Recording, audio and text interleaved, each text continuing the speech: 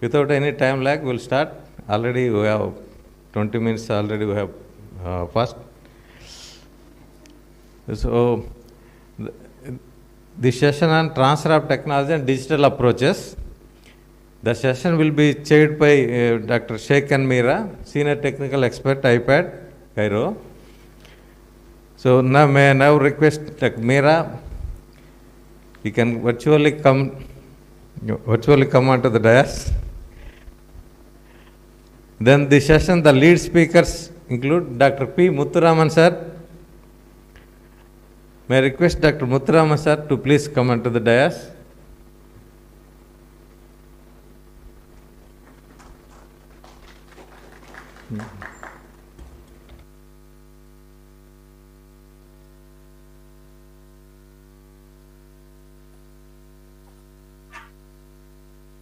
Muthu sir, good to see you. So my voice is uh, clear, loud and clear? Okay. Yeah.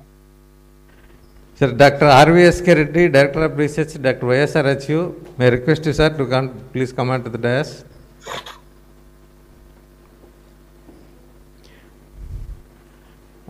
Uh, Another lead speaker, Dr. Srinivasulu, Director of Extension, Dr. YSRHU, may I request you, sir, to please come on to the dais.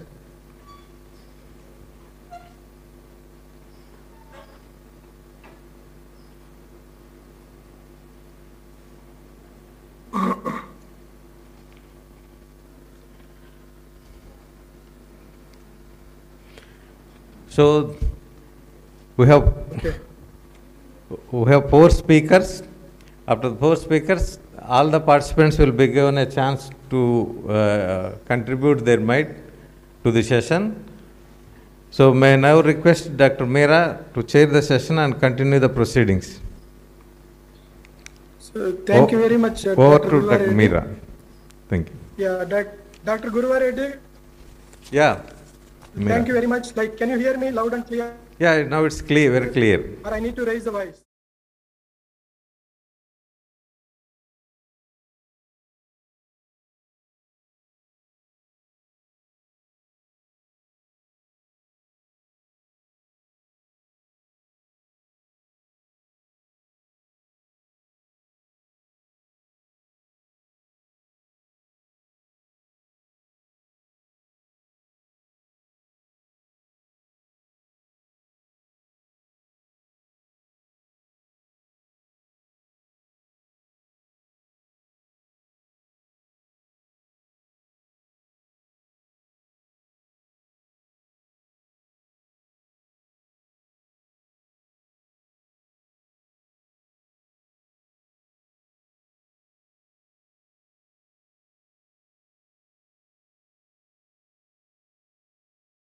Happen to hear his interventions. Very articulative and also like uh, he brings on board lot of uh, field experiences. And uh, yeah, um, um, being uh, a student or alumni of uh, uh, Acharya NG Ranga Agricultural University, I really feel that it is my privilege to take part in this national workshop without losing any time. Like um, th- this session is about uh, transfer of technology and uh, digital approaches, and I am sure that uh, our uh, panel experts uh, have very good insights to share with us. And while doing so, I request all the three of them to bring on board whatever has not been done. So there is no point discussing about the mundane extension for what what has been done for last uh, uh, 40, 50 years or so in this university. And uh, we'd like to really see some game-changing ideas for next one hour or one and a half hours or so. And at least concretely like uh, five or six uh, uh, take-home points and uh, with that, like, how do we go about? Like, I have a presentation about digital transformation, but before that, shall I request three of you to briefly, like, uh, present your ideas on uh, what kind of innovations we can expect uh, in coming years or coming days from uh, all the three universities and also three uh, departments, Department of Agriculture, Horticulture, and Animal Husbandry. How do we go about? Shall I ask uh, Dr. Muthuraman to uh, briefly give a presentation? Okay, thank you very much, Dr. Muthuraman.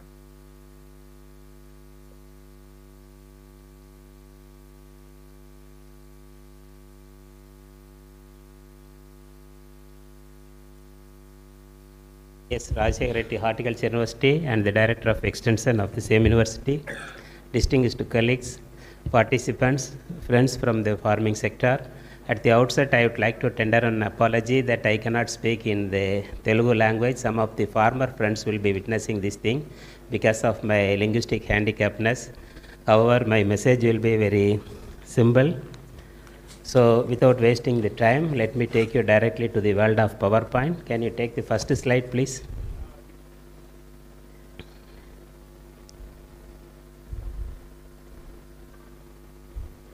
So, the topic I am going to talk another 15 to 20 minutes or so is agriculture transfer, the emerging challenges.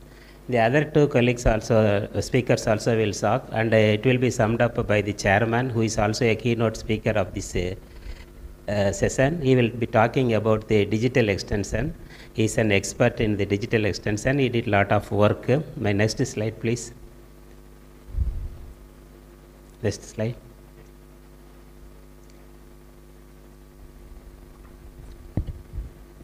Yeah. Actually, in the 1960s of the last century, the Green Revolution has taken place. It has contributed to attain the self-sufficiency in the food front, particularly two crops, rice and wheat, played a very major role, important role. From uh, food deficit, we have attained self-sufficiency. What happened? The Green Revolution has left some of the handicapped ecosystem, or what you call the fragile ecosystem, particularly the arid land ecosystem, the hill and mountainous ecosystem and the co- coastal ecosystem. So that is after the green revolution success, particularly in the food crops like rice and wheat, the other ecology, fragile ecology, there was a lot of uh, a lot of uh, uh, extension gap and production gap has gap has happened okay because the extension people working in that uh, handicapped ecology is unable to do justice to their job. The main feature of technology transfer in the first green revolution started in somewhere early 60s and continued up to 80s. It focused mainly on the food grains, rice and wheat. Then intense use of water, fertilizer, pesticides and high yielding varieties. There was no emphasis or focus on the sustainability issues. So after the green revolutions, we have uh, what the problems like inland salinity, the pest resurgence, and all that things. All these things have been very well documented by the eco-feminist Vandana Shiva in her book about the violence of green revolutions. Then it has benefited only the resource-rich and the large farmers. So the uh, the gap between the haves and have-nots have been enlarged. Mostly the marginal farmer and small farmer work in the fragile ecosystems, they could not uh, achieve much success in the, due to the first green revolutions. Then it is dependent on few technological options, particularly the high-yield varieties, hybrids, and it has made some of the changes in the plant architecture, particularly rice and wheat, because of introgressing of the gene like DGO gene, DGU gene in rice eh, and the Norin gene in the wheat, eh, which has modified the plant architecture. Next slide, please. Yeah, the first line, uh, first line extension system of ICR TOT projects. uh, This is just to, this is just, uh, they have launched the first line uh, extension system of uh, ICR projects. uh, Started with the national demonstration projects and the major food crops. It was launched in 1964. The main emphasis was to convince the farmers about the production potential of the important crops like rice and wheat. This demonstration helped to some extent mostly the large farmers, farmers having large holding size, followed by the operational research project in 74-75. Mostly the technology was tested on watershed basis in a cluster of villages. Then Krishi Vigyan Kendras in 1964 uh, Farm Science Center, okay. Mostly it is concerned with about conducting on-farm trials, extension and training. The first KVK was launched in 1974 at Pondicherry. Right now we are having more than more than eight, uh, 750 KVKs. Almost e- each district is having a KVKs. Then the lab to land uh, project was started in 1979 as part of the the Silver Jubilee celebration of Indian Council of Agricultural Research. What happened? This first four, four program, they have mostly emphasized on how to step up the production and productivity of the crops. It never bothered about the sustainability, equity, and other environmental concerns.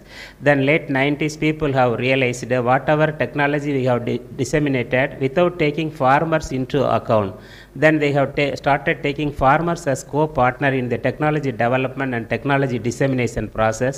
Then the new set of projects have started. That is technology assessment and refinement. Then institution village linkage program in 1995 then national agricultural technology project. That is giving more emphasis eh, to the north national agricultural research system 98 followed by agricultural technology information center ATIC center in 2000 it is a single window approach to cater to the needs of the farmers across the country. Then the national agricultural innovation project which was launched in 2006 eh, and they have given a lot of fund. In this project only Dr. Meera and others we developed the rice knowledge management portal. We have taken many partners into that thing. So these projects, the uh, early 90s to 2000, they have taken farmer uh, farmer as the priority and the environmental concerns are major factors to disseminate the technology. Next one please. So the changing scenario of agriculture technology transfer in India. So in 70s and 80s, the, in- uh, to increase the total production by intensive agriculture means that is the green revolution period. In 1990, the emphasis shifted towards technology development and due consideration was given to the farmers' needs, urgent needs, and the use of ITKs, indigenous technical knowledge, to sustain the natural resources and to implement the scientific knowledge and other environmental concerns. Next one. So improved methodology, uh, they have developed a new improved extension methodologies. It need not be innovative, but at the same time, it could be a reallocation of resources and realignment of the components of the existing practice to match the needs of the farmers' socio-economic conditions. So lot of realignments took place in the extension methodology, participatory technology development and dissemination methods all have come. Mostly it has come from the World Bank, FAO and CGIAR institu- institutions like ICRISAT, IRRI and Central Potato Research Institute located at Lima. Slowly it was incorporated into the national program also. Then involving farmers in identification and uh, prioritization of the production constraints, then planning and managing of on-farm research trials. More emphasis was given to on-farm research to refine the technology. Next one. So uh, here I would like to cite about the ICRISAT experience and the role of transfer of technology involving NARS. There are two important programs. One is called uh, legume on-farm testing and nurseries. Another one is ASEAN grain legume on-farm research. I am not going to touch upon the second issue because the second program, ASEAN grain legume on-farm research, uh, mostly fo- focused on the South Asian countries like Vietnam, Thailand, Indonesia, Sri Lanka, Pakistan, and Bangladesh. That is nothing to do with India. We can take some lessons, insight from that thing. Eh? But mostly the first program, legume on-farm testing and nurseries, eh, LEGAFAN, that is eh, mostly used in India to impart the technology to the farmers in a convincing manner without eh, wasting much time. Next one, please. So what they did in the legume on-farm testing nurseries, actually in uh, early 80s, uh, edible oil we were importing that was costing around US dollar 2000 billion. So late Prime Minister Rajiv Gandhi time five technology mission was made. One is about the oil technology missions. Late Professor M.V. Rao headed the mission. The technology mission and oil seeds main purpose is to reduce the import bill. So what to do? We have to develop a viable technology to help the oil seed growers. At the same time, the technology has to reach them within no time so that it will break the production barrier and step up the production and productivity. They have set up the indigenous production of oil seeds and make India self-sufficient in the uh, edible oil sector. Again, today we are facing after 30 years or 40 years, again today we are facing the same problem. Today morning when I happened to see Hindu, or the business line, again most of the edible oil manufacturers, they have reduced 4 liters, uh, 4 rupees per liter. Again we are facing the problem. So what I need, what I emphasize here, again we need a technology mission, particularly the extension people has to play a very big role to reduce the uh, shooting of edible oil prices. So ICRISAT what it did, it helped uh, in testing, adapting and disseminating the improved groundnut products and technologies in collaboration with the National Agricultural Research System and Extension Program. They have chalked out a viable and farm trials and, uh, uh, and disseminate the technology through participatory mode. Okay, next one please. Yeah, on-farm testing with four treatments and each location covering 0.2 hectares. They have taken four treatments. First treatment is improved cultural practices plus improved variety. Treatment two is improved cultural practices with local variety. Third one is local practices with improved variety. And fourth one is local cultural practices with local varieties. Totally 141 trials in the rainy season and 58 post rainy season were conducted by using the improved cultural practice. Uh, these practices. So the improved cultural practices alone gave 20.2% more yield and improved varieties gave 20, 26.3% more yield. Improved cultural practices along with the improved blended with the improved variety gave 61% yield. This shows a synergistic effect of the improved cultural practices and improved variety. Next one. So what they did uh, in this program, this is the involvement. So involvement of uh, NDDB National Dairy Development Board, they had a they have a separate division for the oil seeds. They used to market a particular oil brand, groundnut oil and sunflower oil in the brand name of Dhara. So they have roped this NDDB into the technology dissemination process. Then State Cooperative Oil Seed Growers Federation also was roped into that. ICRISAT, a future harvest organization, they functioned as the technical partner. The activities include production, distribution and marketing of oil seeds. India during the period achieved self-sufficiency in uh, uh, edible oil sectors. So the role played by ICRISAT and the technology development and dissemination process contributed to some extent to achieve the edible oil seed sector. Thank, uh, next one. Then the current challenges in Indian, Indian agriculture, what we are facing is about the shrinking of natural resource base. Actually, when I was a student in uh, early 80s in Gandhigram Rural University, Tamil Nadu, people used to tell 43.5 million hectares arable land. Today, even after 40 years, they are telling the same thing. Most of the arable uh, land has been diverted for construction activities, non-agricultural purposes.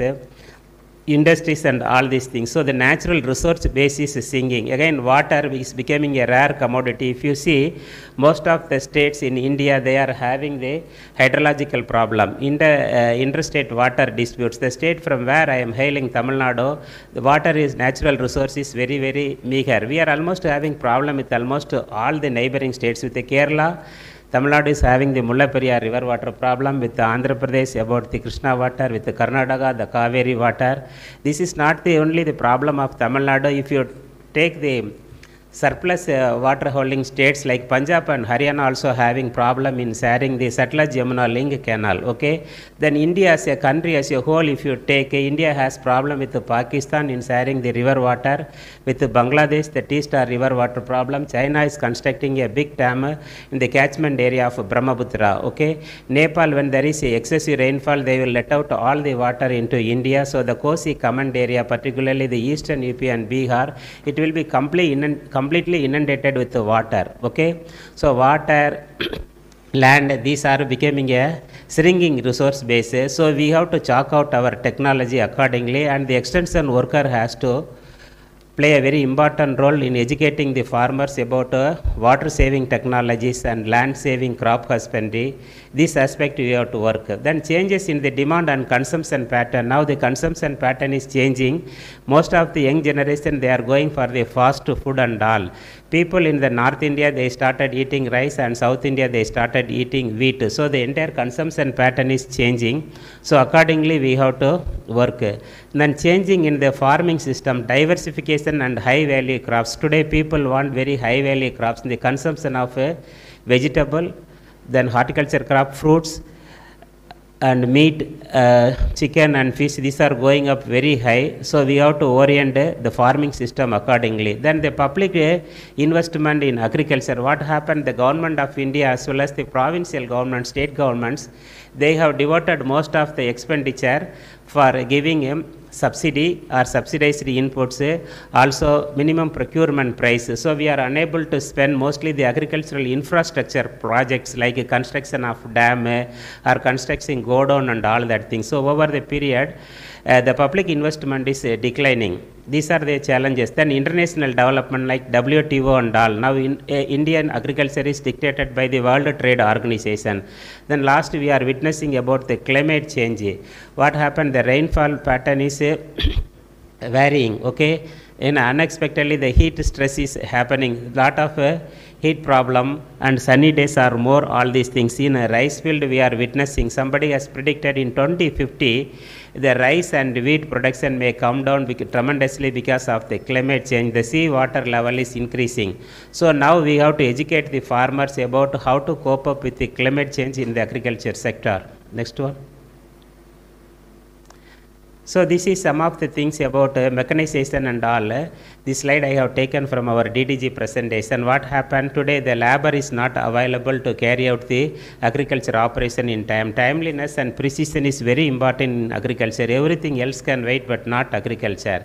Today, most of the labor force has been diverted to the Mahatma Gandhi National Rural Employment Program. Yesterday, uh, Madam Poonam Malakondaiah was telling we are working out with the state uh, central government how to hire this labor force? They can be diverted during the peak season to be employed in agriculture. They are working out the modalities how much farmers has to pay how much the government will pay. So we have to go for a rapid mechanization. If you see the farmers of india mostly about small and marginal holdings they cannot have rapid mechanization. I always quote eh, the maize farmers of africa or the rice farmers of india are one and the same. They are basically subsistence farmers.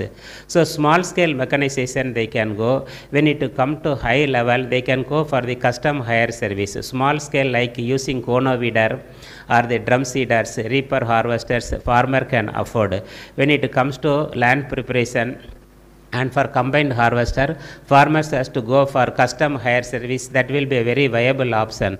The union government has also launched some of the schemes to address these issues. Next one please so the technology transfers towards the second uh, green revolutions. Now we have come into the phase of second green revolution. Our persons, uh, stalwarts like M.S. Swaminathan, they call it as evergreen revolutions. So now the focus was on uh, gene revolutions. Now we have to more emphasis on the biotechnology. Okay, then molecular breeding, tissue culture, all these things have come. Also they are uh, introducing the genes into the novel cultivars, germplasms. This has to be emphasized and the farmer has to be educated on this aspect okay? Like gm rice or gm crops and all that things. Already some of our neighbors they started eh, cultivating the gm crops and all. So the extension people have to play a very important role. Generally what happen the media create a havoc. For example they will give the headlines say national bird died by eating the bt cotton seeds like that these type of uh, sensitive issues they will give so we have to educate and the farmers when the bt cotton was introduced in early 90s i was a S1 scientist. I started my career that time. There were a lot of queue and cry. People in Bangalore and all, they went and ransacked the Cargill seed industry. Today, uh, my friend uh, who is a director in CICR Cotton Institute, YG Prasad, he said uh, 100% cotton cultivation in India is with BT cotton. So this will come, BT brinjal and now BT mustard is ready. Okay. Um, that Delhi University professor, Vice Chancellor, has developed the BT mustard. This is all waiting for the genetic evaluation committee to give the green signals. So we have to educate the farmers about the gene revolution. Then emphasis on the use of biofertilizers. So we are talking about the environmental degradation. So, so we have to advocate the farmers about the biofertilizer, biopesticides.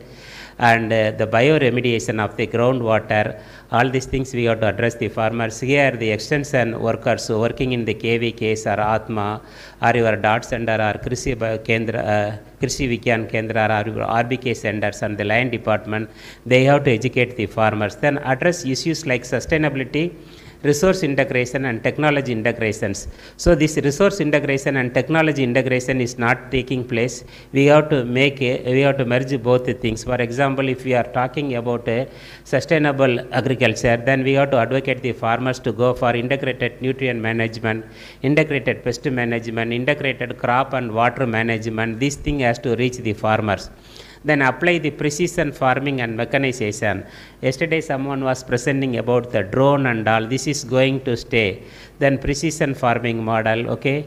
Uh, all these things we have to uh, advocate to the farmers. Here also extension people have to play a very very important role.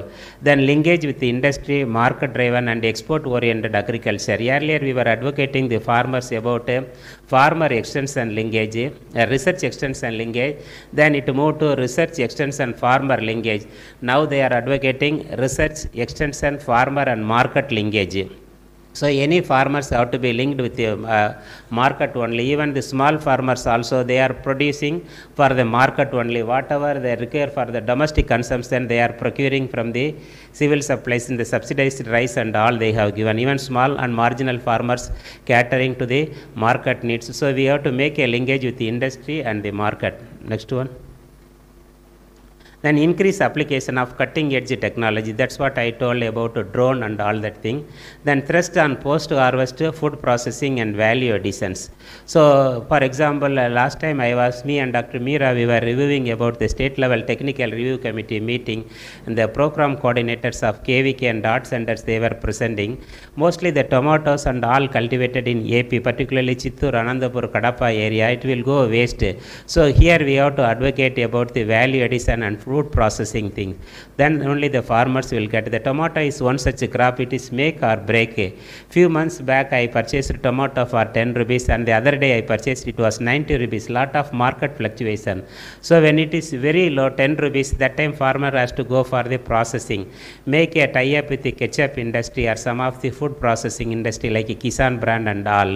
So that uh, they can process the farmer will get the maximum benefit uh, then high quality in addition to increase the quantity. We are more worried about the quantity now. People are middle class purchasing power has increased tremendously. Everybody want a quality product. So we have to focus on the quality aspects. Then focus on ipr and the farmers rights. The farmers has to be educated about the intellectual property rights and the farmer rights. So some of the uh, rice varieties uh, of farmer varieties all registered under the PPRV, FRV, we have to educate them. They will have a say in that uh, variety. Then integrate livestock, fisheries and allied enterprises with the crop productions. Yesterday also, where the minister and the secretary and the special chief secretary Ajay Kalams of all were emphasizing about uh, livestock and fisheries and allied enterprises. We have to see not agriculture as a separate, it should go as a farming system model. So everything has to be linked with that thing. Then exploit the advances of IT. The information technology is making a rapid strides. We have to exploit the information technology for market intelligence and to transfer the technology by using all the IT tools. The chairman of this session, Dr. Meera, is an authority in this thing. I think he may focus much light on this aspect about exploit the advances in IT. Next one. So the framework of strengthening transfer of technology in agriculture. So assessing the existing extension system and determines these have to be restructured or new initiative have to be launched. So we have to have a thorough introspection. What is the lacuna with the present extension setup and to reach the wider audience within no time, what is we, we have to do, how it can be restructured. Then broadening the technical knowledge in view of the current scenario. So what happened when we were talking to the State Department people, Department of Agriculture, mostly the technical knowledge and all, uh, it has not reached to them about the recent advances. We cannot blame them. They have to work on more than 56 different aspects of the extension activities. When there is a election or anything, these people completely forget about that mandatory work. They will focus on the government, uh, this thing like updating the electoral rolls and all here we have to educate them. So one of the important thing is we can educate the farmers through offline training. Then integrating public private and civil society organization through ppp okay? Public private partnership. So the public private partnership is very successful in the highways railways and airport and all these things. Many uh, lessons we have learned, but when it, when it comes to agriculture, we are yet to take off. We have to take some of the successful models and integrate into the agriculture field. Then development and application of ICT through knowledge hubs. So Dr. Meera used to talk about the hub and spokes model of the ICTs. So he will be talking about that thing. Anyhow, that is not my cup of tea. Dr. Meera will throw much light on this aspect. Next one. Then location specific, participatory, gender sensitive and customized extension materials and methodologies. So we have to develop the content, approach, process and uh, disseminating methodology we have to develop. The old methodologies, extension methodologies we were holding that may not hold good, uh, sufficient water at present. Then again we have to make the uh, effective linkage among the research extension, farmer and market and other stakeholders. Then farming system, farming system and farmer participatory extension approach is need of the hour. Then empowering the farmers into the commodity groups. Most of the people yesterday, uh, Poonam Malakondaiah was talking about the success stories have come from Maharashtra about Maha mango, about the sugar cane, about Maha grapes and all. In Andhra Pradesh also one or two successful things are there about the commodity groups. So we can incorporate into the other agricultural commodities also about the commodity groups. This will empower the farmers. Next one. So I have raised some eight questions. Changing needs of farmers for TOT support. Let us uh, look into that thing. What technological options could be used profitably? What technology will help to break the yield barriers and give more profit to the farmers? How to manage various technologies? So technology backstopping. We have to integrate all the technology so that the farmers will take maximum benefit out of it how and when to change the farming systems. For example, if the when to change the farming system, if there is a delay in the monsoon, uh, when farmers cannot take up rice, eh, particularly the monsoon dependent rain, then immediately we have to have a contingency plan. Farmers could go for a short duration crop like a green gram or black gram, which is also will be very remunerative for what type of product is there a good demand in the market? We have to make the farmers about the market intelligence. So what is the demand in the market? Accordingly we advocate the farmers to go for the commodity. Next one. So what are the quality specification of the farmers to achieve to get the good value? Nowadays when uh, basmati rice exporters and some of the grapes exporters and all they are facing problem. The international level that Codex Alimentarius procedure is there. Suppose if they are using more fungicide to address the problem of blast or some of the pesticides used in the grape and all in international level, the entire consignment will be rejected. So we have to uh, advocate the farmers about the quality specification for the international market as well as the domestic consumers, what they want, the quality, all that thing. Then how to find quickly the most relevant information. Tell the farmers where they will get the information we have to educate the farmers. What are the feasible off farm income generation options available during off season where the farmers can get a more income whether by doing any value additions or any off farm activities eh, like dairying or animal husbandry or uh, beekeeping? This type of things we have to advocate the farmers then what are the consequences of his farming if the input subsidies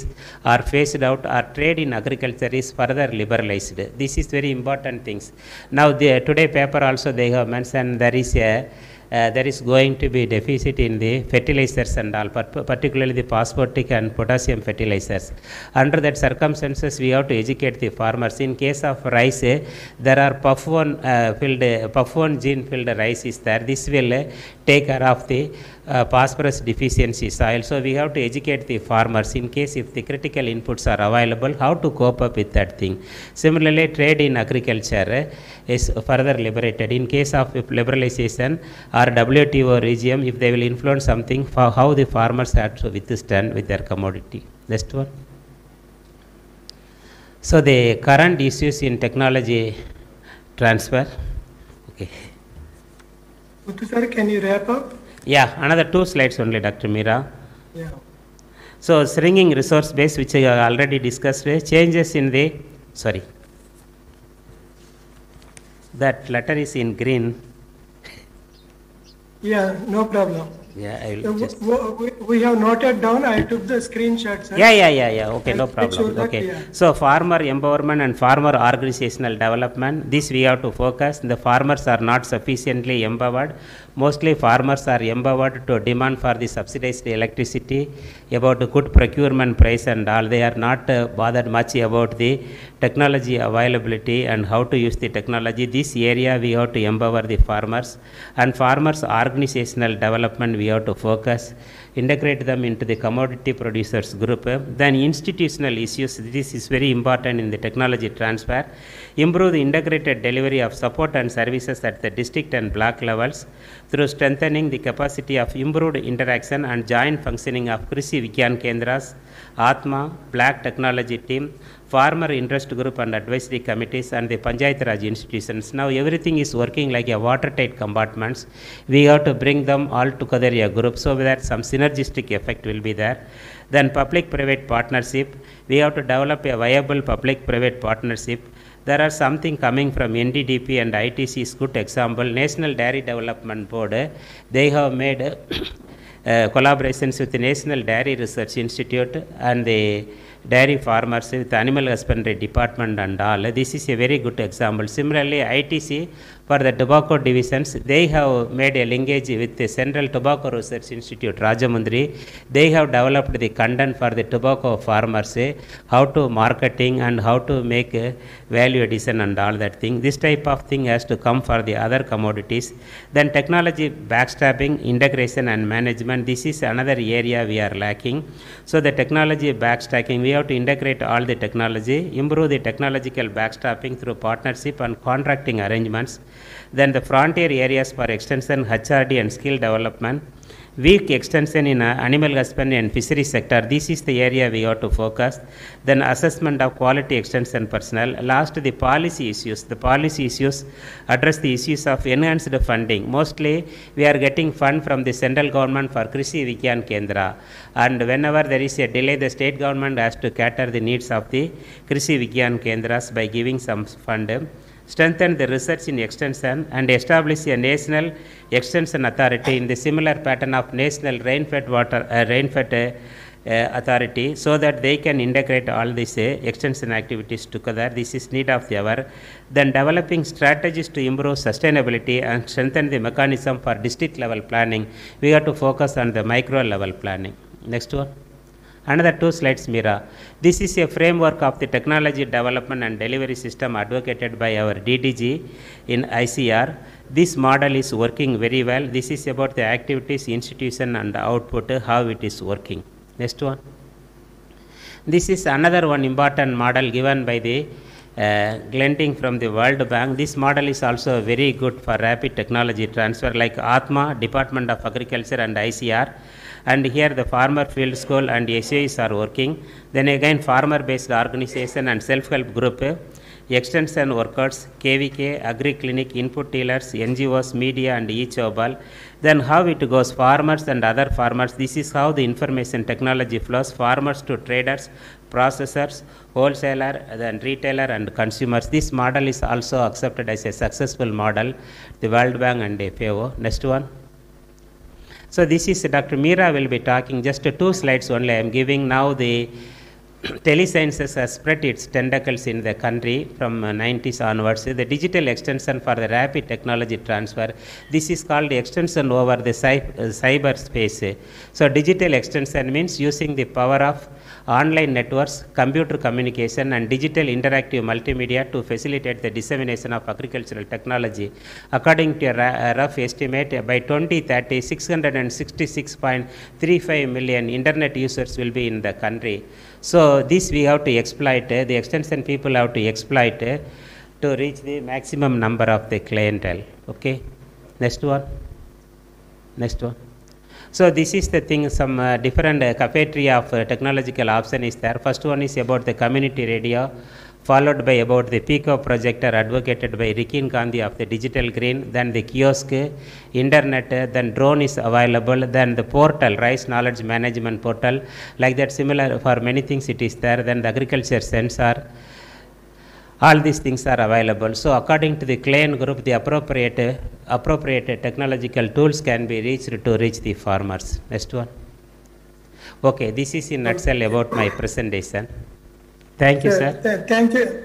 Thank you. Thank you very much, sir. Uh, you know, I think like you are well in time. Maybe like you might have crossed four or five minutes, doesn't matter. Uh, thank you very much for uh, setting the tone and I, I am sure that uh, Reddy sir and Srinivasulu గారు will take it forward and maybe at the end of this session I would like to speak in Telugu summing up so that our farmer friends can also understand what he's been spoken about thank you very much sir రైతు సోదరులు ఎవరైతే ఉన్నారో వాళ్ళందరికీ ఒక gist రూపంలో చివరిలో ఒక ఐదు నిమిషాలు తెలుగులో చెప్పడం జరుగుతుంది. అదేవిధంగా విస్తరణ విభాగంలో ఎటువంటి నూతన ఆవిష్కరణలు చేయటానికి ఆస్కారం ఉందో అవన్నీ కూలంకషంగా మనం మాట్లాడదాం. అయితే ఇప్పుడు మన ముత్తురామన్ గారు చెప్పినట్లు ఆయన ఏంటంటే విస్తరణ విభాగంలో విస్తరణలో వ్యవసాయ విస్తరణలో ప్రపంచవ్యాప్తంగా ఎటువంటి ఛాలెంజెస్ ఉన్నాయి సమస్యలు ఉన్నాయి అవి అధిగమించడానికి ఏ విధంగా తోడ్పడ పాటుపడాలి అని చెప్పారు. అదేవిధంగా కొన్ని క్రిటికల్ ఆస్పెక్ట్స్ నేను అన్ని చెప్తాను నాలుగైదు పాయింట్స్ చెప్పారు. ఆ పాయింట్స్లో గనక వ్యవసాయ విస్తరణ ఫోకస్ చేయగలిగితే వ్యవసాయ విస్తరణని ఆధునీకరించడానికి అదేవిధంగా చాలా పెద్ద ఎత్తులో ఇంపాక్ట్ఫుల్ అంటే రైతు లెవెల్లో రైతు లెవెల్లో విస్తరణ ఏ విధంగా ఇంపాక్ట్ తేవటానికి ఆస్కారం ఉంది అనేసి చెప్పారు. దానికి ముత్తురామన్ గారిని ధన్యవాదాలు అర్పిస్తూ థ్యాంక్స్ చెప్తున్నాను. Thank you very much Muthu sir. very and comprehensive and uh, it has certainly set the tone. Okay. Thank you very, thank much. You very much. I take this opportunity to thank profoundly the Vice Chancellor and the organizers of this national seminar for inviting me to deliver the lecture. Thank you. It is a, indeed a pleasure to come and talk in the uh, prestigious university like ANGRAU. Mm, I am highly thankful to all of you. Thank you. Thank you very much, sir. Sir, uh, RVSK Reddy, sir, like uh, since uh, Muthu sir has already set the tone about uh, extension, general extension and also horticulture, need for horticulture, more uh, animal husbandry related interventions.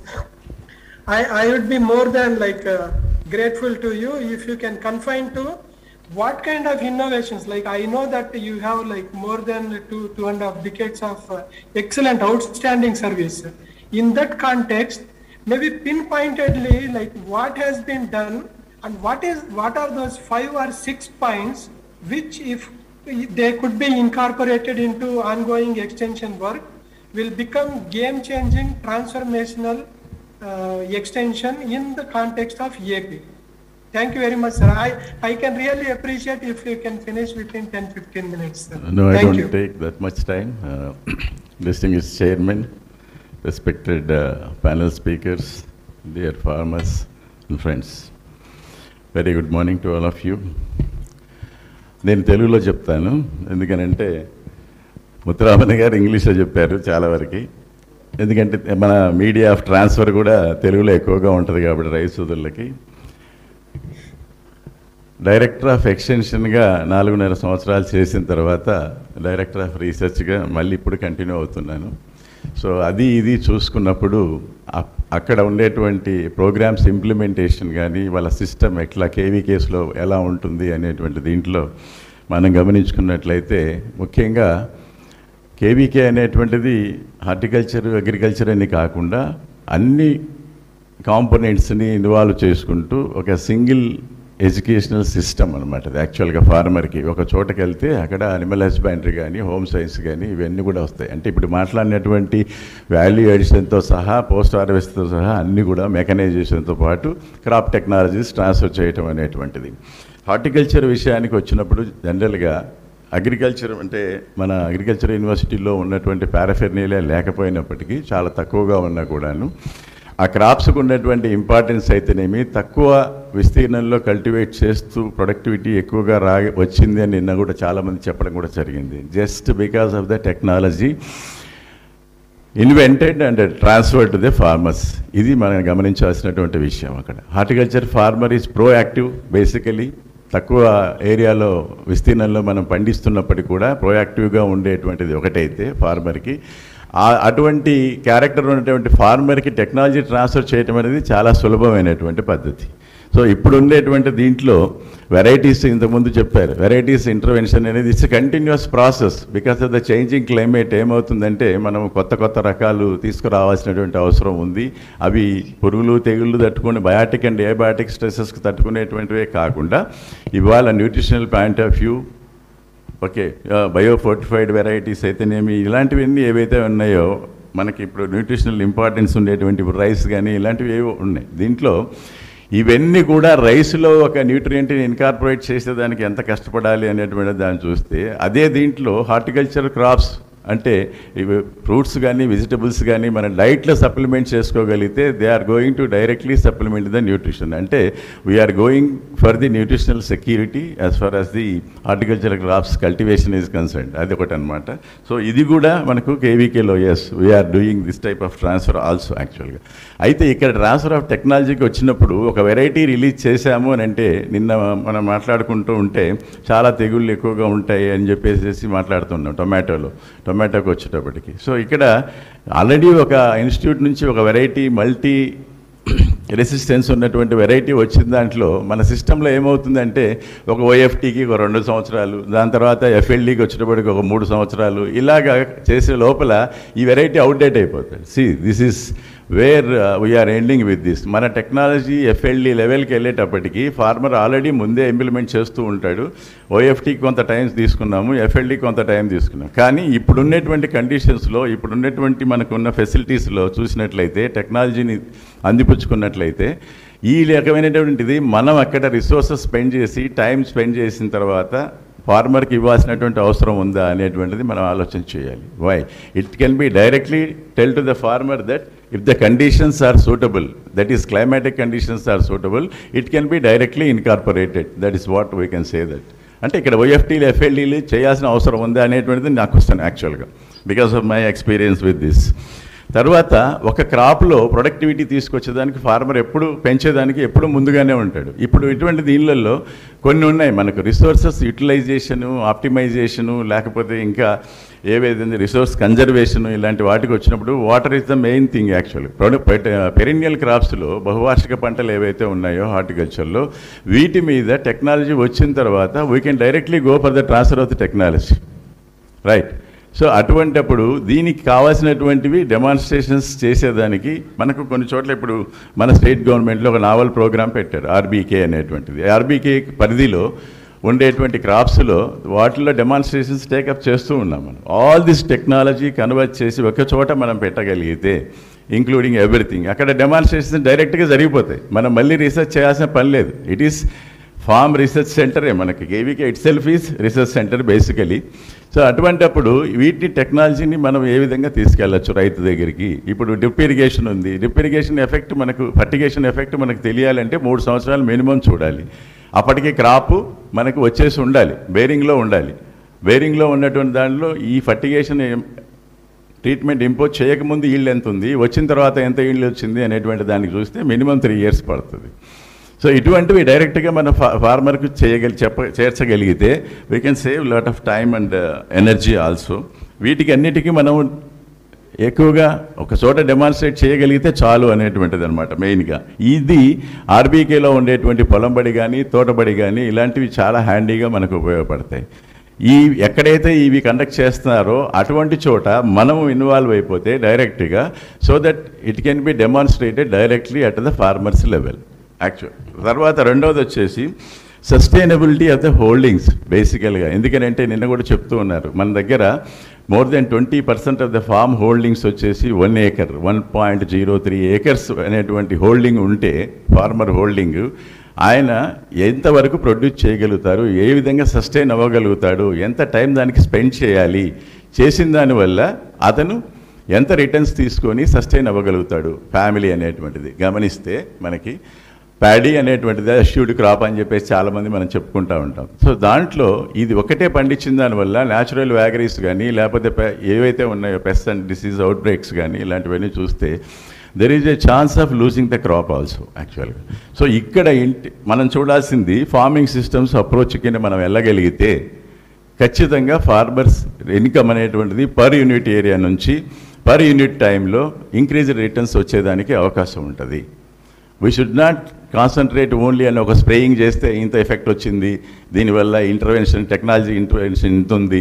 తర్వాతనేమో extension point of వ్యూలో ఎంత ఉంది అనేటువంటి చెప్పగలిగేదానికంటే ఈ విధంగా ఈ approach మీద మనం కాన్సన్ట్రేట్ చేస్తే కానీ దీనికి రీసెర్చ్ బ్యాకప్ కావాలి అనేటువంటిది మళ్ళీ వస్తుంది. బ్యాకప్ అంటే అన్నిటి మీద రీసెర్చ్ చేయాల్సిన అవసరం లేదు అని నా ఉద్దేశం యాక్చువల్గా already farmers are doing in their own way the integrated approach ఎక్కడైతే ఉందో అక్కడ ఉండేటువంటి అమ్యూనిటీస్ కానీ అవైలబుల్ రిసోర్సెస్ కానీ మనం చూసి సైంటిఫిక్గా స్టడీ చేయగలిగితే ఎకాన ఎకానమిస్టు తర్వాత ఒక కా ప్రొడక్షన్ సైంటిస్టు వీళ్ళందరూ కూడా చేయగలిగితే దాంట్లో ఒక one or two interventions slight change చేసుకొని మనకున్నటువంటి నాలెడ్జ్ తోటి టెక్నికల్ నాలెడ్జ్ తోటి we can go straight away for the recommendation of the IFS integrated farming systems so ఇటువంటప్పుడు resource utilisation కానీ సస్టైనబిలిటీ ఆఫ్ ద టెక్నాలజీ కానీ ఫార్మర్ సస్టైనబిలిటీ కూడా మనకు పెరిగేదానికి అవకాశం ఉంటుంది అనేటువంటిది ఒక అప్రోచ్ తర్వాత ఈ మార్కెటింగ్ అనేటువంటిది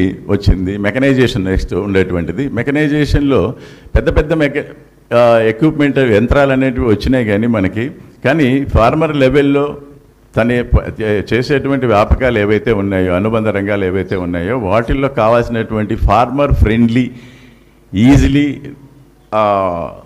procured material ఏదైతే ఉందో దాన్ని అవైలబిలిటీ తీసుకొచ్చినట్లయితే వేరెవర్ ఇట్ ఈస్ దేర్ ఆ క్రాప్కి సంబంధించినటువంటిది అది బాగా ఉపయోగపడుతుంది అనేటువంటిది. పెద్ద పెద్ద ఎక్విప్మెంట్ కొనేటువంటి స్తోమత కానీ దాన్ని ఆపరేట్ చేసుకోవడం కానీ ఇలాంటివి జరగవు.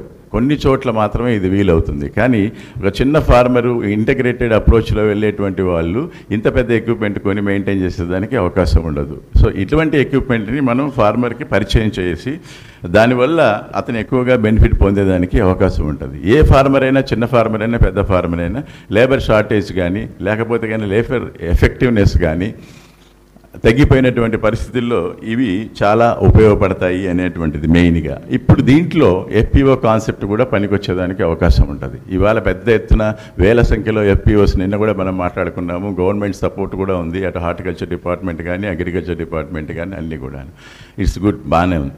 సో అటువంటప్పుడు కొంత మీడియం ఎక్విప్మెంట్ కానీ మనం అక్కడ ఎపిఓ లెవెల్లో ఉంచగలిగితే ఆ సెట్ ఆఫ్ ఫార్మర్స్కి ఉపయోగపడేదానికి అవకాశం ఉంటుంది. ఈ దిశగా కాన్సన్ట్రేట్ చేస్తే రైతుకి ముఖ్యంగా ఈ మెకనైజేషన్లో ఉపయోగపడేదానికి అవకాశం ఉంటుంది అనేటువంటిది. మాట్లాడారు. ఇందాక ముత్తరామన్ గారు కూడా నల్లి టొమాటో గురించి మాట్లాడారు. So this is the technical problem అక్కడ ఉండేటువంటిది ఏంటంటే దాన్ని వాల్యూ అడిషన్ చేయాలి ఎస్ టొమాటోలో ఉన్నటువంటి ప్రోడక్ట్స్ ఏ క్రాప్లో కూడా లేవు. బేసికల్గా చూస్తే.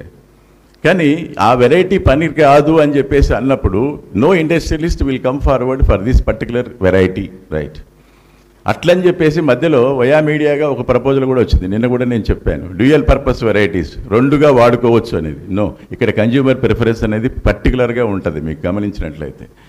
అది దేనికి పనికిరాదు యాక్చువల్గా అయితే. ఇండస్ట్రీ వాడు ప్రిఫర్ చేయడు ఇటు కన్జ్యూమర్ కూడా వెజిటబుల్ కింద ప్రిఫర్ చేయడు. బికాస్ ఆఫ్ ఇక్కడేమో పులుపు కావాలి అక్కడేమో స్వీట్ కావాలి. సో ఈ రెండింటికి పనికొచ్చేటువంటిది రాదు. ఎప్పుడైతే మీకు టీఎస్ఎస్ తక్కువగా ఉందో ఇండస్ట్రీ వాడికి అవుట్పుట్ అనేది రాదు. రానప్పుడు ఈ వోంట్ ప్రిఫర్ ఫర్ ఇట్ మళ్ళీ లాస్ట్ టైం కొన్ని చోట్ల మనకు ఈ కేవలం ప్రాసెసింగ్ వెరైటీని ఇంట్రడ్యూస్ చేసి ఒక నాలుగేళ్ళ కిందట ఆ వెరైటీ పెర్ఫార్మ్ కూడా చేయలేకపోయింది అనేటువంటిది కూడా కొంత మనం దృష్టిలో పెట్టుకోవాలి. సో ఇటువంటిప్పుడు ప్రాసెసింగ్ వెరైటీస్ ఎక్కడ ఉన్నా కూడా ఎఫెక్టివ్గా మనం చూసి ఆ కొంత ఏరియా ఓన్లీ ప్రాసెసింగ్ వెరైటీ కిందకి తీసుకురాగలిగితే especially in the rabi season rabi సీజన్లో టొమాటో మన రాష్ట్రం అంతా పండించవచ్చు అటువంటిప్పుడు ఖచ్చితంగా గ్లట్ అనేది వస్తుంది రేటు పడిపోతుంది. రెండవది వచ్చేసి డైవర్సిఫికేషన్ వైపు కూడా మనం ట్రాన్స్ఫర్ ఆఫ్ టెక్నాలజీలో కాన్సన్ట్రేట్ చేయాలి. డైవర్సిఫికేషన్ అనేది అదే టొమాటో పండించే బదులు ఇప్పుడు ఉన్నటువంటి ఇన్ఫ్రాస్ట్రక్చర్ రైతు దగ్గర ఇది టొమాటోకి కావాల్సినటువంటి డ్రిప్ సిస్టమ్ కానీ ఇవన్నీ కూడా లేఅవుట్ చేసి ఉన్నాయి వాళ్ళ దగ్గర. They are very good at uh, drip కానీ యూజ్ చేయడంలో కానీ ట్రెలిసింగ్ కానీ ఇలాంటి ప్రాక్టీసెస్ అన్నీ కూడా మనం ఎప్పుడో ట్రాన్స్ఫర్ చేసాము they are adopting hundred percent. అటువంటిప్పుడు అదే ఈ డిప్ సిస్టమ్ని యూటిలైజ్ చేసుకొని lot of vegetables can be grown non traditional vegetables కానీ ఇలాంటి వాటిని చేసి వాటికి కావాల్సినటువంటి మార్కెట్ మనం ఇవ్వగలిగితే ఫార్మర్కి ఒక బ్రీతింగ్ స్పేస్ వస్తుంది. రెండవది ఈ pest diseases over the seasons overlap అవుతూ ఉంటాయి. అదే మదనపల్లిలో మీరు చూస్తే ఒక క్రాప్ కంప్లీట్గా అయిపోయి వదిలేసి ఉంటాడు దాని పక్కనే కొత్తగా ప్లాంట్ చేస్తూనే ఉంటాడు. దిస్ ఈజ్ ద సిస్టమ్ అంటే అక్కడ కూడా కొంత బ్రేక్ ఇచ్చేదానికి అవకాశం ఉంటుంది. Spread of the pest and disease అనేటువంటిది కూడా మనం చూడాలి. కొత్త కొత్త పెస్ట్లు రావడము ఇలాంటివన్నీ జరుగుతూ ఉన్నాయి. సో ఇది ఒకటి. ఒక చిన్న ఇంటర్వెన్షన్లో మనం ఒకవేళ చూసినట్టు ఇదే టొమాటో ఉంది ఇవాళ గ్లట్ వచ్చింది అని అన్నాం. దాంట్లో ఇప్పుడు ఉండేటువంటి దీంతో మనం ప్యూరీ తయారు చేశాము లేదా ఒక కెచప్ తయారు చేసాము మంచి కలర్ రాకపోవచ్చు. అంటే ఎక్స్పోర్ట్ చేసేటువంటి స్టాండర్డ్ రాకపోవచ్చేమో కానీ but it's a fairly good product దాన్ని మనకు ఇప్పుడు ఎక్కడైతే ఫ్రీ మీల్స్ ప్రోగ్రామ్ కానీ లేకపోతే అంగన్వాడీస్లో ఇచ్చేటువంటి ఏదైతే ఉందో వాటికి డైవర్ట్ చేయగలిగితే that can be effectively utilized అదే groups commodity group tomato group ఏదైతే ఉందో వాళ్ళు ఈ టొమాటోని ప్యూరీ కింద కన్వర్ట్ చేసేస్తే that can be utilized for making other products so ఆ విధంగా చేయగలిగితే మినిమల్ ప్రాసెసింగ్ అది బేసికల్గా చూడాలంటే యాక్చువల్గా సో అంత తక్కువలో ఇదే ప్రోడక్ట్ని మనం ఎఫెక్టివ్గా యూటిలైజ్ చేసేదానికి అవకాశం ఉంటుంది అనేటువంటిది. అంటే డిపార్ట్మెంట్ అంటే గవర్నమెంట్ ఇచ్చేటువంటి స్కీమ్స్లో ఇది ఒక ఇంగ్రీడియంట్కి మనం ఇవ్వగలిగితే that will be better even that can be converted into pickle also so ఇటువంటి వీటిలో మిడ్ డే మీల్స్ ప్రోగ్రామ్ కానీ అంగన్వాడీస్లో కానీ ఇలాంటివి సాచెట్స్ మనం ఇంక్లూడ్ చేయగలిగితే వాళ్ళ న్యూట్రీ బాస్కెట్ ఏదైతే ఉందో అందులో దీంట్లో అది ఎఫెక్టివ్గా ఉపయోగించుకోవచ్చు. ఫార్మర్ కొంత మనం వెసులుబాటు కల్పించిన దానికి అవకాశం ఉంటుంది అనేటువంటిది. రెండోది వెదర్ ఫోర్కాస్టింగ్ ఇప్పుడు అన్నిట్లలో మనకి disease calendars pest calendars almost all క్రాప్స్లో ఉన్నాయి.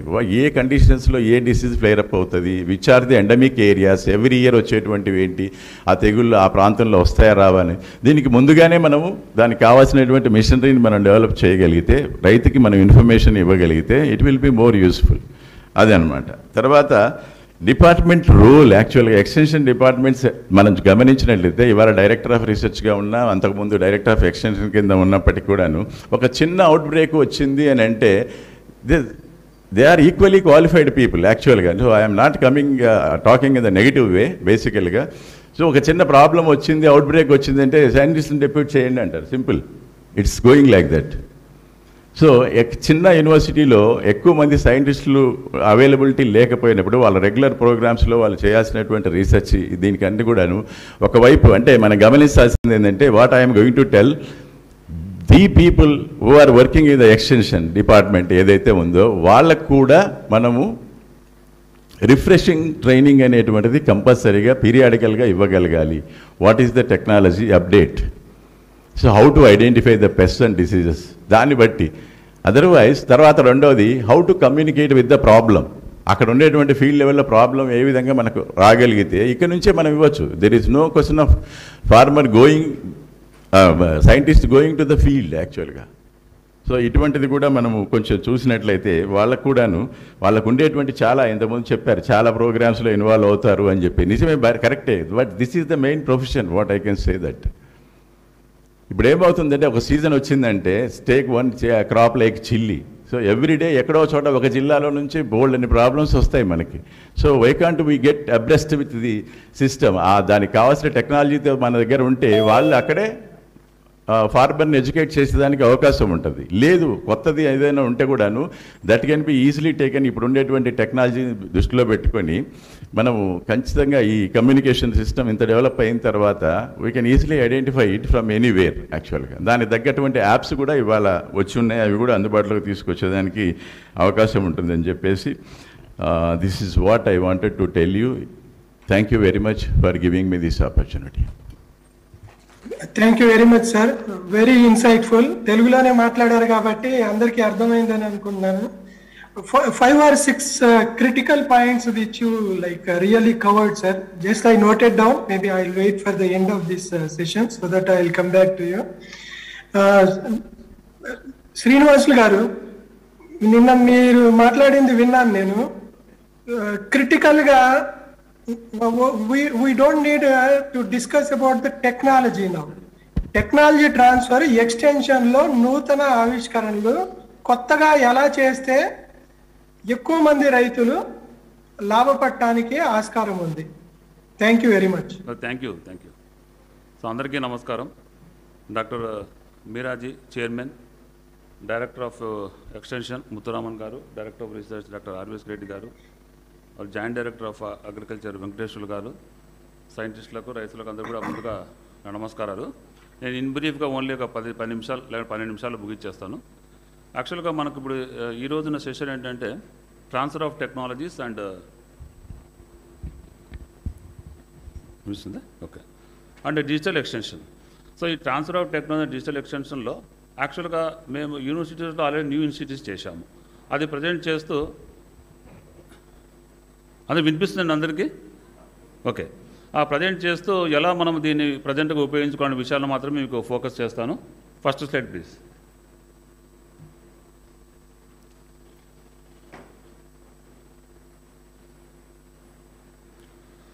యాక్చువల్గా మనకు ఈ విస్తరణ కార్యక్రమాల్లో నేను గమనించింది ఏమంటే ఈ నెక్స్ట్ ప్లీజ్. రైతు సోదరులను మనం రీచ్ కావాలి అనుకుంటే ఎక్స్టెన్షన్లో ఎక్కువ సార్లు వాళ్ళతో కాంటాక్ట్స్ ఉండాలి. తర్వాత డిఫరెంట్ వేస్లో కూడా అప్రోచ్ అనేది చాలా అవసరం. ఫస్ట్ పాయింట్ ఇక్కడ చూసామంటే మనం టెక్నాలజీ మనకు అందరికీ తెలిసిందే రిఫైన్మెంట్ టెక్నాలజీని ఇంతకుముందు మన ఉత్తరామన్ గారు మాట్లాడుతూ చెప్పారు. అది కేవీకేస్లో జరుగుతూ ఉంటుంది. తర్వాత ఈ పార్టిసిపేటరీ టెక్నాలజీ డెవలప్మెంట్ అంటే రైతులను ఇన్వాల్వ్ చేసి ఎనీ టెక్నాలజీ ట్రాన్స్ఫర్ చేస్తే మాత్రం అది ఖచ్చితంగా ట్రాన్స్ఫర్ అవుతుంది. అంటే చాలా మటుకు అంటే ఒక ఫార్మర్ ఇన్వాల్వ్ చేసామనుకోండి అప్పుడు ఆ టెక్నాలజీ ఇతర రైతులకు చెప్పడం అనేది చాలా ఈజీగా ఉంటుంది. అది ఇంపార్టెంట్ దెన్ సెకండ్ థింగ్ వచ్చేసి ఫీల్డ్ ఎక్స్టెన్షన్ సిస్టమ్ ఉంటుంది మనకు డిపార్ట్మెంట్ ఆఫ్ హార్టికల్చర్స్ అంటాము. మనకు ఆ డిపార్ట్మెంట్ హార్టికల్చర్ ఎక్స్టెన్షన్ ఎలాగో జరుగుతూ ఉంటుంది. తర్వాత digital extension and cyber extension అంటే ఈ digital extension and cyber extension తీసుకున్నామంటే ఈ ఎక్స్టెన్షన్లో వచ్చేటప్పటికి ఈ లేటెస్ట్ టెక్నాలజీని ఉపయోగించుకొని మనము టెక్నాలజీ చేసుకోవడం. Next one by one I will present it అంటే ఇక్కడ ఒక్కటే పాయింట్ మనం తెలుసుకోవాల్సింది ఏమంటే యూనివర్సిటీస్ ఉన్నాయనుకోండి ఇంతకుముందు మామూలుగా కృషి విజ్ఞాన కేంద్రాలు లేక రీసెర్చ్ స్టేషన్స్ మాత్రమే ఎక్స్టెన్షన్ ఇన్వాల్వ్ అయ్యేవి. అలా ఉండకూడదు. ఆల్ యూనిట్స్ అంటే it may be colleges or research stations or KVKs or polytechnics అందరు డిఫరెంట్ ఏరియాస్లో సిచ్యువేట్ అయి ఉంటారు కాబట్టి minimum ten to fifteen percent extension activities involve అయినప్పుడే వాళ్ళకు ప్రాక్టికల్ నాలెడ్జ్ పెరుగుతుంది.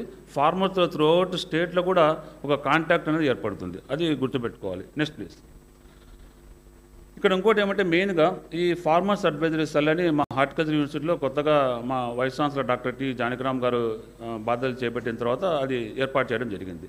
ఈ ఫార్మర్స్ అడ్వైజరీ సెల్ అన్నది ఏర్పాటు చేయడం వల్ల ఏమవుతుంది రైతులకు వచ్చిన తర్వాత ఎక్కడ కలవాలనేటువంటి క్రిటికల్ ఇన్పుట్ అనమాట ఇక్కడికి వెళ్ళాలి మనం ఇక్కడ ఇన్ఫర్మేషన్ గ్యాదర్ చేసుకోవాలి. అటువంటిది కూడా మనం ఆల్రెడీ మనకు రైతు భరోసా కేంద్రాలు ఉన్నాయి. Yes that is also just like farmers advisory cell. అది కూడా యూనివర్సిటీ సిస్టంలో కూడా అలా ఇంటగ్రేట్ చేసుకొని ఉండాలి.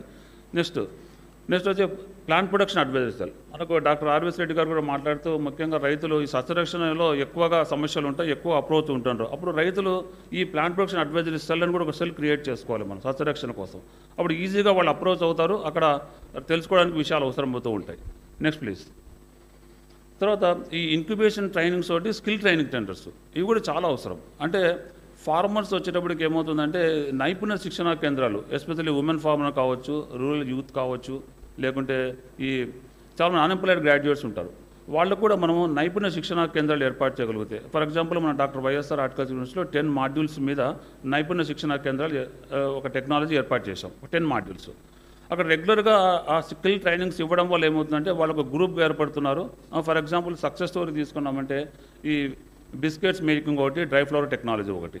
మనం చూసాం డ్రై ఫ్లవర్ టెక్నాలజీలో కూడా ఈవెన్ టీటీడీతో ఎంబో ఏర్పాటు చేసుకున్నాం. అక్కడ ట్రైనింగ్ ఇవ్వడం వల్ల women group they have concentrated in the total అంటే వర్షిప్ ఫ్లవర్స్తో పటాలు చేయడం కావచ్చు వేరే ప్రోడక్ట్స్ చేయడం కావచ్చు అలా వేరియస్గా చేయగలుగుతున్నాం. అంటే స్కిల్డ్ కూడా మనం కాన్సన్ట్రేట్ చేసుకోవాలి not only this one. Then incubation centres horti business incubator సెంటర్స్ని కూడా మన కాలేజ్ ఆఫ్ హార్టికల్చర్ వెంకటరమణగూడెంలో ఉంది. అక్కడ కూడా students participation and entrepreneur development of the farmers. అంటే దానివల్ల ఏమవుతుందంటే ఒక ఈచ్ సెంటర్ ఈ వన్ ఇట్ కాలేజ్ అంటే కాలేజ్ అంటే ఓన్లీ మనం పాఠాలు చెప్పుకుంటుంటామని కాకుండా when that is extension system is there whenever any farmer ఎవరిని అప్రోచ్ అయినప్పుడు కూడా లేదా స్టూడెంట్స్ అప్రోచ్ అయినప్పుడు కూడా వాళ్ళు ఆ ఎంటర్ప్రీనర్స్గా కన్వర్ట్ చేయడానికి అవకాశాలు ఉంటాయి. Next please next is the ఈ Udyana Mitra. For example already మనము మన government of AP integrated call centres అని ఏర్పాటు చేశారు. ప్రతి చోట కూడా మనకు ఎలా ఇప్పుడు ఏమవుతుంది? ఇంటగ్రేటెడ్ కాల్ సెంటర్ ఒక చోట ఉంది. త్రోట్ స్టేట్లో మనకు సైంటిస్టులు కానీ ఎక్స్పర్ట్స్ కానీ డిస్ట్రిబ్యూట్ అయి ఉంటారు. ఎక్కడెక్కడ ఫీజిబిలిటీస్ ఉంటే మేము మా యూనివర్సిటీలో ఎలక్ట్రానిక్ వింగ్ క్రియేట్ చేసుకున్నాం. దానివల్ల ఏమవుతుందంటే ఎక్స్పర్ట్స్ యొక్క అవి రికార్డ్ చేసి అక్కడే ఇంటగ్రేటెడ్ కాల్ సెంటర్ పంపిస్తున్నాము. లేదా వాట్సాప్లో పే చేస్తున్నాము. లేటెస్ట్ టెక్నాలజీస్ ఇమ్మీడియట్గా టెక్నాలజీస్ ట్రాన్స్ఫర్ చేయడానికి కూడా ఈ ఉద్యాన మిత్ర కార్యక్రమం. దానివల్ల ఏమిటంటే ఫార్మర్స్కు ఇమ్మీడియట్గా ఒక న్యూ ప్రాబ్లం వచ్చింది. ఇమ్మీడియట్గా ఎక్స్పర్ట్స్ రికార్డ్ చేసేస్తాము. Then will be sending to the by WhatsApp groups or whatever the maybe so it is very ఇష్టం దెన్ ఫార్మర్స్ అవేర్నెస్ సెంటర్స్. అంటే ఎక్కడ ఫీజిబిలిటీస్ ఉంటాయి అంటే మనం ఆర్బీకేస్ ఉన్నాయి మనకు టోటల్గా. ప్రతి ఆర్బీకేస్లో కూడా ఆల్రెడీ మేము model farmers adviser creation centre అని చెప్పేసి డాక్టర్ వైఎస్ఆర్ అడ్కస్ యూనివర్సిటీ ఏర్పాటు చేయడం జరిగింది. టోటల్ టెక్నాలజీస్ ఏవైతే ఉన్నాయో ఆ ఏరియాకు సంబంధించింది ఆ ఏ ఆర్బీకేకి సంబంధించినవి కూడా అక్కడ డిస్ప్లే చేసి పెట్టుకోవాలి. డిస్ప్లే చేసి పెట్టుకోవడం వల్ల ఫార్మర్స్ ఆర్బీకేస్ ఇంటరాక్ట్ అయినప్పుడు ఇమీడియట్గా ఆ technologies they can see it and they can interact it and ఇక్కడ కూడా మనం ఏం చేస్తున్నామంటే జనరల్గా మనం ఆర్బీకేలో గమనించినప్పుడు ఒక పర్సన్ ఉంటారు అక్కడ. విలేజ్ అగ్రికల్చర్ రెస్టారెంట్ కావచ్చు విలేజ్ అగ్రికల్చర్ రెస్టారెంట్ కావచ్చు. వాళ్ళ దగ్గర కూడా మనము ఆ ఎక్స్పర్ట్స్ యొక్క నంబర్ అంటే త్రూఅవుట్ మన స్టేట్లో ఒక్కొక్క crop expert one or two ఉండొచ్చు లేదా ఇంకొక ప్లాంట్ పెథాలజీ అంటే మనకు ఎక్స్పర్ట్ ఉండొచ్చు. ఆ టోటల్ మొబైల్ నెంబర్స్ వాళ్ళ దగ్గర ఉంటే మనకు అందరికీ తెలుసు. ఎంతో అనుభవం ఉన్న మనమే ఒక అనుభవం ఉన్న ఫార్మర్ ఒక ప్రశ్న వేశాడంటే కొంచెం ఆలోచించుకొని చెప్తాం ఆన్సర్. సో ఇక్కడ ఇమ్మీడియట్గా ఏమవుతుందంటే వాళ్ళ కాల్స్ ఇమ్మీడియట్గా ఆన్సర్ కాబట్టి ఇమ్మీడియట్గా ఈ మొబైల్ నెంబర్స్ వాళ్ళ దగ్గర ఉంటే ఇమ్మీడియట్గా they can approach that experts immediately they can give to the farmer the transfer next please తర్వాత ఈ community radio station actually it is అంటే అన్ని ఎంటైర్ చోట ఫీజిబిలిటీ లేదు. బట్ ఎక్కడైతే మా యూనివర్సిటీ కూడా కమ్యూనిటీ రేడియో స్టేషన్ ఎస్టాబ్లిష్ చేశామో అక్కడ ఏమిటంటే ఉద్యాన వాణి అని చెప్పేసి ఇక్కడ ప్రాబ్లం ఏంటంటే it is only twelve kilometres రేడియస్లో మాత్రమే ఇది పనిచేస్తుంటుంది. కానీ ఇక్కడ వచ్చినప్పటికి ఏమవుతుందంటే టోటల్గా దీన్ని మన యాప్ ద్వారా ఇవ్వడం వల్ల entire throat whatever the programmes required from that particular point through app ద్వారా ఇవ్వడం వల్ల ఏమవుతుందంటే డిజిటల్ ఎక్స్టెన్షన్ ద్వారా we can spread it totally next please so YouTube channels so this as this as very successful programme village adoption programme అంటే ఒక్కొక్క గ్రామాన్ని దత్తత తీసుకోవడం అనమాట అది ఆల్రెడీ ఓల్డ్ కాన్సెప్టే కానీ దత్త ఇక్కడ ఏముంది? ఇంతకుముందు ఓల్డ్ కాన్సెప్ట్ ఎలా ఉండేది? ఓన్లీ కేవీ కేసులు చేస్తే దత్త తీసుకుని అలా కాదు. Each college everything each has to take the దత్తత గ్రామం తీసుకోవాలి. So the technology total technology you can convert into village adoption programme next please then ఇక్కడ కూడా ఏంటంటే యాక్చువల్గా మా యూనివర్సిటీలో ఏం చేస్తున్నామంటే ఒక్కొక్క ఇయర్ ఒక క్రాప్ను సెలెక్ట్ చేసుకుంటున్నాం. లాస్ట్ ఇయర్ వచ్చేసి coconut. Year of coconut declare చేసి we have concentrated morely and transfer of technologies of coconut this year year of citrus అని డిక్లేర్ చేసుకున్నాం. సిట్రస్ మీద కాన్సన్ట్రేషన్ అంటే ఈచ్ పర్టికులర్గా అంటే నడిచిన regular programme a full fledged concentration one crop అది కూడా చేస్తున్నాం. అది కూడా ఒక మంచి ఆస్పెక్ట్గా తీసుకోవచ్చు. నెక్స్ట్ ప్లీజ్ సో ఈ ఫోన్ ఇన్ ప్రోగ్రామ్స్ ఇక్కడ మనం అనుకోవచ్చు జనరల్గా ఏం చేస్తున్నామంటే మనం ఫోన్ ఇన్ ప్రోగ్రామ్ అంటే ఒక చోట ఒక ఫోన్ ఉంటుంది అందరూ వచ్చి అంటే అలా కాకుండా మేము ఆ యూనివర్సిటీలో ఎలా సిస్టమ్ డెవలప్ చేసామంటే త్రూఅవుట్ యూనివర్సిటీలో సైంటిస్టులు అందరూ ఉంటారు వాళ్ళ మొబైల్ నెంబర్స్ వాళ్ళకు ఉంటాయి. ఆ టోటల్ మొబైల్ నెంబర్స్ వాళ్ళ topic specific three to four daily మనము మంత్లీ మన రైతు భరోసా మ్యాగజైన్లో కానీ అన్నదాతలో కానీ న్యూస్ పేపర్లో కానీ ప్రకటించేస్తున్నాం. Already three to four this the programme this scientist ఆ సైంటిస్ట్ ఇంట్లో ఉండొచ్చు ట్రావెల్ చేస్తుండొచ్చు ఏమన్నా కావచ్చు. కానీ ఫార్మర్ కాంటాక్ట్ చేసిన వెంటనే ఆ రోజు ఆ టాపిక్ డిస్కషన్ అయిపోతుంది. ఆ ఫోన్ నెంబర్ రికార్డ్ అయిపోతుంది. రికార్డ్ కావడం వల్ల ఏమవుతుందంటే ఎప్పుడైనా కూడా డౌట్ వచ్చిందంటే ఆ సైంటిస్ట్ను కాంటాక్ట్ చేస్తూనే ఉంటారు ఇంకా. So this is also very successful program otherwise ఒక నంబర్ ఇచ్చినామంటే నంబర్లో మనం ఉన్నామా లేదా లేదంటే required this the phone in program అనేది కూడా ఒక మంచి concept so that whatever the mobile number available with the scientist or with the officer it will given to the farmer let him clarified when our doubts comes next so ఇవి కూడా ఏం చేసాం సరే this is not specific just present చేస్తున్నాను అంతే అంటే ఉద్యాన వార్తలు అని చెప్పి అంటే మన యాక్టివిటీస్ ఏం జరుగుతున్నాయి? అంటే ఎందుకంటే టు ఇంట్రెస్ట్ ది ఫార్మర్స్కు ఎవ్రీ వీక్లీ ఒక ఉద్యాన వార్తలు కార్యక్రమం పెట్టేసి రికార్డ్ చేసేసి మనం పోస్ట్ చేస్తున్నాం యూట్యూబ్ ఛానల్లో పెడుతున్నాం వాట్సాప్లో పెడుతున్నాం. సో ఇలాంటి కార్యక్రమాలు చేయడం తర్వాత నెక్స్ట్ వచ్చి ఉద్యాన సందర్శన అని చెప్పి కిసాన్ మేళాస్ అవన్నీ ఓల్డ్ సిస్టమ్స్ అవన్నీ. సో ఇవన్నీ జనరల్గా ఇన్- ఇన్ బ్రీఫ్ క్లుప్తంగా తీసుకుంటే నేను చెప్పేది ఏమంటే ఈ ట్రాన్స్ఫర్ ఆఫ్ టెక్నాలజీస్లో మనం ఫార్మర్కు వెరీ క్లారిటీగా ఉండాలి. ఆల్రెడీ మనకు రైతు భరోసా కేంద్రాలు ఉన్నాయి కాబట్టి క్లారిటీగా అక్కడ ఈ యాక్టివిటీస్ చేసుకోవడం ఒకటి. తర్వాత ఈ డిజిటలైజేషన్లో ఉన్నటువంటి what are the aspects YouTube channel కావచ్చు వాట్సాప్ గ్రూప్ కావచ్చు ఎస్పెషల్లీ వాట్సాప్ గ్రూప్స్లో ద్వారా ఈ టెక్నాలజీ ట్రాన్స్ఫర్ అనేది చాలా ఎఫెక్టివ్ ఉంది నా అబ్జర్వేషన్ ప్రకారం. Any programme is there webinars are there any webinars immediately will put in the WhatsApp group of that particular farmer గ్రూప్లో పెట్టేయడం వల్ల వాళ్ళు వెంటనే ఆ వెబినార్లో పార్టిసిపేట్ అవుతున్నారు ఇంటరాక్ట్ అవుతున్నారు farmers. They are involving this one. So ఇలా ఈ టెక్నాలజీస్ అన్నీ తీసుకోవడం వల్ల బాగుంటుంది. Next please. Then these are the technical support given to the RBKs that is a regular program of the university next please so ఎవరంటే ఇక్కడ ఇంకోటి కూడా ఏమంటే ఈ డిజిటల్లో కావచ్చు ట్రాన్స్ఫర్ ఆఫ్ టెక్నాలజీలో కావచ్చు ఈ year round calendar of the training programs or skill training programs ముందే పబ్లిష్ చేసేయాలి మనం. అంటే స్పెసిఫిక్ డేట్స్తో సహా. అప్పుడే ఏమవుతుందంటే ఎవరైనా ఫార్మర్స్ ఇంట్రెస్ట్ ఉన్న వాళ్ళు రాగలుగుతారు. అంటే మనం జస్ట్ వన్ వీక్ ముందు ప్లాన్ చేసుకొని ఈ training programs skill training programs అంటే ఇట్ డిలే అవుతుంటుంది.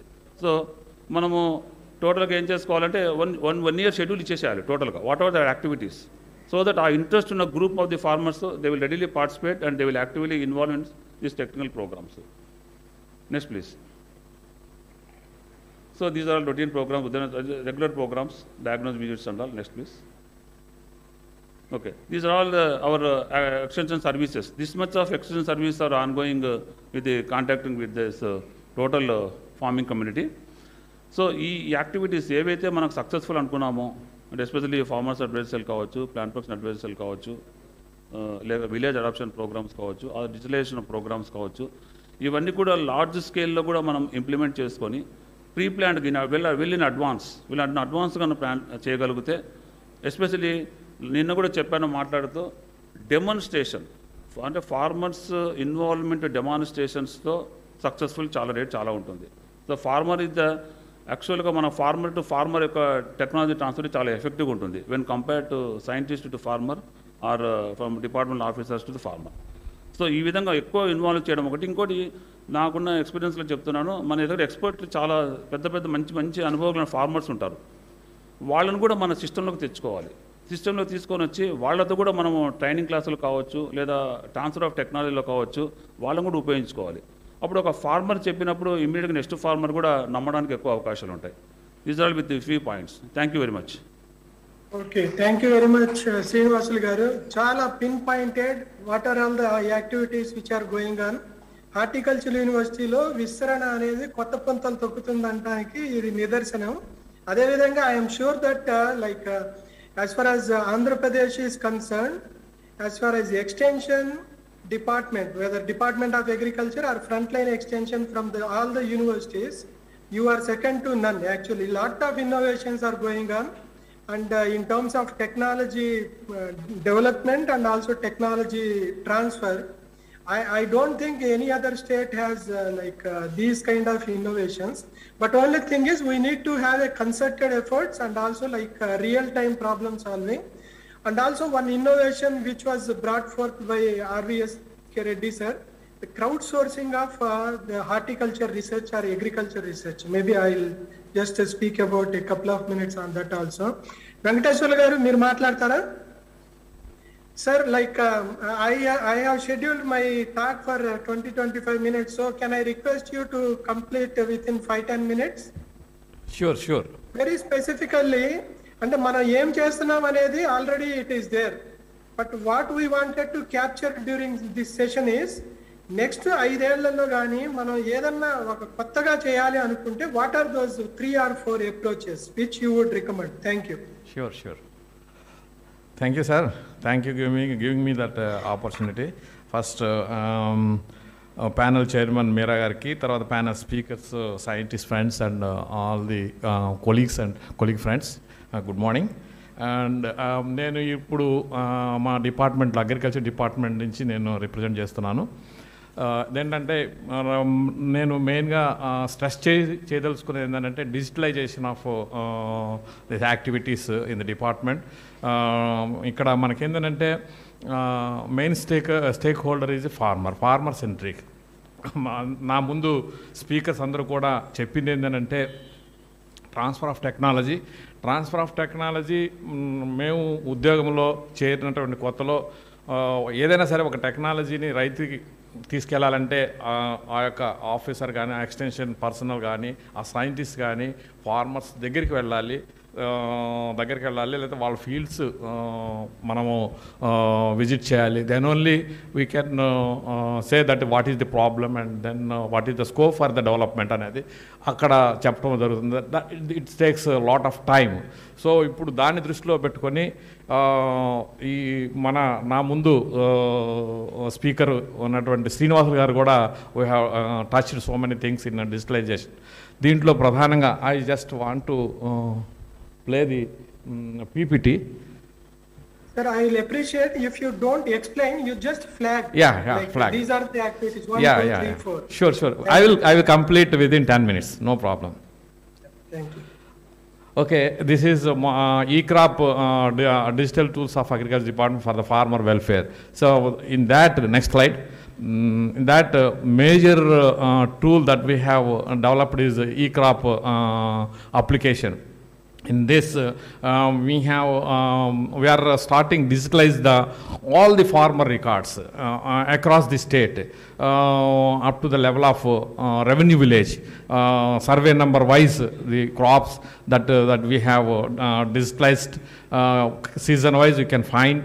Then types of farmers, ownership, farmer assigned endowment, enorm lands, non-wetland lands, wherever the farmer grows the crop, it will be digitalized and uh, uh, the crops that were covered, uh, agriculture crops, horticulture crops, sericulture and aquaculture also uh, being captured. Uh, crop categories, you can see, uh, if you say agriculture, food grain, uh, uh, non-food grain crops, uh, తర్వాత oil seeds తర్వాత fodder crops then uh, horticulture, fruit crops, and all these things. These categories we have.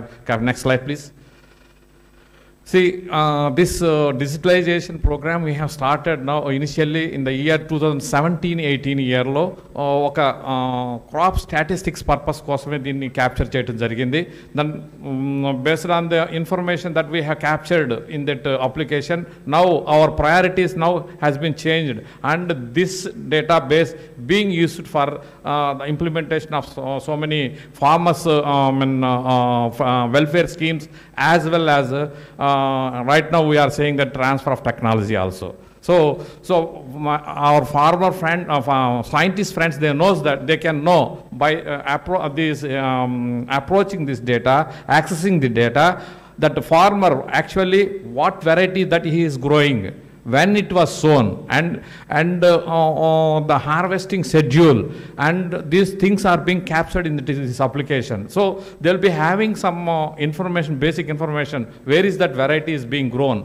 What is that problem in that uh, um, variety? And uh, um, uh, uh, within a short time if there is any problem that can be um, uh, uh, then they can know that uh, uh, that the climatic conditions in that particular region and that place.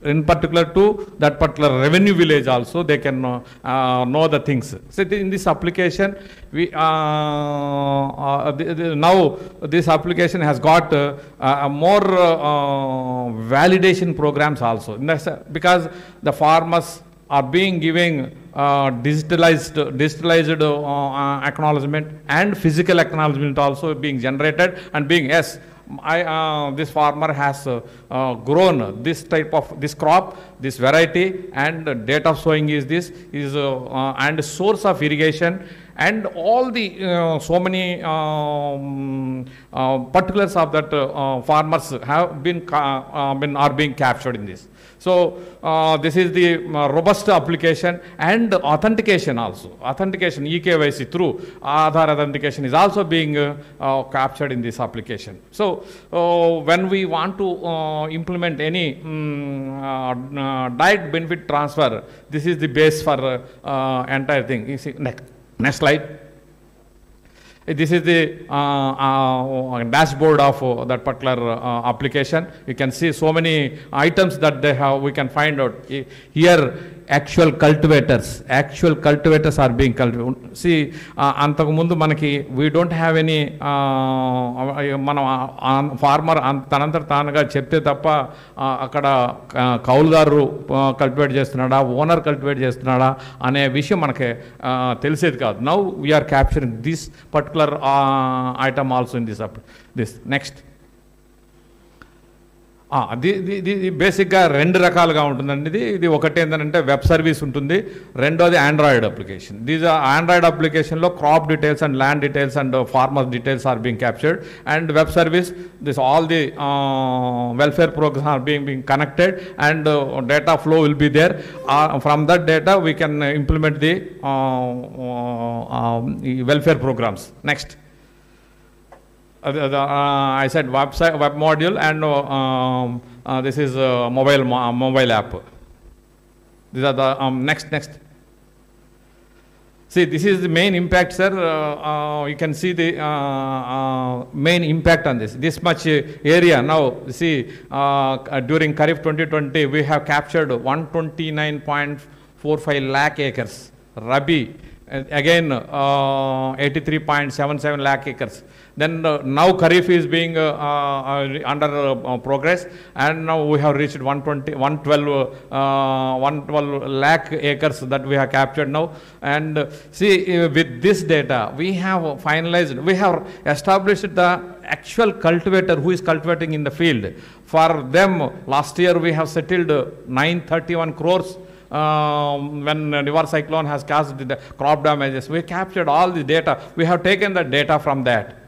So we have immediately uh, could able to settle their uh, mm, amounts, then uh, benefit uh, through DBT. And uh, again, uh, the one more um, robust um, operations being carried by the AP government is procurement and MS, MSP procurements.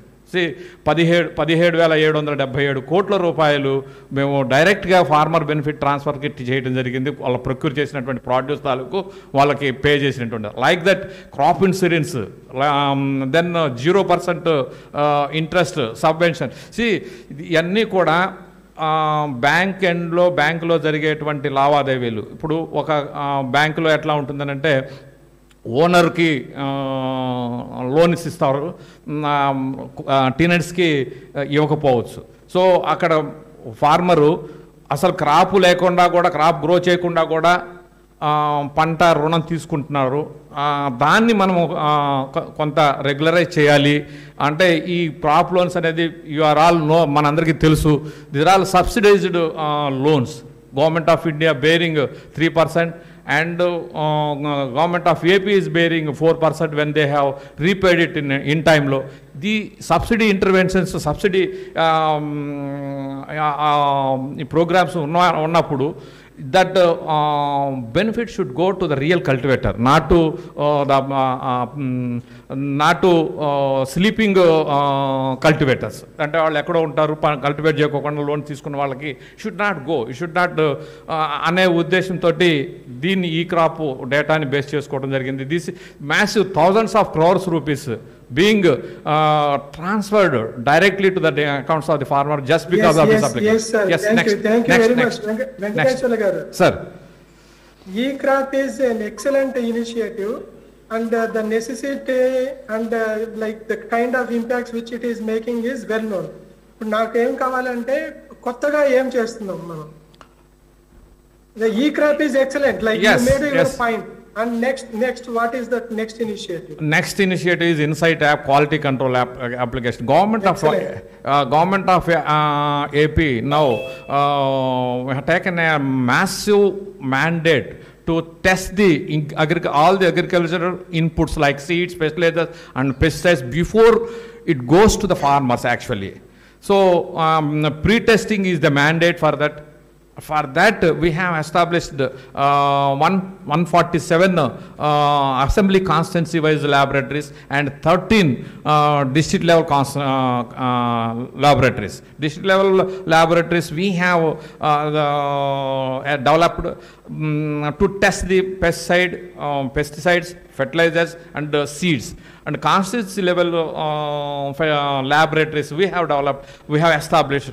There, not only agriculture inputs and animal husbandry fisheries సంబంధించినటువంటి animal disease diagnostic laboratories have also been established there now last July eighth seventy of such laboratories they have been inaugurated by the honourable CM and remaining part will be ready by next December or January So, so we have established these laboratories uh, with uh, all standards, with all standards, national, uh, national and international standards. So we have the uh, partnership with the uh, leading uh, testing laboratories in the national level. So uh, for that, for that purpose, we have developed one application here. Uh, when the manufacturers of fertilisers కానివ్వండి pesticides కానివ్వండి వా when ever they supply and they market the into the state they have to enter there batches and all these things in the application then our, uh, our system automatically uh, generate the um, uh, sample drawing mandate to the concerned uh, inspector that uh, fertilizer or pe- pesticide or seed inspector will go to that particular place and draw the sample and send it to the coding center coding center from coding center to analysis. Then uh, after that the result also will be sent um, uh, to the concerned when it is passed only that uh, material will be allowed to the market and kept the the village లెవెల్లో ఈ సంవత్సరము మేము fertilizers seeds తర్వాత pesticides కూడా we have started make available in the that one hologram also will be there yes this was tested product this is tested product where it was tested who who has done this testing then what is the standards అన్నీ కూడా దాంట్లో హోలోగ్రామ్లో ఉంటుంది. This is the application that we have next These are all a part of that. Next. Next, Great. next. ఇక్కడ sir ఇక్కడ నేను ఈ right వేలో అప్పుడు మన శ్రీనివాస్ గారు చెప్పారు డాక్టర్ శ్రీనివాస్ గారు చెప్పినట్లుగా మనము పాతకాలంలో ఆ రైతు దగ్గరికి పోవాలి బట్ ఇప్పుడు అంత అవసరం లేకుండా we have digitalize we have started RBK channel Rythu Bharosa channel the studio is there at uh, state level uh, and any uh, scientist scientist uh, um, periodicalగా కూడా డిపార్ట్మెంట్కి సంబంధించినటువంటి at a time we have you know you know that ten thousand seven hundred seventy eight RBKs each ఆర్బీకేలో if you allow to SIT ten fifteen fifteen to twenty five farmers that is enough at a time we can reach our message within uh, within one hour to 2.5 lakh farmers at a time so it's a massive um, uh, this thing uh, the, the, the digitalization program uh, and another uh, uh, uh, thing is uh, call center call center um, uh, our university నా- uh, agriculture university కానివ్వండి మూడు యూనివర్సిటీలు ANGRAU horticulture university veterinary university we are uh, they are glad pro I mean provide some scientist support for immediate reacting on the queries raised during this call centre also so that is also being implemented very very effectively ఎందుకంటే అప్పటికప్పుడే ఆ ఫార్మర్కి తగినటువంటి not only and కల్టివేషన్లో ఉన్నటువంటి యాస్పెక్ట్సే కాకుండా department staff సపో support తోటి scheme on going schemes కూడా they can access ఇందులో వాట్సాప్ కాల్స్ మెసేజెస్ ఉన్నాయి. వాట్సాప్ వీడియో కాల్స్ కూడా facility we have provided in this call centre then and there only they can get the solution there our scientist will be sitting there giving ఈ solution next this is one more Rythu Bharosa రథం this is most important thing that we have developed ఒక బస్సుని తీసుకుని దానికి ఒక digital platform digital screens ఏర్పాటు చేసి ఈ డిజిటల్ స్క్రీన్స్ ద్వారా this will go move around the villages.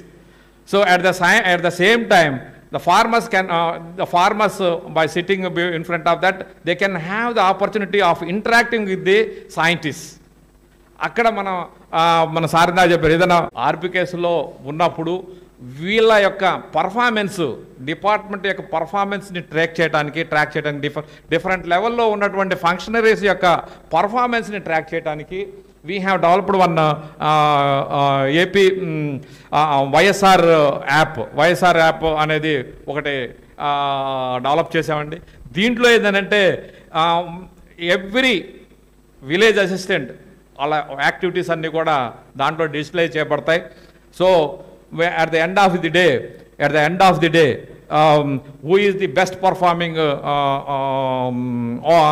ఫంక్షనర్స్ functionaries and who is not who is good performance వీళ్ళ యొక్క పర్ఫార్మెన్స్ని కూడా జడ్జ్ చేసి we can make inter inter interim corrections also making possible from village level to district level Even state level functionaries also being captured in this uh, application. So that ఇవన్నీ కూడా రైతుకి right టైంలో right mandate ప్రకారంగా సేవలు అందుతున్నాయా లేదా అనేది ఒక track చేయడానికి ఇది ఒక అప్లికేషన్ ఒకటి డెవలప్ చేసాం sir again we have a way way forward in this application ఒకటి we are working with the universities three universities ఏందనంటే pest disease management. We have established the source of main stakeholder farmer a crop ఎక్కడున్నారు? So వాళ్ళ farm farmers యొక్క సమస్యలు ఇమీడియట్గా whatever the pest కానీ disease కానీ ఆ photo దాంట్లో load చేసినప్పుడు వాళ్ళకి ఇమీడియట్గా వాళ్ళ digital if he is having digital phone Android phone Android phone ఉంటుంది. దాదాపు దాదాపుగా ఇప్పుడు విలేజెస్లో చాలామందికి ఆండ్రాయిడ్ ఫోన్స్ ఉన్నాయి. Then and system itself will give the solution so before that background work is under progress with the we are working with the universities to mm, uh, to give automatic uh, solutions to the farmers uh, through this uh, uh, e-crop application only. And e-crop application is now going to be uh, integrated with e-platform. E-platform the market de- marketing department is going to is now we are now integrating. Yes um, so so and so farmer is uh, raising this variety in that particular village. His crop will be coming to the harvest to ఈ డేట్లో harvesting వస్తుంది. So national లెవెల్లో కానీ international లెవెల్లో కానీ traders they can access that and make the purchases or all this thing this is the way forward that we are now more concentrating now for the kharif season very briskly it is uh, uh, being integrated with pa- paddy procurement centers and uh, um, other crop commodities procurement centers so ఈ రైతు భరోసా కేంద్రాలు have been announced as purchase centres కాబట్టి thank you Venkateswarlu garu outstanding work actually you are done అయిపోయిందండి అయిపోయిందండి thank you very much thank you for giving this opportunity I really appreciate the way state department of agriculture has initiated most innovative digital like extension activities I congratulate you thank you very much sir for positive of time మనం మళ్ళీ తర్వాత మాట్లాడుకుందాం. Thank you maybe detail thank you అసలు యాక్చువల్గా time ఉంటే we can have detail discussion I, I, I know that, sir. I know that each one of us have yeah, outstanding like uh, processes to showcase. But here the purpose is to stock take what is going on and what should be done in next five five years or so.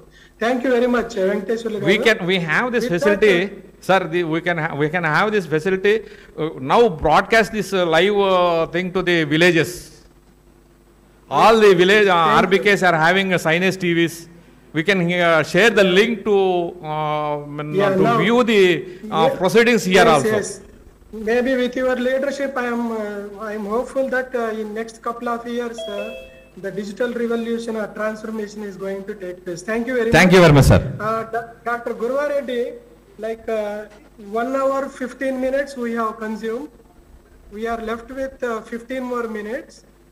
Uh, maybe those uh, colleagues who are joining for next session, like uh, for your information, we have started this session uh, 30 minutes late. So kindly bear with us. So I am yet to give my presentation, Gurvareddy. So Oh. will you allow this uh, session to continue for 20 more minutes as Yes, scheduled? yes, we can continue the session. Once it is completed only, we will start, go for the next session.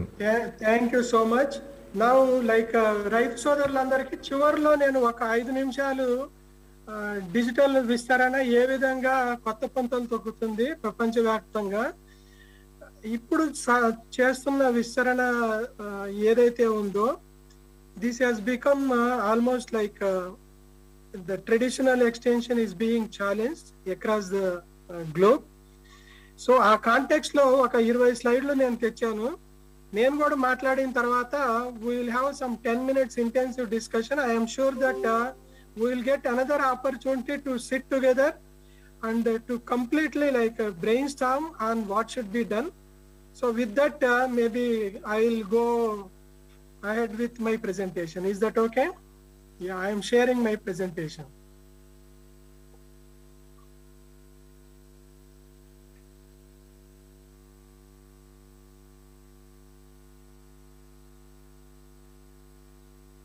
Can you see my screen?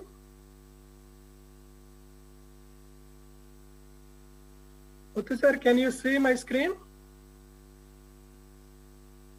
Okay. Uh, thank you very much. Uh, like uh, we have heard quite exciting experiences. Like uh, the the tone was set by Dr. Muthuraman, and um, uh, like Reddy sir has given uh, outstanding background and uh, what kind of innovations are possible in a horticulture university. And then Srinivasulu garu like uh, came forward, came out with uh, very good initiatives which were undertaken in last one year or so.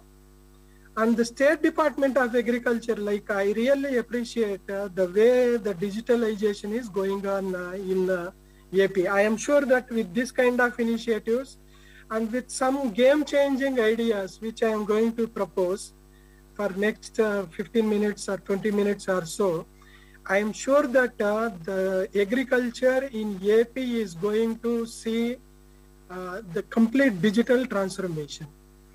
The next generation technology transfer, like uh, we- we'll see sea change actually. Like um, yeah, 10 years back, with if someone uh, talked about uh, smartphone applications or drone applications, or use of blockchain in uh, remittances, artificial intelligence in uh, like fruit harvest, or maybe like data analytics for uh, like uh, proposing the custom hiring centers. We would have really loved uh, like people would have loved at us but you see like the technology is changing very fast and if you cannot cater to the emerging needs and services precisely to individual farms I am sure that we are not doing what is what is extension is supposed to do. With that background, uh, I will quickly go through. I know that the time is uh, the major constraint. The back to the basics, like reinventing the technology delivery. We have already listened to Muthu sir, RVSK Reddy garu, Srinivasul garu, and Venkateswarlu garu. So I am not going to uh, spend lot of time on this what is the most important thing which I would like to touch upon is the potential of digital transformation. Are we very happy and complacent about whatever we are doing as far as the digital extension is concerned? Or is there a need for the game changing solutions? And I am sure that uh, whatever we have heard from our colleagues, there are good intentions of AP government but we need to take it to the next level. If you want to be a globally like a renowned agricultural state, you cannot be complacent with whatever you are doing in the in the in the field of digital transformation. And if we don't do as public sector uh, extension state departments or state agricultural universities, we will become irrelevant. There will be more players out there who will give the retail like feeling to the farmers much better than that. So we need to perform or perish in the new generation farming which is happen which is happening in AP. I would propose five or six uh, outstanding uh, the game changing solutions which I really feel that a couple of them are already undergoing thanks to the State Department of Agriculture, agricultural universities and horticulture university but nevertheless there is a need for complete transformation and tradition like uh, radical transformation in the way we are handling extension. When rvsk reddy sir spoke about uh, the crowdsourcing every single horticulture farmer is innovating in his farm. If you take like whatever practices are there each one is a uh, treatment. If 10 farmers are doing that kind of innovation it itself is a replication if you can capture that kind of data, you are like uh, transforming the way the, the horticulture research is uh, being done in past four or five years. So I'm going to speak about the farmer's perspective has to be brought into whatever like e-crop management. I am glad that they are already doing that. But uh, from the dashboards which cater to the departments, we need to move towards the dashboards which cater to the farmers. I am calling it as AP farm management system. Then crop profile hubs, which will like cater to the needs of the crop diversification, which uh, every single speaker spoke for last uh, one and a half day. And then agri demo hubs, the part of which already is covered. And AP smart farmer enterprises, how they are going to look like. And one, one innovative idea like the agri-tech integration lab I am going to speak. Then the evidence-based extension, then agri knowledge portal, how, how best uh, this could be built with whatever ongoing activities are there of uh, State Department of Agriculture. The seed systems platform, there is a framework which is being built by the State Department. What kind of new functionalities are to be brought? And one thing, uh, whether we believe or not, the platform-based e-commerce systems which we are witnessing in Amazon, Swiggy, Flipkart, is going to be a reality in extension. So we should be ready with platform-based extension. Mind you, we are going to deal with the farmers, like 70% of the farmers are digital natives who took birth after 1990. And down the line, five years from now, there will not be a single farmer who is not connected with the mobile, uh, mobile or any other uh, like uh, internet. So what is that digital transformation strategy which we are talking about? I, I'll have two slides. So basically we live in a world that is becoming increasingly complex. But if we think that uh, a, booklet on package of practices on paddy is going to cater to the personalized information and service extension needs of a single farmer out there in Achanta village, we are barking up the wrong tree. So our styles of thinking need to match with what kind of revolution that is happening across the globe and across the country and across the state and how best we can align with uh, the ongoing revolution. I will not get into these details since much of this was already spoken. There are hard realities which we need to be really like uh, aware of we are aware of uh, mini kits, visits, trainings, and uh, like uh, head-to-head trials, demonstrations. As my predecessors spoke, like RVSK Reddy sir, how best we can either do away with the mini kits and demonstrations, or how best we can evolve completely like speed breeding the speed demonstrations. I really appreciate uh, whatever was uh, spoken about now like in rice uh, industry uh, muthu sir and myself and dr arun kumar we have completely transformed the frontline demonstrations into head-to-head trials and the evidence hubs the crop cafeteria and crop check i am not here to explain everything but the thing is the conventional demonstrations are being transformed into the new innovations where do we stand and then uh, the most of the technology delivery innovations which we are witnessing across the uh, globe are isolated or localized. We need to connect them with uh, the e-crop models and the Rythu Bharosa Kendras of State Department of Agriculture or horticulture universities. And the skill development, as was rightly pointed out by all our four panelists, is long forgotten. And we need uh, new innovations so that we are catering to the new skill uh, requirements of every single farmer and every single agriculture assistant who is sitting in Rythu Bharosa Kendras. And absolute extension, whether it is a fad, like uh, if every single commodity has uh, a mobile application, so can we expect that a farmer or a RBK uh, like uh, volunteer or uh, agri assistant will download all these mobile applications. ICAR website uh, boasts to have 120 mobile applications. I am yet to see uh, a, a person who has installed more than 20 mobile apps in his uh, smartphone. We need to think about the interfaces, not about the mobile phones. And the new extension is emerging.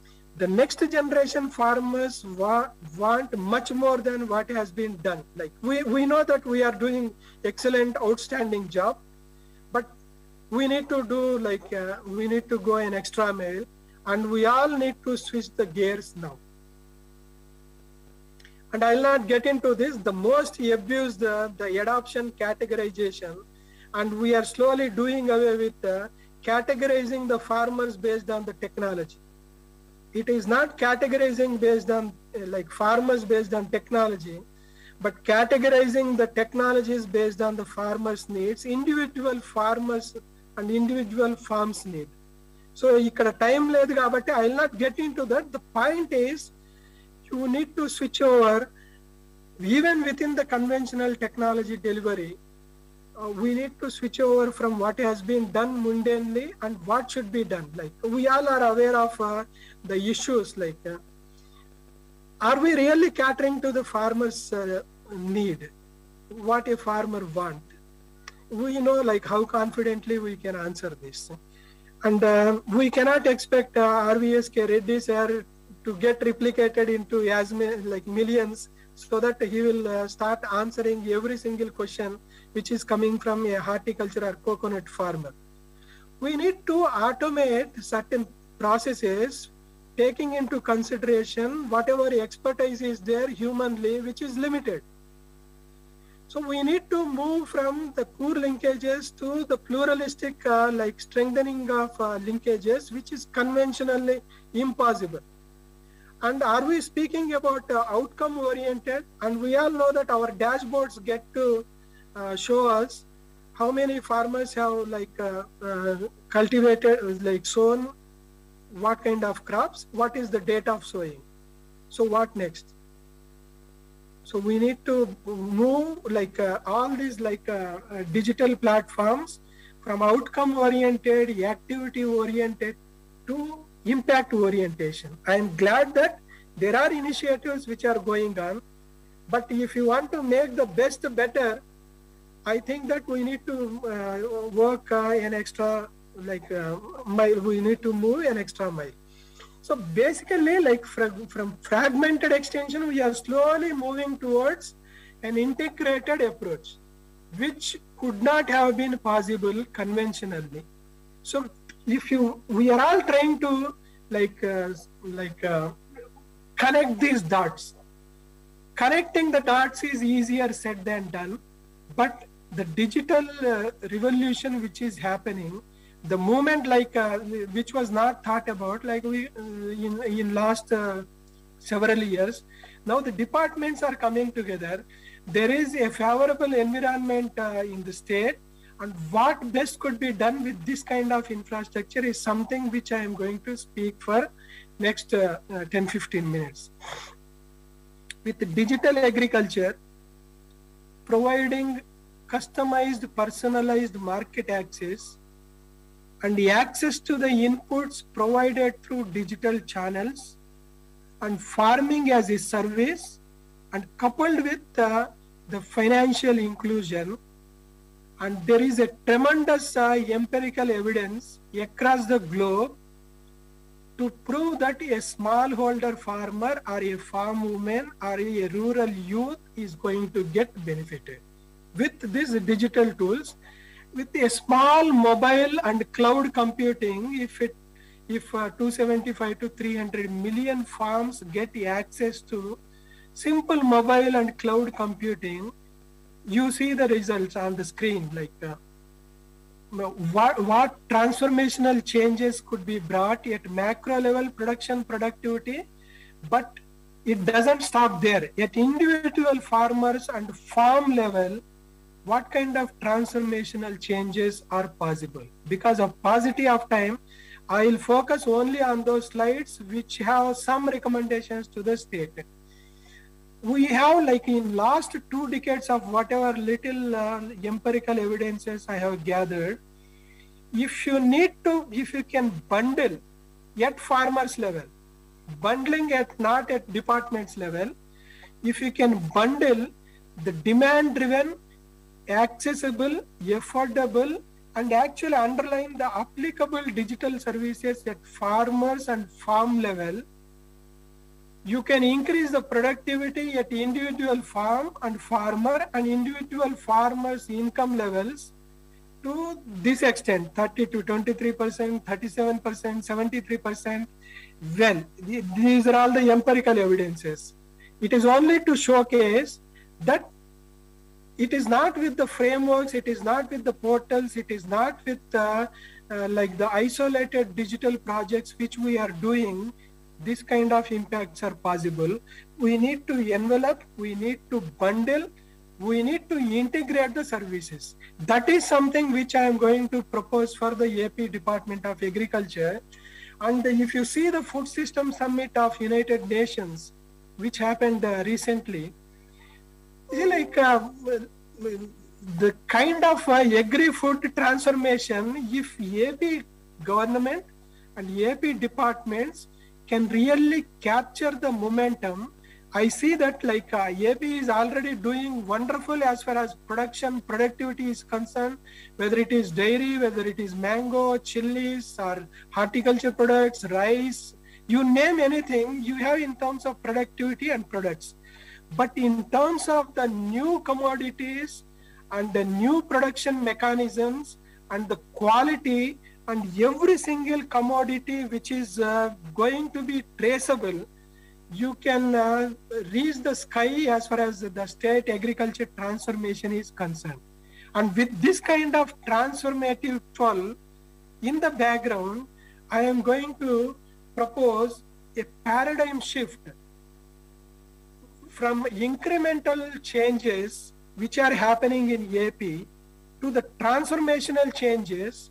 I am not saying that uh, everything should start right from tomorrow onwards, but uh, we should have a roadmap for next five years or so with the game changing solutions which are already in place and with little bit of transformational changes which I am going to propose for AP government, I am sure that uh, will prove to be worthy of that. We all know the outstanding and good intentions of AP government in establishing Rythu Bharosa Kendras. We have excellent like work which is going on. Now, have we really thought about how is it linked to the extension? We all uh, understand what is the extension like which we are supposed to do to bring this Rythu Bharosa Kendras to the logical conclusion and to enable us to achieve what what uh, honorable chief minister has as a vision. You need to make it real time. Easier said than done. You see like uh, as a rice scientist or as a horticulture scientist or extension professional or state department of agriculture we don't expect that uh, the agri assistant out there or a volunteer or agriculture officer is supposed to understand the complexity that is there at individual farms conventionally.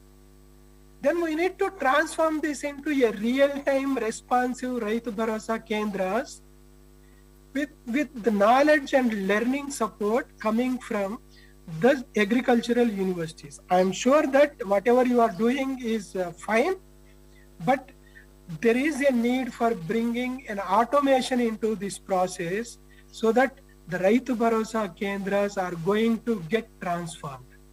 The e-crop outstanding work and there is no doubt about it and I can vouch whatever little experience in last one and a half years I have in uh, Near East and North Africa, uh, maybe 20 countries, is the outstanding work. Like even though some ag tech companies are boasting to capture the e-crop uh, and the data, but I am sure that this kind of comprehension is not arrived at by any state department of agriculture except uh, Tamil Nadu. Now, from the dashboards of State Department of Agriculture, we need to move to the comprehensive dashboards at farmers level. The moment a farmer gives you this like sowing date, it is not the department joint director who should also who should get uh, the, on his dashboard. The complete details of uh, the crops sown and the sowing dates and the dashboard like at joint director level. The moment i am as a farmer entering my date of sowing i should get the crop calendar which is personalized to me which is possible so to that level if you want to transform the e-crop we have few solutions and there is no doubt that RBKs are going to transform the way extension is being supported. I am not saying extension is being done. So this is where uh, we need to reverse engineer. Like if you see whatever activities they have proposed to do, whether go downs or cold rooms or custom hiring centers, these are at a functional like workflow level. We need to reverse engineer that so that the farm perspective with individual farm ID centric or farmer centric approaches are possible, where whatever you have planned for integrated approaches of state agriculture or horticulture university or veterinary university and state department of agriculture will actually build up the functionalities from the individual farms. How is it done? It is done when we understand what exactly farmers want this this looks like a simple question but uh, like if you if you want to go from a customized like blanket recommendations to customized recommendation to personalized recommendation to precise recommendations which i am damn sure that uh, which is highly impossible conventionally you need to make sure that uh, you as state departments of uh, agriculture veterinary horticulture and state agriculture horticulture veterinary universities have the capacity and competence and the expertise to completely harness the blockchain technologies social media analytics. It is not about whatsapp and using social media for extension. If 2% of ap farmers access social media the joint director of agriculture should be in a position to get a sense based on the social media analytics using a Gephi technique or maybe like uh, um, Gephi technique or maybe like uh, so many theories which are available, advanced analytics. What is the trend which is going on in terms of pest incidents in a particular village? To that level, we need to raise. Very easy, but only thing is we resist the change particularly coming from the technology. And now for next uh, 10 minutes, whatever I am going to speak is coming out of the practical experiences and the practical pilot projects, not in AP, maybe not neither in AP nor maybe like uh, from uh, uh, India, from across the globe. Like whatever I am uh, recommending is not a theoretical concept, but somewhere it is already piloted so when I say big data, artificial intelligence, machine learning, we need not be bogged down by uh, this kind of jargons, but I am going to transform this into what are those five or six uh, uh, the transformational solutions so that uh, all your universities and state departments uh, can really work on. For that, uh, we all are aware of in a value chain, we know the pain points within agri food system what farmers want but we need to appropriate for individual farmers and farm uh, pain points what kind of digital solutions should be in place. And this like to make your job uh, easy like there are digital agriculture experts in last two decades who made your job easy.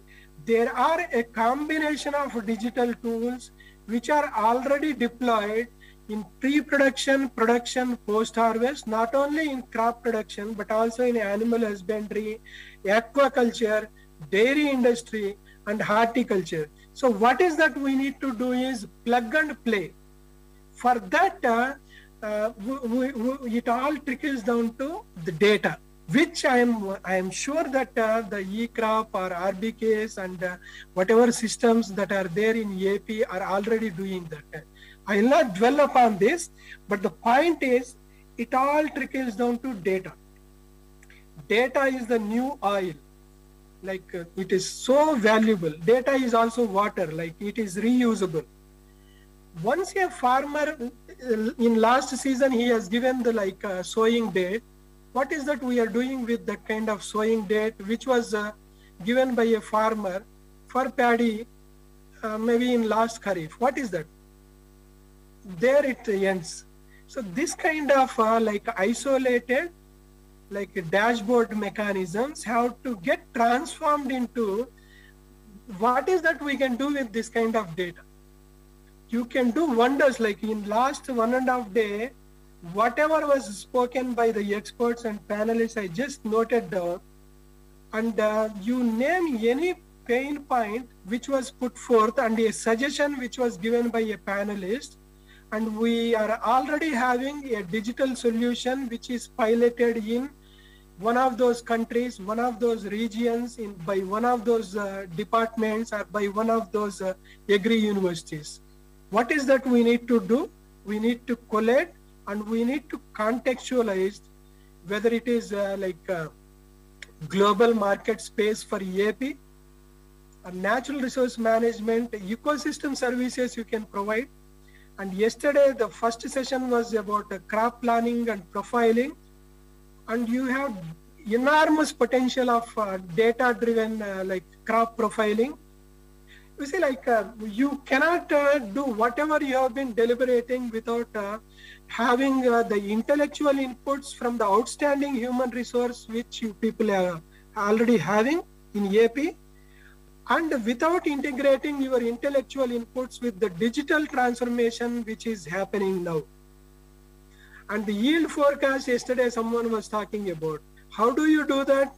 And full stacks and vertical horizontal, like how, how best you can uh, uh, transform your e-crop uh, portal or whatever like integrated uh, e-market applications which you are talking about, uh, Rythu Bharosa Rathams or RBK channels when YouTube can work on the analytics, your RBK channel should also work on the analytics so that uh, next time when I switch over to the RBK channel, whatever pertains to my farm only is prompted. So the details will come in due course.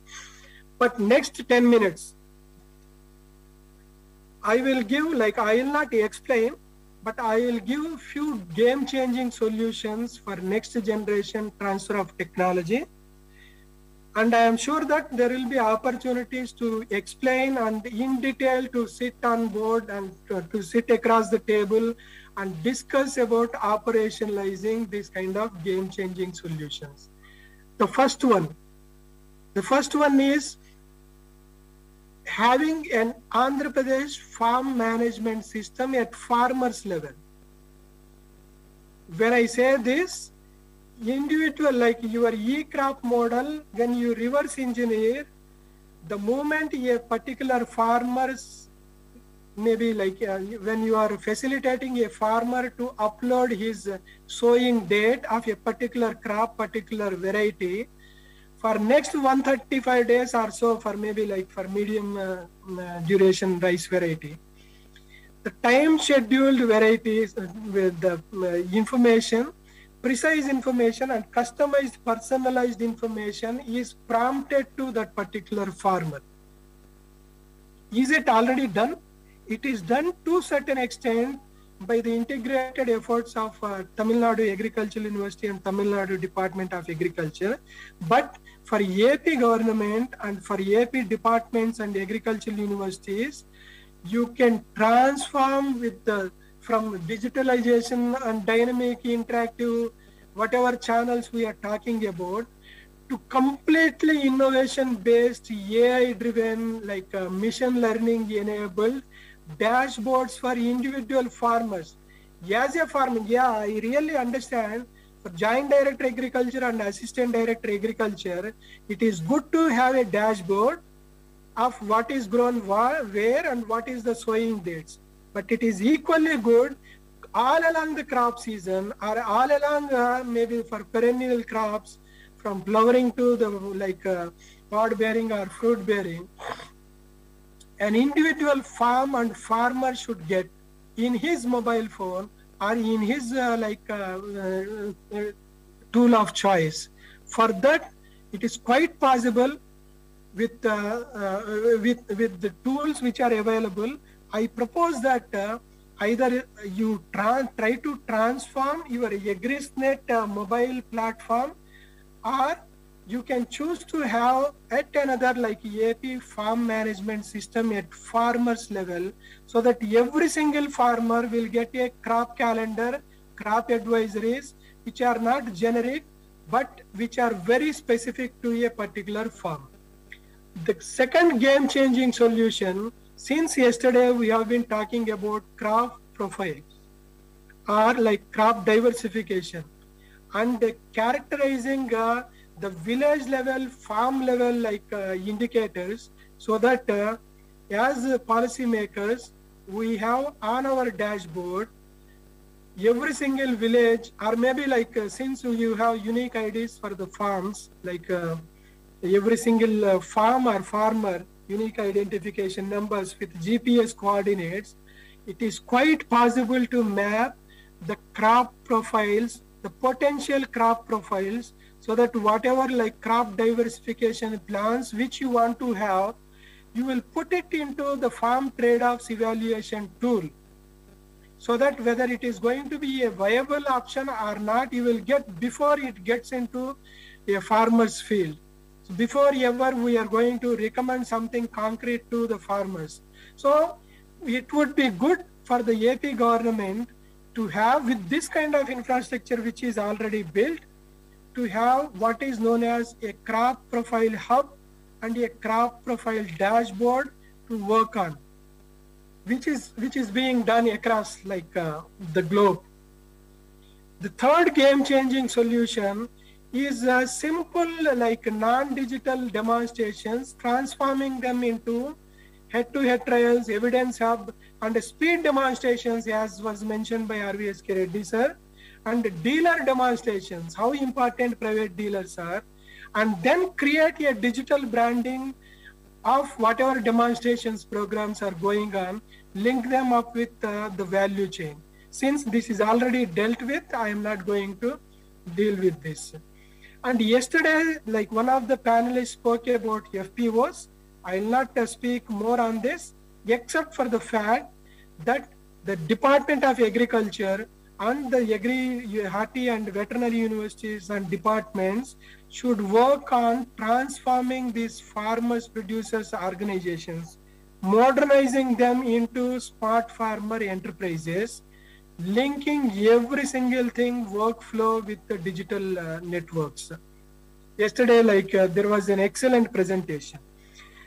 The fourth game changing solution for uh, ap agriculture transformation which i am sure that uh, you are all aware is we all have outstanding tech and fintech uh, startup ecosystem which is uh, happening uh, not only in AP but across the globe. Like um, I happen to mentor like uh, United Nations uh, like uh, Sustainable Development Goals Impact Acceleration Startup Program. I happen to analyze so many agri-tech startups in last three four years very specifically for EAP, there are outstanding agri-tech uh, uh, initiatives coming from the startups, but they lack the science-based backstopping from the agri universities, veterinary university, and Horti universities. And you should have appropriate like contextualization of agri-tech, uh, which is coming as PPP into an integration lab. Like when you are talking about coconut, Ambaji Peta, I know that uh, maybe like, uh, let us suppose there is a Chalapat Rao who is working in Ambaji Peta. Now he knows the exact pain points which which can really like, uh, which requires a out of box thinking which is coming from a particular agri-tech uh, application. So you need to contextualize that to suit to Ambaji Peta area for that, uh, for this kind of innovations to get integrated into the agri department, Horti department, and the frontline extension efforts of KVK and your DAT centers, you need a mechanism to blend, envelope, integrate all these agri-tech environment which is coming from AP or other states into contextualizing into benefiting the AP farmers. Let us suppose for next five years, let us have a target of 100 agri-tech, fintech uh, um, uh, startups integrated with your agri-tech integration lab. You I, I can tell you the kind of revolution which this is going to bring to provide the retail like like uh, when you go to a retail shop the kind of uh, customer satisfaction which you get every single farmer can get let us have an agri-tech integration lab which aims at integrating the at least 100 uh, agri-tech uh, uh, startups into the extension which is which is already ongoing. There are evidences which uh, we have published in last couple of uh, years. And the the, the fifth uh, uh, game changing solution is however knowledgeable ex- experts we may be but when you want to deal with 1000 farmers maybe 2000 acres which is very diversified in terms of nitrogen, phosphorus, potash, like micronutrient availability. Every single farm diverse, uh, diversity complexities, and the crops grown, and the diverse like diverse um, fertilizer requirements, water requirements. Can we really exp- expect an RBK or agri assistant without real-time knowledge-driven initiative coming from agri horti veterinary universities which will continuously feed into this uh, rbks not in a mundane trainings uh, like uh, you have a training manual just you convert it into pdf and you try to just uh, uh, pass on to the rbks and agri assistants. You need a critical thinking so that uh, a personalized learning experience in the massive open online uh, like modules uh, uh, form, if you can provide that into a Vyavasaya Vijnana Vedika, which, which uh, is a personalized learning opportunity and a real-time uh, learning support, you, you can really transform the RBKs. Like I, I really hope that uh, the kind of vision which Honorable CM has, if you really want to yeah, like um, operationalize that with the kind of frameworks we are not going to achieve that as long as we are not going to provide the real-time personalized learning opportunities. So for that uh, like uh, dr vishnu reddy sir and uh, Guruva reddy and myself we are in touch with the commonwealth of learning vancouver. And we are uh, trying to establish a comprehensive massive open online uh, platform for uh, AP RBKs. And this is something which uh, some of you might be aware, and I am sure that uh, uh, the the Aadhaar-enabled seed distribution system of State Department of Agriculture is doing wonderful job on seed quality assaying. I just uh, heard from Venkateshwarlu garu, and uh, you you you can really transform the way the seed systems are built, operated, in the context of extension. Since it is already discussed with, uh, I will not uh, um, describe what it is, but it is uh, possible to time schedule the seed systems and the demand and supply and sequentially providing the skill development opportunities to the seed growers. And uh, I propose that the sixth or seventh uh, uh, digital uh, game changing solution is uh, completely transforming a particular maybe if that can be done for all the like uh, commodities you take the low hanging fruits and uh, you work on uh, three or four commodities and convert it into a platform based uh, seed system for EAP and link it to what we spoke in the first solution which is EAP farm management system. And I'll not get into this except for one and there are uh, uh, applications which we have analyzed in last two decades or so and uh, the, yesterday uh, from UAS Dharwad or Bangalore uh, Reddy garu was making a mention about bringing the global market space for EAP. It is very easy if you can integrate the platform based approaches, location based monitoring, the traceability like uh, Venkateshwarlu garu was mentioning about uh, uh, traceability coming from RFID markers, barcodes, or maybe like blockchain technologies. You see, like uh, until it is done, it looks very complicated. But who expected that a the agriculture officer who joined in 2008 was expected to like uh, um, like uh, work on the e-crop booking. Like when he joined, he was not even aware. Down the line, 10 years from then, he was working on those tools which he was unaware when he joined as agriculture officer.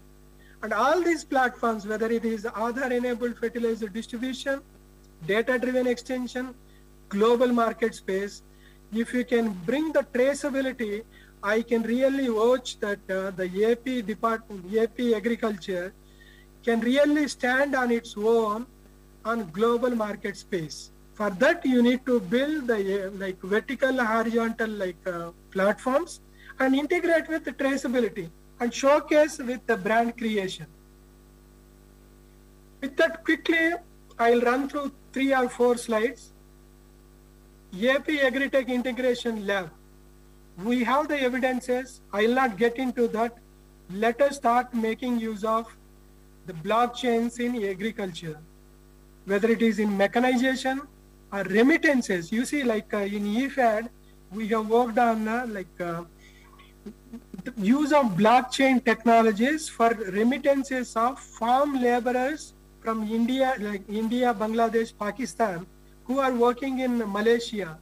If this could be done for non, like farm laborers, immigrant laborers in Malaysia, the advanced technology, why not we start making use of blockchains in every single like uh, workflow? The details we will have maybe in due course and start working on five value chains, whether it is horticulture produce or dairy products or maybe crop based.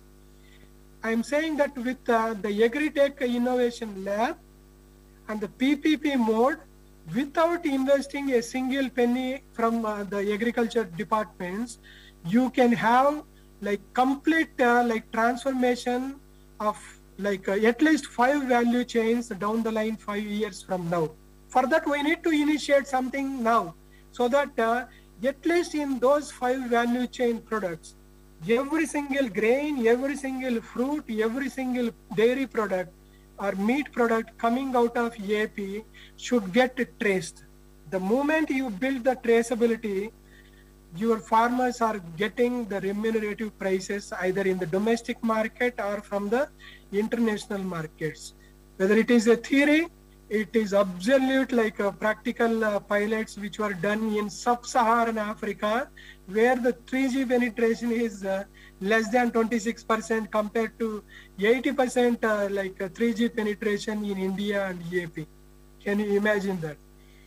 And uh, this sounds very theoretical, but there are applications of using artificial intelligence and machine learning, and we know how to operationalize this. We have evidences coming from like uh, Bangladesh, GEOPOTATO, when late blight of potato, like uh, the um, incidents and the predictions could happen with uh, artificial intelligence. What is stopping AP? Like which is best in class in terms of uh, agri expertise and IT expertise, and machine learning in uh, crop soil monitoring, disease diagnostics, and I'm glad that there is some work which is already going, but you need uh, a transformational change. And then uh, I am sure that uh, the departments are doing outstanding work and also Sambaya and many other scientists from uh, universities are doing uh, drones. But like flying a drone, having a three four like fly pass and uh, wondering about how it is flying and how it is capturing, gone are the days with the technology fad. Now the real applications of drones, the you, you need to really think about. I was talking uh, during uh, last uh, last month uh, in an international workshop. The complete speed breeding and the machine learning, how how best the fast breeding is possible with uh, like quick phenotyping with uh, drones. Not only in research but also in extension and uh, the cropping system management applications and characterizing the soils, irrigation, drainage, and crop health assessments. Everywhere think more than like applications of spraying.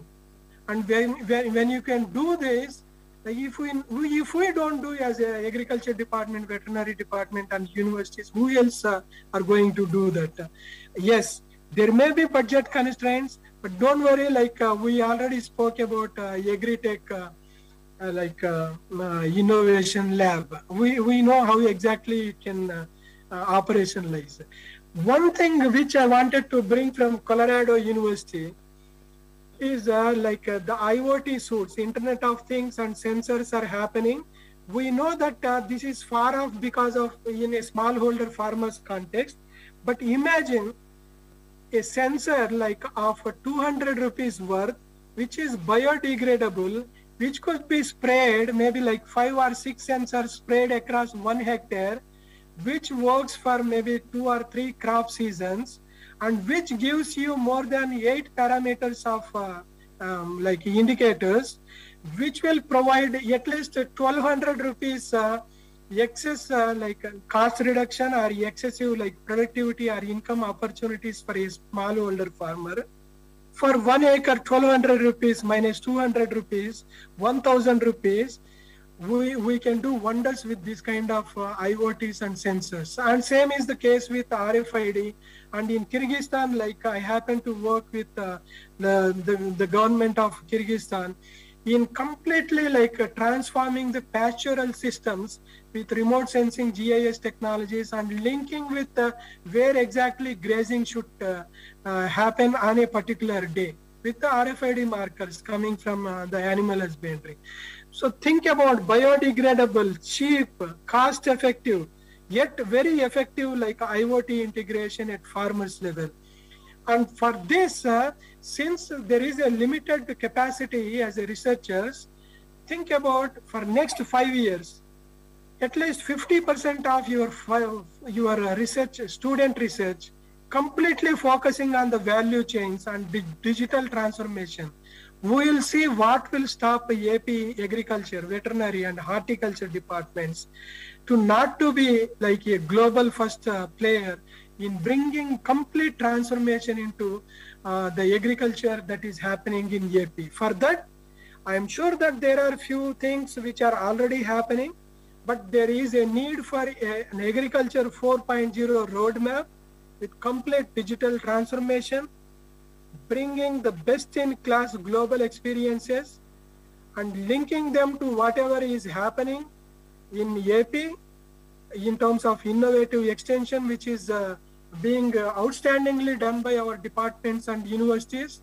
And then we can really think that uh, we are really going to create a world-class uh, extension mechanism in AP where every single farmer gets what he wants. Till now, like uh, however expert, like uh, competent uh, we may be, we might be as universities and organizations, one single question which was remain unanswered, what a farmer wants, can he, can we really provide what he wants at the place where he is, at the pace at which he wants. For that, we really require the game-changing solutions. And I offer you a blue pill and a red pill. Which one you want, it is up to you. And with that, uh, I really um, uh, thank the organizers, particularly honorable vice chancellors of all the universities, and also like the organizers for giving me this opportunity to to speak on the game-changing uh, digital solutions for bringing next generation transfer of technology. And uh, coming from uh, Agri University, I know that like uh, at least half of you are either seniors to me or juniors to me or my colleagues or friends. I know the world-class competence which exists in AP and I know about the farmers and only thing uh, which we require right now is uh, complete integration and don't hesitate like uh, everything is possible and when this is being uh, tested in last 10 years in sub-saharan africa and many other uh, like uh, resource poor countries uh, compared to ap and what is stopping us with that uh, i'd like to stop by saying that we know that digital transformation can bring multiple benefits to the smallholder farmers. But if we don't do, who else will do? Like with that, like maybe like uh, if not we, who else? If not now, when we are going to do this? Thank you very much.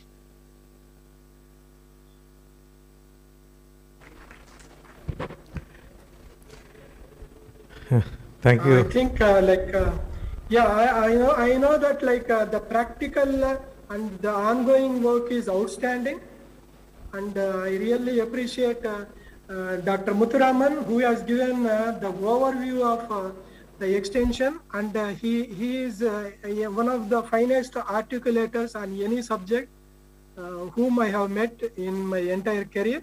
And thank you very much, sir. And uh, RVSK Reddy sir has given few glimpses of what horticulture extension is doing. ఇప్పుడు బేసికల్ గా చూస్తే విస్తరణ విభాగంలో కొత్త పొంతలు ఇప్పుడు రైతులు చాలా అడ్వాన్స్డ్గా ఉన్నారు.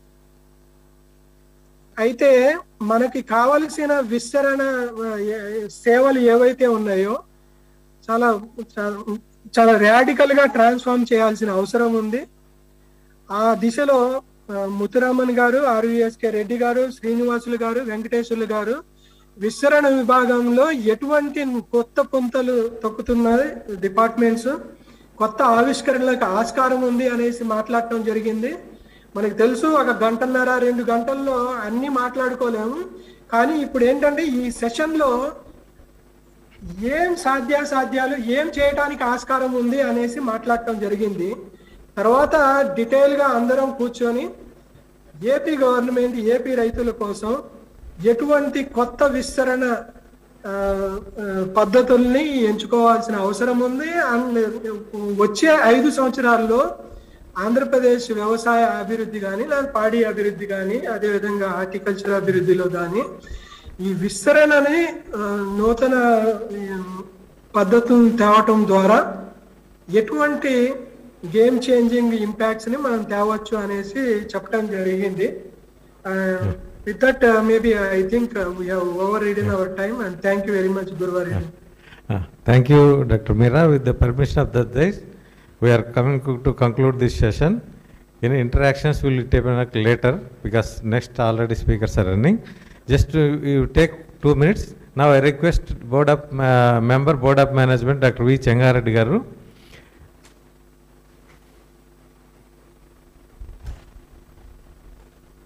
So as a token of our uh, yeah, appreciation, uh, I request our member board of management to present memoirs to the lead speakers, chairman and lead speakers.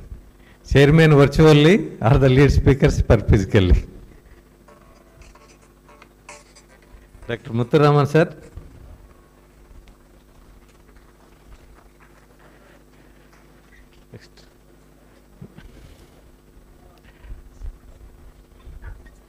Dr. R.V.S.K. Reddy sir.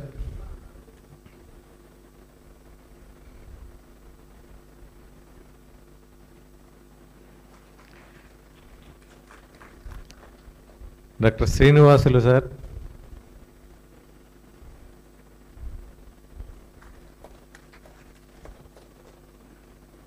Uh, and Venkateswarlu sir. Next.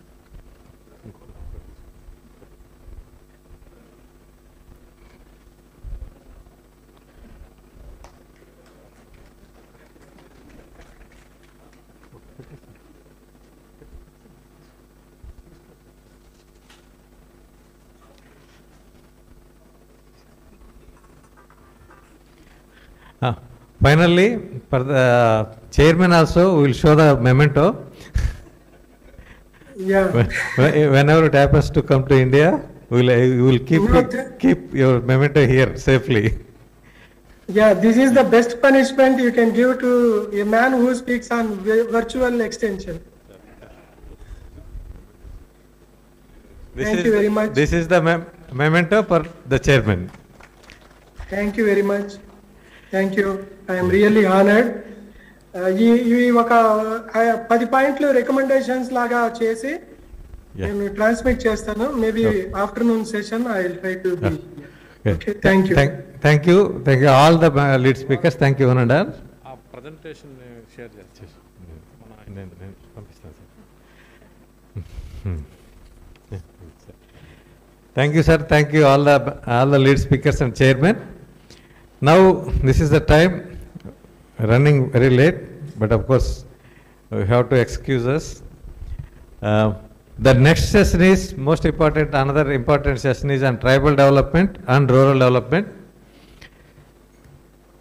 Dr. Vavi Mallareddy garu, I, I request Dr. Vavi Mallareddy garu to please come onto the dais.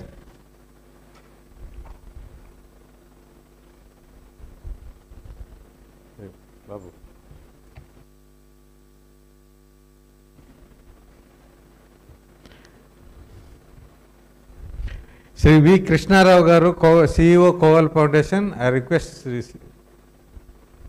Shri Krishnarao garu. Shri CS Reddy garu CEO APMAS. Please come on to the dais sir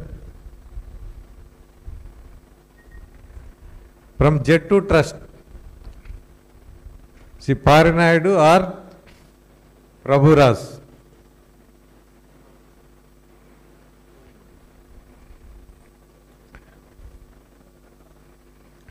And doctor Ravinder Reddy PO ITDA Shri Srisailam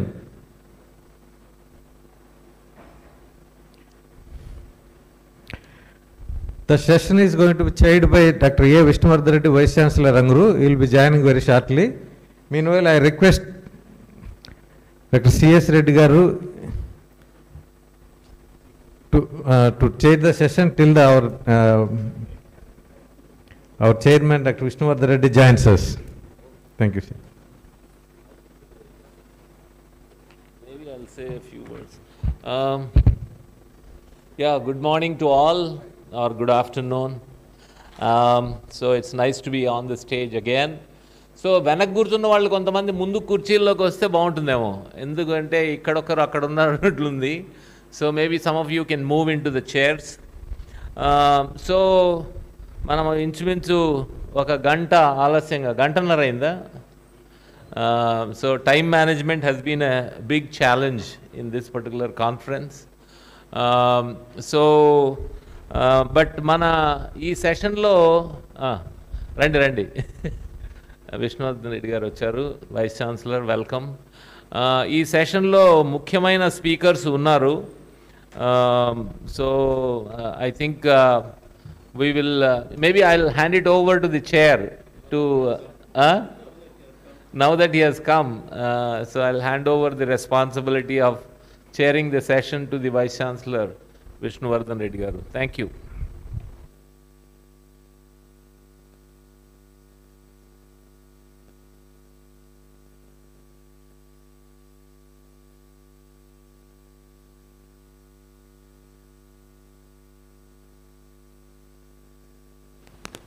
good morning to all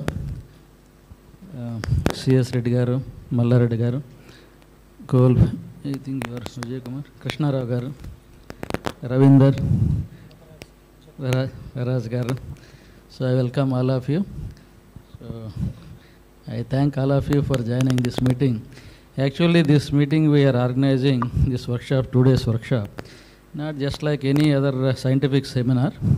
So the output of this meeting, where we are conducting this with uh, agriculture, horticulture, and veterinary universities, and also agri mission of Andhra Pradesh state, rural development, so that in order to prepare an action plan for overall development of agriculture in Andhra Pradesh, and how best we can improve the income of the farmers and uh, doing their uh, uh, agriculture in different regions, maybe irrigated, rain-fed areas, tribal areas, and all these places.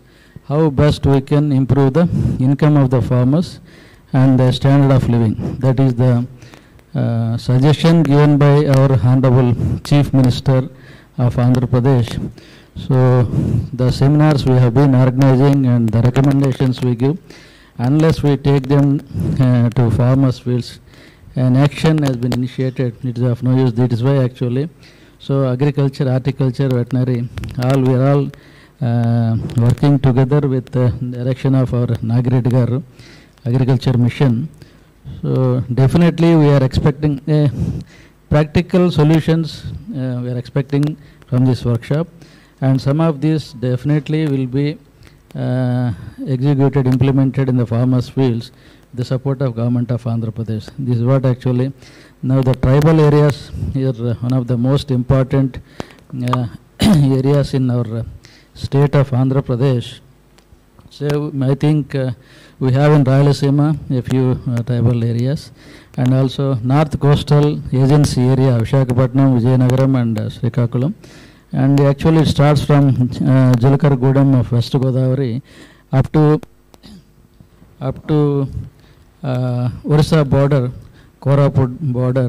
There are several tribal regions. The income of these tribal farmers are very very less and uh, living conditions if you visit for the last 10 years I have been continuously visiting the Koraput zone, Paderu, Chintapalli areas. And if you see the, I think most of you are aware of these uh, regions and farmers, the income and livelihood, the standard of living, the education facilities, transportation, all these things, there is very, very pathetic. So in spite of our uh, state and central governments have been doing lot of things for the last 75 years, in spite of this, even today if you see the conditions of tribal areas, the, their living conditions are very, very miserable. So there is no education facilities if you, see, if you go to interior villages. And how best we can increase the income of these tribal areas. This is one of the most important thing. And uh, uh, we have been, whether if you take organic farming, by default these areas are organic. And this organic farming, we have been, people are claiming that uh, so many lakhs and lakhs of farmers are uh, this, that, all these things. But this income from this organic farming, whatever is coming, how best it will go to these actual tribal farmers and what are the models, how best we can improve the standard of living. So what are all the different things, whether it's organic farming, other activities. So the vast people are here with vast knowledge and experience. So uh, I hope uh, something will come out of this workshop and which will be implemented practically will take to the farmers fields so that uh, the standard of living of the tribal farmers is expected to improve. This is the expectation from this workshop. So I request uh, all of you to contribute the best uh, for the benefit of the tribal farmers of our Andhra Pradesh state. And uh, first of all, now I request Mallareddy who is doing a wonderful service. Uh, RDT is the, one of the best organizations who is doing a wonderful service in the Rayalaseema and also entire state of Andhra Pradesh. So, Sir Mallareddy Saab, I request you to make your presentation. Thank you.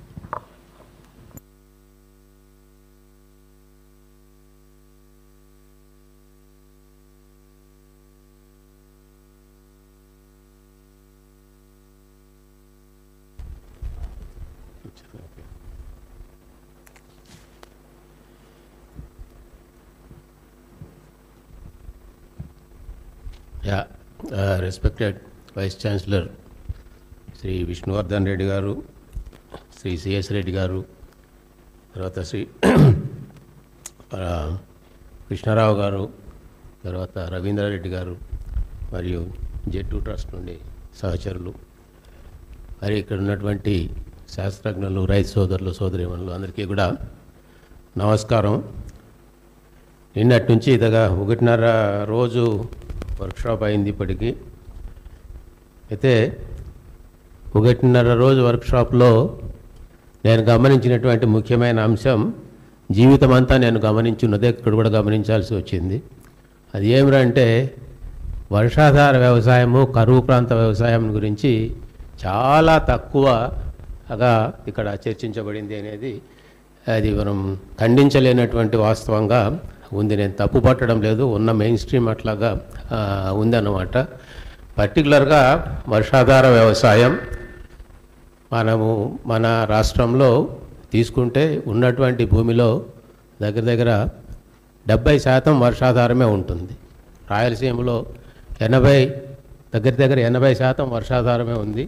Rayalaseema ప్రకాశం నెల్లూరులో కూడా మనం western side తీసుకుంటే ఈ పక్క కొంచెం irrigation బాగా ఉంది వర్షాధార వ్యవసాయం తక్కువగా ఉంది. మరి అక్కడ కరువు అనేది ఒక ముఖ్యమైనటువంటి సమస్యగా ఉందన్నమాట. మరి ఈ నేపథ్యంలో మనం ఇక్కడ చూసినప్పుడు ఇక్కడ ఇప్పుడు సబ్జెక్టు మనకు రూరల్ డెవలప్మెంట్ అనేది ఉంది అన్నమాట అంటే టెక్నికల్గా కాకుండా rural development side either agency ఏ ప్రాంతం కానివ్వండి ప్లెయిన్ ప్రాంతం కానివ్వండి అట్లాగా మనం ఆలోచన చూసినప్పుడు రూరల్ డెవలప్మెంట్ అనేది అగ్రికల్చర్ ఇంక్లూజివ్గా ఉంటుంది. మరి అగ్రికల్చర్తో పాటు ఇతర అంశాలు కూడా ఉంటాయనేది మనం దృష్టి పెట్టుకొని నేను కొన్ని విషయాలు మీ దృష్టికి తీసుకొని రావాలనుకున్నాను. మరి ముఖ్యంగా వర్షాధార వ్యవసాయం గురించి మనం మాట్లాడినప్పుడు మనం నేను అది నాకు సంబంధించినటువంటి సబ్జెక్ట్ కాబట్టి నేను దాని గురించి ఎక్కువ మాట్లాడే సబ్జెక్ట్ ఉంటే దానిపైన నేను ఎక్కువ ఒక తపనతో పనిచేస్తున్నాను ఎట్లయినా దాన్ని బతికించాలా? ఆ రైతులు ఏ విధంగా ఏదైనా ఏ రోజైనా గౌరవంగా బతికేటట్లు చూడాలనేటువంటి ఒక తపనతో పనిచే పనిచేస్తున్నాను ముఖ్యంగా నేను ఒక రైతు కుటుంబం నుంచి నేను వచ్చినాను. నేను కూడా వర్షాధార వ్యవసాయాన్ని చేసినాను. ఇప్పుడు కూడా మా కుటుంబం చేస్తూనే ఉన్నారు. సో దాన్ని దృష్టిలో పెట్టుకుని తర్వాత రూరల్ డెవలప్మెంట్కి సంబంధించి గత నలభై ఎనిమిది సంవత్సరాలుగా నేను పనిచేస్తున్నాను. నలభై ఎనిమిది సంవత్సరాల అనుభవాన్ని కూడా నేను దృష్టిలో పెట్టుకొని నేను కొన్ని విషయాలు మీ దృష్టికి తీసుకొని రావాలని చెప్పనని అనుకున్నాను అన్నమాట మరి మనకు ఇంతవరకు మన వ్యవసాయం చరిత్ర తీసుకుంటే మన దే దేశంలో దగ్గర దగ్గర ఐదు వేల సంవత్సరాలకు మించి వ్యవసాయ చరిత్ర ఉంది. ఐదు వేల సంవత్సరాలుగా వ్యవసాయం అనేది ఇవాల్వ్ అవుతూ వచ్చింది. తాతలు తనులు చాలా కాలంగా వాళ్ళు చేస్తూ వచ్చినారన్నమాట. అయితే అక్కడ వస్తూ ఆ విధంగా ఇవాల్వ్ అవుతున్నటువంటి సందర్భంలో గ్రీన్ రెవల్యూషన్ రావడం అనేది ఒక పెద్ద మలుపుగా మనం భావించుకోవాలా? గ్రీన్ రెవల్యూషన్ వచ్చిన తరువాత ఏమైందంటే మరి ఒక మోర్ ఫోకస్డ్ పాయింట్గా చెప్పాలన్నప్పుడు రెయిన్ఫెడ్ ఏరియాస్కు గ్రీన్ రెవల్యూషన్ పైన పెద్దగా ప్రభావం చూపలేదన్నమాట. దాని ప్రభావం ఏమీ చూపలేకపోయింది. చూపలేకంటే నెగిటివ్గా చూపిందే ఉంది కానీ పాజిటివ్గా చూపింది తక్కువ ఉంది అని చెప్పారని అనుభవం ద్వారా మనకు తెలిసేది. మనం నిన్న గురించి నిన్న మాట్లాడుతున్నాం మనం క్రాప్ ప్లానింగ్ క్రాప్ డైవర్సిఫికేషన్ గురించి మనం మాట్లాడుతున్నాం. బెస్ట్ క్లా క్రాప్ డైవర్సిఫికేషన్ మనకు గ్రీన్ రెవల్యూషన్కి ముంద ముందర ముఖ్యంగా వర్షాధార ప్రాంతాల్లో కరువు పీడిత ప్రాంతాల్లో నవధాన్య కాన్సెప్ట్ లాగా ఉండేదన్నమాట. ప్రతి కుటుంబము కూడా ఒక ఇంటిగ్రేటెడ్ అప్రోచ్లో బతికి బతికేవాళ్ళు. చిన్న ఫ్యామిలీ అయితే కూడా పది పదహైదు గొర్రెలు గొర్రెలో లేకపోతే మేకలో నాలుగు మూడు ఆవులో ఎనుములో ఉండేటివి. తర్వాత కొంత వ్యవసాయము సబ్సిస్టెన్స్ అగ్రికల్చర్గా ఉండేది కాబట్టి ఫుడ్ క్రాప్స్ ఆ విధంగా ఉండేటువంటి ఒక ఇంటిగ్రేటెడ్ సిస్టంలో ఉండేది. గ్రీన్ రెవల్యూషన్ వచ్చిన తర్వాత ఏమైందంటే మనకు బాగా ఈ రెయిన్ఫెడ్ ఏరియాస్లో కూడా మోనోక్రాపింగ్ అనేది బాగా ఎమర్జ్ అయిందన్నమాట. అంటే monocropping cannot really survive under such kind of harsh agroclimatic conditions అనమాట. ఎందుకంటే రిసిలియన్స్ బాగా దెబ్బతింటుంది. అగ్రోబయో డైవర్సిటీ అనేది కూడా బాగా uh, దెబ్బతినింది. మరి ఫుడ్ డైవర్సిటీ కూడా బాగా దెబ్బతినింది. Uh, దానివల్ల మనకు ఈ ఈ ఈ నేటివ్ ల్యాండ్ రేసెస్ ఏవైతే ఉన్నాయో అవి కూడా బాగా మనకు డ్యామేజ్ కావడం అనేది జరిగింది.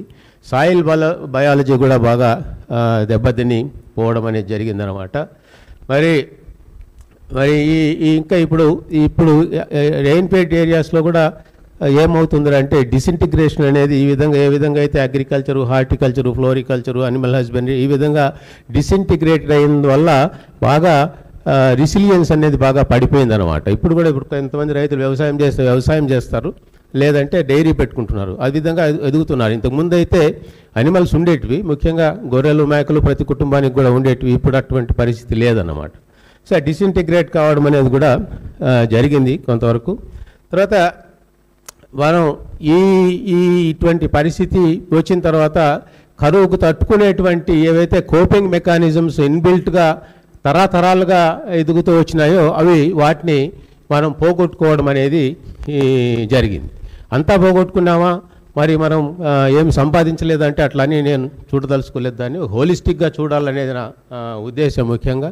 మనకు కూడా నాగరికత అభివృద్ధి అయింది మార్కెట్ ఎకానమీ వచ్చేసింది కాబట్టి మార్కెట్కు ఓరియంటెడ్గా ఉండాలని అగ్రికల్చర్ ఆ విధంగా తెస్తే దానివల్ల ఇటువంటి ప్రతిఫల ఫలాలు ఫలాన్ని మనం చూస్తూ రావాల్సి వచ్చిందనమాట. సో ఇప్పుడు ముఖ్యంగా మనం ఇటువంటి పరిస్థితుల్లో రెయిన్పేట్ ఏరియాస్ ముఖ్యంగా కరువు పీడిత ప్రాంతాల్లో మనం రూరల్ డెవలప్మెంట్ గురించి ఎట్లా ఆలోచన చేయాలా అని చెప్పినని మనం చెప్పినప్పుడు ఒక కొన్ని సైన్స్ మనకు అక్కడక్కడ ఒక ఆశాజనకంగా ఉండేటువంటి కొన్ని ఎక్స్పెరిమెంట్స్ ఇప్పుడు మేము చేస్తున్నవి స్వచ్ఛంద సంస్థలుగా చేస్తున్నవి కూడా కొన్ని మనకు కనపడుతున్నాయి అన్నమాట. ఆ దిశగా ఆలోచన చేయాలనేటువంటి ఉద్దేశంతోనే నేను మీ ముందు నేను చెప్తున్నాను.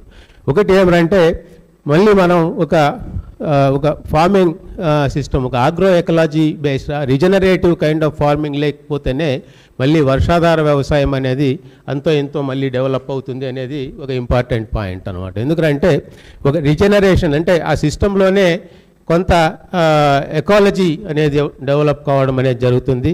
మనం ప్రతి సమస్యకు ఒక సొల్యూషన్ ఉంటుంది. ఆ సొల్యూషన్ ఏం చేస్తానంటే ఆ సొల్యూషన్ అప్లై చేసినప్పుడు కొత్త సమస్యలు వస్తూ ఉంటాయి. అది సాధారణంగా జరిగేటువంటి విషయం అనమాట అయితే మనం ఎక్కువ అగ్రో ఎకాలజీ సిస్టంలో ఆలోచన చేసినప్పుడు మనం ఒక సమస్యకు ఏదైనా పరిష్కారం కనుక్కుంటే అది ఆ ఎకాలజీని ఎకో సిస్టమ్ను ఇంకా డెవలప్ చేస్తుంది స్ట్రెంగ్థెన్ చేస్తుంది అనమాట ఆ పద్ధతిలో రిజనరేటివ్గా ఉండేటట్లు మనం గాన చేయగలిగితే రెయిన్ఫెడ్ అగ్రికల్చర్ను మనం బతికించడానికి వీలవుతుంది అనేది ఒక ముఖ్యమైనటువంటి పాయింట్ అంటే ఒక రకమైన రీజనరేటివ్ అగ్రికల్చర్ అని.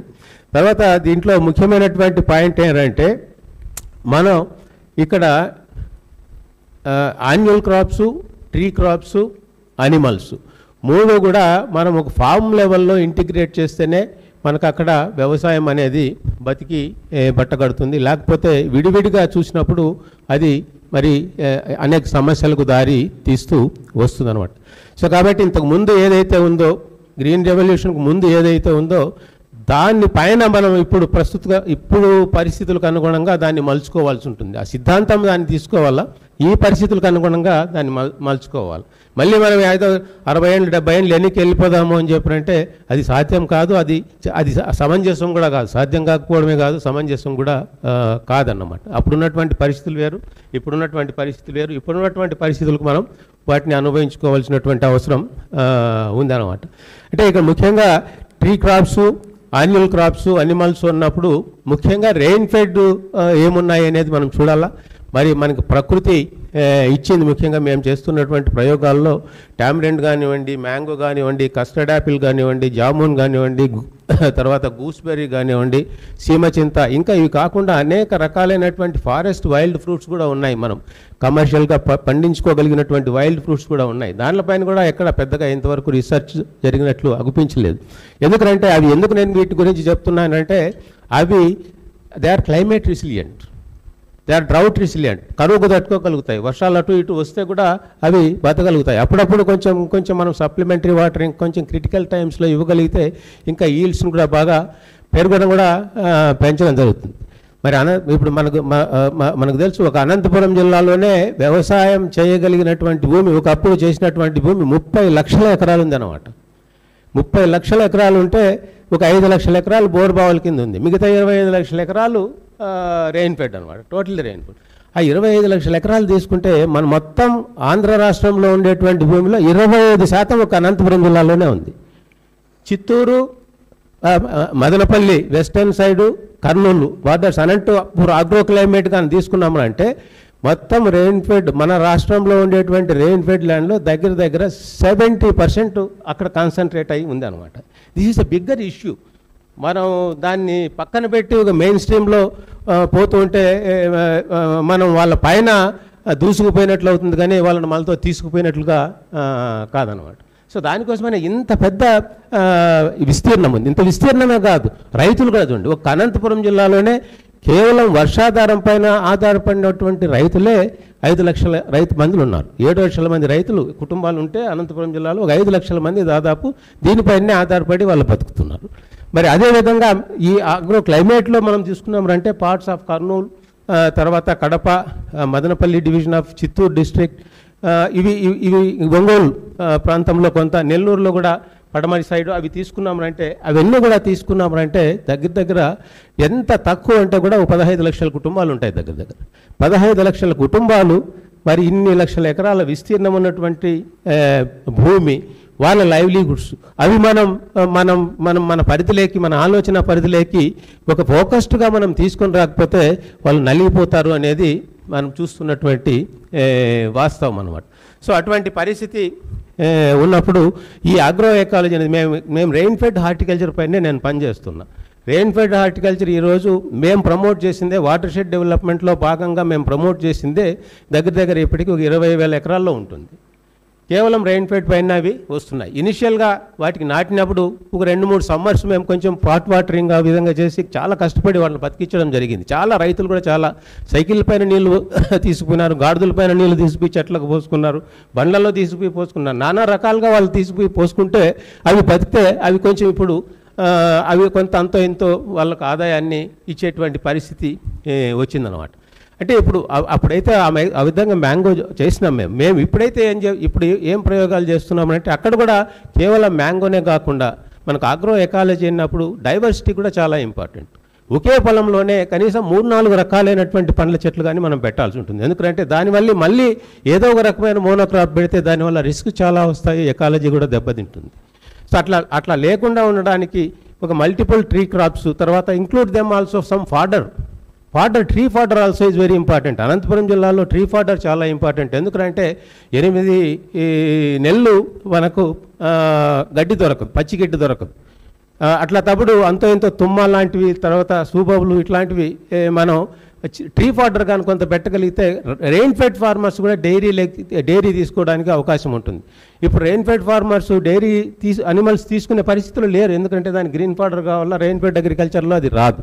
ఇంటిగ్రేట్ చేయలేము మనం. ఫ్యామిలీలో డైరీని ఇంటిగ్రేట్ చేయలేము అనమాట సో కాబట్టి ఈ ఈ ఈ విధంగా మనం ఆలోచన చేసి అక్కడ ఒక ఒక ఒక ఒక ఫా ప్రతి ఫార్మ్ కూడా ఒక రకమైనటువంటి ఒక మైక్రో ఎకాలజీగా ఉండాలి. అది మనం ల్యాండ్స్కేప్ లెవెల్లో చూడాల్సి ఉంటుంది. ఏ ఒక రైతు ఇద్దరు రైతులు మూడు రైతులు కాదు ఒక ల్యాండ్స్కేప్ మోడల్లో మనం చూడాల్సి ఉంటుంది. ఆ విధంగా చేయడం అనేది ఒక ముఖ్యమైనటువంటి భాగం అని చెప్పి అనిపిస్తుంది. దాంతోపాటు ఇప్పుడు ఫార్మర్స్ అయి ఫార్మర్స్ అనంతపురం జిల్లాలో ఒక ట్రెండ్ ఎమర్జ్ అవుతూ ఉందన్నమాట. ఇది న్యాచురల్గా వస్తున్నటువంటి ట్రెండ్ ఎవరు చెప్పలేదు. ఏ యూనివర్సిటీ చెప్పలేదు స్వచ్ఛంద సంస్థలు చెప్పలేదు ప్రభుత్వం కూడా చెప్పలేదు. ఏరంటే బిల్లు పెడుతున్నారు. రైతులు బిల్లు పెడుతుంటే గొర్రెలు మేపుకునే వాళ్ళు మేత వేసుకుంటున్నారు దాంట్లో. చెనిక్కాయ బాగా వేరుశెనగ వేసేటువంటి భూమిలో భూమి వాడు వేరుశెనగ వేసేదన్న గిట్టుబాటు కాలేదని ఇడిచిపెడితే ఈ సంవత్సరం చాలామంది ఇడిచిపెట్టినారు అసలు. ఇప్పుడు యాక్చువల్గా వేరుశెనగ బాగా దాదాపు చనిపోయే స్థితికి వచ్చేసింది. చాలా మంచి పేపర్ మన అగ్రికల్చర్ యూనివర్సిటీ అక్కడ రీజనల్ స్టేషన్ వాళ్ళు ప్రొడ్యూస్ చేసిన. మీరు దయించి శాస్త్రజ్ఞులంతా కూడా ఒకసారి చదవండి. Sahadev Reddy garu రాసినారు. Status of groundnut. ఈ రోజు ఎట్లా ఉంది పరిస్థితి? వ్యవసాయం ఎట్లా ఉంది అని చెప్పండి బ్యూటిఫుల్గా ఉంది దాంట్లో అనంతపురం యొక్క పరిస్థితి అనమాట దాన్ని చదివితే నిజంగానే చాలా మంచి విషయాలు మనకు తెల తెలవడం తెలవడం అనేది జరుగుతుంది. అట్లా పంట పెట్టకుండా ఇడిచిపెడుతుంటే ఈ గొర్రెలు మేపుకునేటువంటి వాళ్ళు ఏం చేస్తున్నారంటే అయ్యా మేము పంట పెట్టుకుంటాము. మాకు ఇవ్వండి అంటున్నారు. ఏం పంట పెడతారంటే గడ్డి వేస్తున్నారు వాళ్ళు. గడ్డి అంటే జొన్న లేకపోతే ఆ, ఉలవ అట్లాంటిది ఏదో ఒక పంట వేసేస్తారు. ఎందుకు- వేస్తారంటే పంట కోసం వేయడం లేదు వాళ్ళు. They they only for grazing the cattle అనమాట సో కాబట్టి అటు ఆ విధంగా ఇది ఒక సిస్టంగా ఫార్మింగ్ సిస్టంగా దీన్ని ఇంటిగ్రేటెడ్గా మనం చూడగలిగితే ఒక ఇంపార్టెంట్ ఎలిమెంట్ మనకు రూరల్ డెవలప్మెంట్ అవుతుంది. అయితే అంతటితో ఆగదు. ఆగకుండా నేనేం చెప్తున్నానంటే మేమేం చెప్తున్నామంటే ఇంతకుముందు రెడ్డి గారు కూడా మేము కూడా మాట్లాడడం జరిగింది. చివరిగా ఒక పాయింట్ ఇక్కడ చెప్పాల్సింది ఏంటంటే అక్కడ ఫార్మర్ ప్రొడ్యూసర్ ఆర్గనైజేషన్స్ చాలా ముఖ్యమైనటువంటి పాత్ర పోషించాలా? వాళ్ళు పండించేటువంటి పంటలు ఏవైతే ఉన్నాయో ముఖ్యంగా యాన్యువల్ క్రాప్స్ తర్వాత పెరినియల్ క్రాప్స్ కూడా అక్కడ ఎక్కువగా సూటబుల్ ఉంది మిల్లెట్స్ పల్సెస్ ఆ మిల్లెట్స్ పల్సెస్ ప్రాసెసింగ్ చేయాలి? తెలుగులోనే మిల్లెట్స్ అంటే చిరుధాన్యాలు పప్పు దినుసులు చిరుధాన్యాలు పప్పు దినుసులు బాగా పండుతాయి అక్కడ కాబట్టి వాటిని ప్రాసెసింగ్ చేయాలి? వాటిని ప్రాసెసింగ్ ఏ టాటా కంపెనీ వాడో లేకపోతే అంబానీ వాడు వచ్చి చేస్తే రైతుకు మిగిలేది ఏముండదు అవి ఫార్మర్ ప్రొడ్యూసర్ ఆర్గనైజేషన్సే కానీ వాటిని ప్రాసెసింగ్ చేయగలిగితే వాళ్ళకు ఆ ప్రాసెసింగ్లో వచ్చేటువంటి లాభమే నిజంగా రైతుకు మిగులుతుంది. ఇప్పుడైతే రైతుకు ఏం మిగలదు. ఇరవై ఐదు రూపాయలు కేజీ కొర్రలు కొంటున్నారు సద్దలు కొంటున్నారు జొన్నలు కొంటున్నారు. ఇరవై ఐదు రూపాయలు వేస్తే ఏమి రాదు. పండేదే నాలుగు మూటలు పండుతాయి. నాలుగు మూటలు పండితే ఇరవై ఐదు రూపాయలు అంటే పదివేలు వస్తుంది పన్నెండు వేల రూపాయలు ఖర్చు అవుతుంది ఎక్కడ పంట పెట్టుకుందని అందుకోసమే దాన్ని కూడా వేయడం అనేది ఆపేయడం అనేది జరిగింది. సో కాబట్టి అక్కడ ఎంప్లాయ్మెంట్ క్రియేట్ కావాలంటే ఫార్మర్ ప్రొడ్యూసర్ ఆర్గనైజేషన్స్ ప్రాసెసింగ్లోకి దిగాల. అక్కడ ఎవరైతే under educated youth educated youth కూడా గ్రామాల్లో ఉన్నారో వాళ్ళు ముఖ్యంగా వ్యవసాయంలోను తర్వాత ఈ ప్రాసెసింగ్లో కూడా ఎక్కువగా వాళ్ళు పార్టిసిపేట్ చేయాలి. అక్కడ ఎంప్లాయ్మెంట్ అనేది ఎడ్యుకేటెడ్ వాళ్ళకు కూడా దొరకాలన్నమాట. ఇక్కడ ముఖ్యమైనటువంటి సమస్య ఇక్కడ రూరల్ డెవలప్మెంట్లో ఏమిటంటే అన్ఎంప్లాయ్మెంట్ అండర్ ఎంప్లాయ్మెంట్ సో ఇవి కావాలంటే మనం ఒక హోలిస్టిక్ అప్రోచ్లో కానీ మనం తీసుకొని ప్రొడక్షన్ ప్రాసెసింగ్ కన్జంప్షన్ అన్నీ కూడా మనం ఒక సైకిల్లో కానీ చూడగలిగితే అది సమస్యకు పరిష్కారం దొరుకుతుంది అనే ఉద్దేశం. అయితే ఇక్కడ ప్రాసెస్ చేసిన తర్వాత వాల్యూ ఎడిషన్ అయిన తర్వాత మేము ముఖ్యమంత్రి గారికి రెండు మూడు సార్లు మాట్లాడినాను. ఒకసారి నాతో స్పెషల్గా కూడా ముఖ్యమంత్రి గారు నాతో మాట్లాడడం జరిగింది. ఎట్లా దీన్ని అమ్మేది ఎట్లా మార్కెట్ ఎట్లా ఉంటుంది? మార్కెట్. నేను చెప్పినాను మార్కెట్ మీరే మార్కెట్. ఐసిడిఎస్ ప్రోగ్రామ్ ఉంది మిడ్ డే మీల్స్ ప్రోగ్రామ్ ఉంది. తర్వాత fair price shops public distribution system ఉంది. ఇన్ని దాంట్లకు మీరు మళ్ళీ మీరు కొంటున్నారు కదా ధాన్యాలు మరి ఈ ధాన్యం మీరు ఎఫ్పిఓస్ నుంచి ఎందుకు కొనలేరు? కొని వాటికి ఎందుకు ఇవ్వలేరు మీరు? హాస్టల్స్లో పెట్టచ్చు మిడ్ డే మీల్ ప్రోగ్రాంలు పెట్టచ్చు ఆరోగ్యాన్ని కూడా ఇస్తారు వాళ్ళకు కేవలం వరి వరి వరి కాకుండా. సో కాబట్టి సైకిల్ కంప్లీట్ చేయొచ్చు అని చెప్పినప్పుడే అయితే దీనికి మిల్లెట్ బోర్డు ఏర్పాటు చేస్తామన్నారు. మిల్లెట్ బోర్డు అనేది ఏర్పాటు అయింది కానీ ఇంకా అది యాక్షన్లోకి ఇంకా ఇంతవరకు రాలేదన్నమాట. సో కాబట్టి రూరల్ డెవలప్మెంట్ అయినప్పుడు అన్నప్పుడు ముఖ్యంగా కావాల్సింది అక్కడ ఉత్పాదకత రావాలా? ఉత్పాదకత ఒక అగ్రికల్చర్ నుంచినే కాదు. ఉత్పాదకత అనేది మరి ప్రాసెసింగ్ నుంచి వాల్యూ అడిషన్ నుంచి కూడా రావాలా? ఈ విధంగా కానీ మనం చూడగలిగితే అక్కడ వివిధ రకాలైనటువంటి మానవ వనరులకు చదువుకున్న వాళ్ళకు చదువుకోని వాళ్ళకు అందరికీ కూడా ఉద్యోగాలు అవకాశాలు దొరుకుతాయి. తప్పనిసరిగా వెల్త్ అనేది అక్కడ గ్రామాల్లో మనం తయారు చేయడం సంపద మనం అక్కడ సృష్టించడం అనేది జరుగుతుంది. రూరల్ డెవలప్మెంట్ అనేది ఒక పంథాలో మళ్ళీ మన గాంధీ మహాత్ముడు గారు చెప్పినట్లు మన గ్రామాల్లోనే అభివృద్ధి అనేది ఉంది గ్రామాల్లోనే దేశం అనేది ఉంది అనే దానికి నిజం చేయడానికి ఈ మార్గంలో మనం ఆలోచన చేస్తే ఒక రకంగా దాన్ని సాకారం చేసినట్లు అవుతుంది అని చెప్పండి మీ అందరికీ తెలియజేసుకుంటూ ఈ అవకాశం కల్పించినందుకు మీకు అందరికీ కూడా నేను ధన్యవాదాలు తెలియజేస్తున్నాను. థ్యాంక్ యూ మల్లారెడ్డి గారు. ఆయన అపారమైన అనుభవం ఉన్నటువంటి మల్లారెడ్డి గారు ప్రత్యేకించి డ్రైలాండ్ ఏరియాస్ డెవలప్మెంట్ గురించి. దీనికి ఇంకా కూడా అవసరమైతే సార్ ఇది ఈ వర్క్షాప్ టూ డేస్ పెడుతున్నాం కాబట్టి ఈ dryland farming irrigated farming dryland farming అట్లానే కాకుండా డిఫరెంట్ ఏరియాస్ ఐడెంటిఫై చేయడం జరిగింది. సో మళ్ళీ ప్రత్యేకించి చిన్న చిన్న గ్రూప్ మీటింగ్స్ కూడా పెడదామని అనుకున్నాం సార్. సో ఇప్పుడు మీ అనుభవంతో కొన్ని కొన్ని చెప్పారు. వీటిని ఇది యాక్షన్ ఓరియంటెడ్గా ఏ రకంగా చేస్తే బాగుంటుంది? ఎఫ్పిఓస్ అన్నారు ఆ రకంగా మిలెట్స్ గురించి కానీ.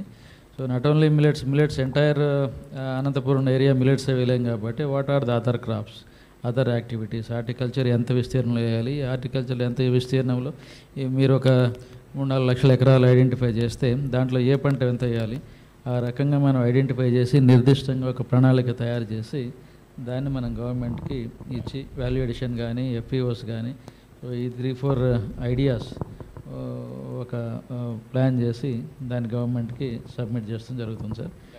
మళ్ళీ తప్పకుండా ఇంకొకసారి ఒక స్మాల్ గ్రూప్ ఎక్స్క్లూజివ్గా rainfed areas dryland areas development కోసం సో ఇది మెకనైజేషన్ కానీ ఆర్గానిక్ ఫార్మింగ్ కానీ డ్రైలాండ్ ఫార్మింగ్ ఇవి కొంతమంది మళ్ళీ uh, స్పెషలిస్ట్లు ఇంకా పిలిచి చిన్న గ్రూప్ మీటింగ్ పెడదామని కూడా అనుకుంటున్నాం సార్. ఫైనల్గా before going to the recommending to the government మనం అది చేసి ఇద్దామని చెప్పి అనుకుంటున్నాం. థ్యాంక్ యూ వెరీ మచ్ దీని గురించి ఏమన్నా ఎవరన్నా సలహాలు ఏమన్నా ఇచ్చేది ఉందా? మైక్ ఇవ్వండి అక్కడ. మీరు సూటిగా సలహాలు చెప్పండి. ఒకటి రెండు మూడు పాయింట్లు. అంతకు మించి ఎక్కువ కాకుండా మీరేమన్నా పాయింట్ మాత్రమే చెప్పండి. హలో మాది మా గుంటూరు జిల్లా నగరకల్లు మండలం రూపనగుంట్ల కొండపు గొరవైంది గొర్ర గొరవయ్య గొర్రె అంటారు నన్ను. గొరవయ్య గొర్రె అని ఎక్కువగా అంటారు గొర్రె తయారు చేశా. దీని గురించి నా ఉద్దేశం ఏంటంటే రైతులకి పశువులు మేత. నేను హైబ్రిడ్ రకాలు వచ్చినాయి ఇప్పుడు. మీరు నేను మళ్ళీ చెప్పేది ఏంటంటే ఇది కావాలి ఇది చేస్తే బాగుంటుందని ఆ సూటిగా ఆ ఒక్క లైన్ చెప్తే సరిపోతుంది. దయచేసి. పశువులకి మేతకి ఉపయోగపడేటట్టుగా నీళ్ళు అవకాశాలు ఉన్న పెంచి పశువులకి అనుగుణంగా మేతకి తయారు చేస్తే డెవలప్ అవుతారు thank you excellent thank you ఇంకెవరన్నా ఏమైనా చెప్తారా ముత్తురామన్ గారు doctor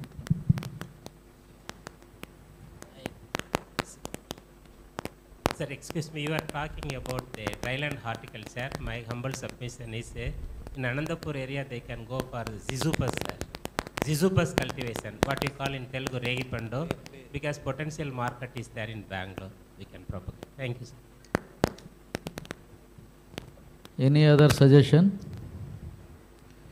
Okay, then now I request Sri Krishna Rao Garu, CEO Kovel Foundation to make his presentation.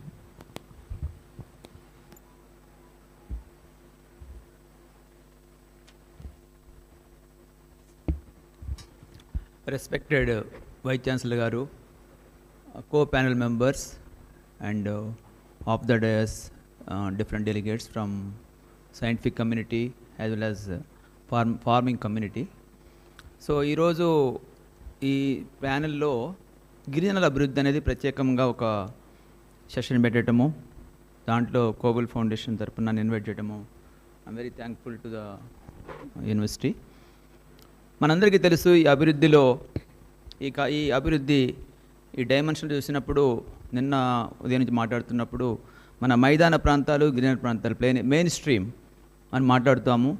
నిన్న మన వైద్యులుగా మాట్లాడుతున్నప్పుడు మన భారతదేశంలో ఈ రోజున రైతు తలసరి ఆదాయము పదివేల రూపాయలని చెప్పారు.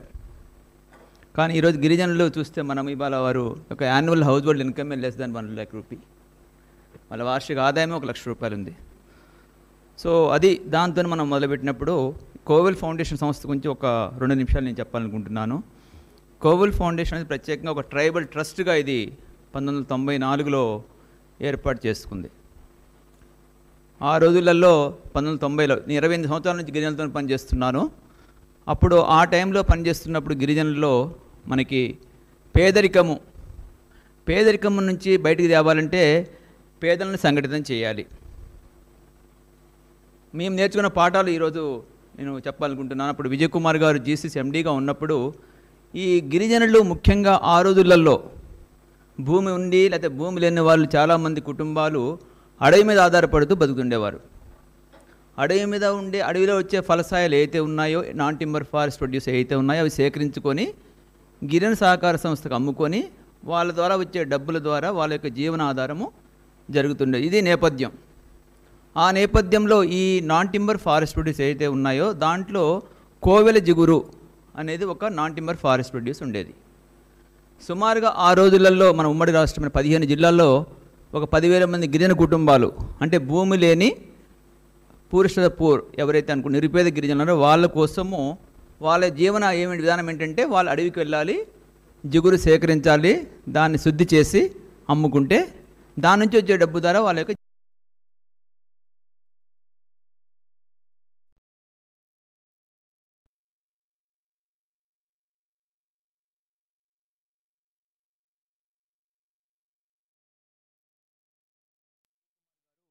దీనికి ఏ విధంగా చేయాలి? అప్పుడు కేజీ పద్దెనిమిది నుంచి ఇరవై రూపాయలు రేటు ఉండేది. ఆల్రెడీ వాళ్ళ పేదవాళ్ళు చాలా దారిద్ర్యంలో బతుకుతున్న వాళ్ళు వాళ్ళ కోసం ఏం చేయాలి? అప్పుడు సైన్స్ అండ్ టెక్నాలజీ దీన్ని ఏ విధంగా తేవాలనే ఉద్దేశంతో సైంటిస్టులు బాటనిస్టులని I'm also one of the botanist at that time where we had a team of eighty botanist in that group so అప్పుడు మేము అందరం కలిసి గ్రీన గ్రీన గ్రామాలకు వెళ్ళి నడిచి వెళ్ళి కాలిదారులలో కొండల మీదకి ఎక్కి గుట్టలు ఎక్కి ఈ అసలు చెట్టు ఏంటి? కోవెల చెట్టు అనేది చెట్టుది. నాటి మరి చెట్టుది. ఈ చెట్టు పేరు కోవెల చెట్టు ద్వారా వచ్చే జిగురు ఎందుకు తెల్లగా నుంచి నల్లగా అవుతుంది? అని స్టడీ చేసి దానికి ఒక మెథడాలజీ డెవలప్ చేసేసి ఆ రోజులలో దానికి ఒక ట్వంటీ రూపీస్ ఉన్న గమ్ముని రెండు వందల రూపాయలు తీసుకెళ్ళడం జరిగింది. అంటే ఒక గిరిజనుడికి పద్దెనిమిది రూపాయల వచ్చే రేటు నుంచి రెండు వందల అరవై రూపాయలు తీసుకెళ్ళడం జరిగింది. చేసి దీన్ని వీళ్ళందరినీ ఇట్లా మనం ఒక science and technology technology transfer చేయడం కాదు ఎవరైతే పేదవాళ్ళను వాళ్ళందరూ సంఘటన చేసి వాళ్ళకి ఒక సంస్థ ఎందుకు ఏర్పాటు చేయకూడదనే ఉద్దేశంలో ఆ రోజులు తొంభై నాలుగులో మేము మాట్లాడినప్పుడు చాలామంది అధికారులు అనధికారులు అందరూ కూడా నవ్వారు. గిరిజనులు గిరిజనులందరినీ సంఘటితం చేయటము వారికి ఒక సంస్థను ఏర్పాటు చేయటమా? అంటే అప్పుడే డ్వాక్రా కూడా వస్తుంది మనకు తెలుసు. అదే టైంలో డ్వాక్రా కూడా వస్తుంది. అలాంటి మహిళల్ని సంఘటిత చేసే క్రమంలో మేము కూడా గిరిజనులు కూడా సంఘటితం చేయాలి. గిరిజనులు కూడా పేదరి బాగా పేదవాళ్ళని సంఘటితం చేయాలి. ఆ రోజు సంఘటితం చేసి తొంభై నాలుగులో ఈ కోవిల్ ఫౌండేషన్ అనే సంస్థని ఏర్పాటు చేసుకుని ట్రైబల్ ట్రస్ట్ దీంట్లో సిక్స్ ఎలక్టెడ్ ట్రస్టీస్ ఉంటారు త్రీ నామినీ ట్రస్టీస్ ఉంటారు. అంటే కోవిల్ ఫౌండేషన్ ఇక్కడ మాట్లాడుతుంటే ఇలా పదివేల మంది రైతులు ఆ రోజు నుంచి ఈ రోజున అరవై వేల మంది రైతులతో పనిచేస్తుంది ఈ సంస్థ. పదిహేను జిల్లాల్లో అరవై వేల మంది రైతులతో పనిచేస్తున్నాం. అంటే ఎందుకు చెప్తున్నానంటే మనం పేదరికం గురించి మాట్లాడినప్పుడు ఎప్పుడైతే ఎవరైతే పేదరికం ఉన్న వాళ్ళ యొక్క పేదరికం ఉన్న బతుకు తెరువులో ఉన్న సమస్యలు వాళ్ళ సవాళ్ళు వాళ్ళ గురించి మనకు తెలియదు సో వాళ్ళని ఎప్పుడైతే మనం స్టేక్ హోల్డర్ ఇన్వాల్వ్ చేసి ప్రైమరీ స్టేక్ హోల్డర్ మనం తీసుకొని వాళ్ళని సంఘటన చేసి వాళ్ళని ఆర్గనైజ్ చేసి వాళ్ళ ద్వారా మనం కార్యక్రమాలు చేసినప్పుడు మనకి సస్టైన్ అవుతున్నాయి అనేది మాకు ఒక మంచి అనుభవం నేర్పింది ఇది ఈ అనుభవం నేను ఇప్పుడు కూడా చెప్తాను రైతులకి వాళ్ళ రైతుల గురించి మాట్లాడుతున్నాము రైతు యొక్క ఆర్థిక సంక్షోభం అంటున్నాము పర్యావరణ సంక్షోభం అంటున్నాము నీటి సంక్షోభం అంటున్నాము ఈ సంక్షోభానికి కారణాల్లో మనము రైతులను కూడా మొట్టమొదట ప్రైమరీ స్టేక్ హోల్డర్గా మనం చూస్తున్నామా అనేది మనం ప్రశ్న వేసుకోవాలి. ఈ సెమినార్స్ కానివ్వండి వర్క్షాప్స్లో కానివ్వండి ఎక్కడైనా కానీ ఒక రైతుని మనం ఎంతవరకు వారిని వారి యొక్క సలహాలు వారి యొక్క అనుభవాలని మనం ఎంత తీసుకుంటున్నాం? అప్పుడు రైతుని మనం ఎప్పుడైతే మనము దీంట్లో ఇన్వాల్వ్ చేస్తాం పరిశోధనలో కానివ్వండి శిక్షణలో కానివ్వండి ట్రాన్స్ఫర్ టెక్నాలజీలో కానివ్వండి డిసిమినేషన్ కానివ్వండి బెస్ట్ ప్రాక్టీస్ కానీ ఇవన్నీ కూడా it is a kind of blending between science and scientific knowledge traditional knowledge scientific knowledge and farmers knowledge. When we are bringing together this kind of knowledge, we can really bring out, synthesize and we can bring out a, a good kind of model which is implementable, which is, which is, uh, which can be replicable. So that is what kind of things are to be imported at the farmer level and farming level and landscape level. So this is, this transformation is very, very important. Unless until we involve community, unless until we involve farmers in entire spectrum of activities, not one activity, right from farming plan to the market plan. Or they become stakeholders of this uh, kind of intervention? It's not happening at all. That is one big issue we are, we are all facing. So how actually we can address that issue? And coming to agriculture in tribal area you know the twenty three lakh population ఉంది వాళ్ళ ఆంధ్రప్రదేశ్లో. తెలంగాణకు పోతే six million population ఉంది. Countries ten percent of the countries population ఈ tribals are we really putting that kind of efforts toward that kind of development which is felt by the community so దిసి అది ఒక ముఖ్యమైన విషయం so ఇక్కడ వ్యవసాయము గిరిజన ప్రాంతాల్లో వ్యవసాయం చూసినప్పుడు ఒక నేను పాతిక సంవత్సరం అనుభవం చూసినప్పుడు అప్పుడు అందరూ కూడా ఎక్కువగా అడవి నుంచి ఆధారపడే కుటుంబాల నుంచి వాళ్ళ వ్యవసాయంలోకి వచ్చారు. షిఫ్ట్స్ అవుతున్నాయి. మనం అది కూడా అర్థం చేసుకునే అవసరం ఉంది. ఇంకొక మాట మాట్లాడుతుంటాం మనము. గ్రీన్ మాట? బై డిఫాల్ట్ ఆర్గానిక్ అంటాం. I'm very sorry to it's not by default organic now it's like farmer actually chemicals applying chemicals and to Telangana have recently been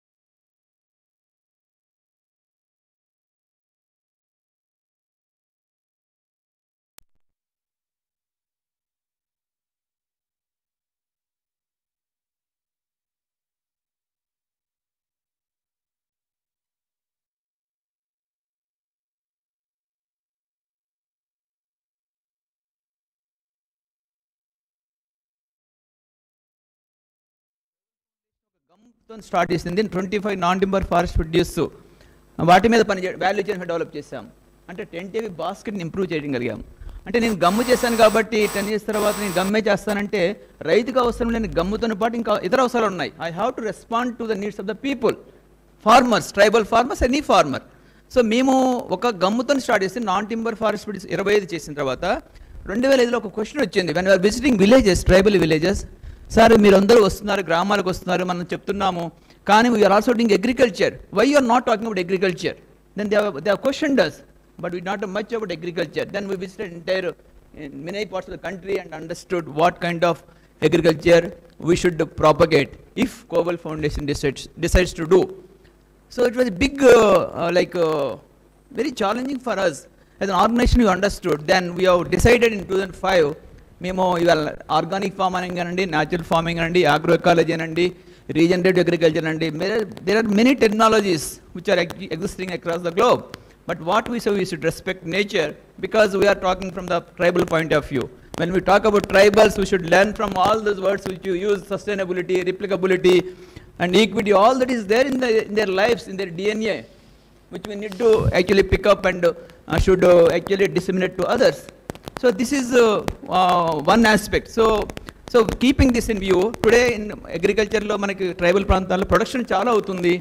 For example I will quote example of Visakhapatnam district where lakhs of coffee farmers are there in production thousands of turmeric farmers are there thousands of black turmeric farmers are there they are doing rajma but when you look at the post-harvest management in terms of adding value, value addition, product development, in terms of market linkages, it is not at all, not, it's not all happening. So what we are trying to help them. So for that, Kovel has started four years back, three FPOs in Visakhapatnam district. Uh, we have organized them into kind of uh, 2,000 farmers, coffee farmers and uh, turmeric farmers. Last year, I am telling you, first time I have been watching for the last 20 years, never happened. But it, ha- it started happening where tribal farms themselves are able to connect to ITC, where tribal, where tribal FPO is able to connect to Jayanti Spices, and they are able to connect to Subbo's Beverages in Bangalore, like top companies in India where they are involved in trading of coffee and black pepper. No, why, why it's happening? Because farmers are coming together. Farmers are now creating platforms. That is, that is really making huge difference. So what kind of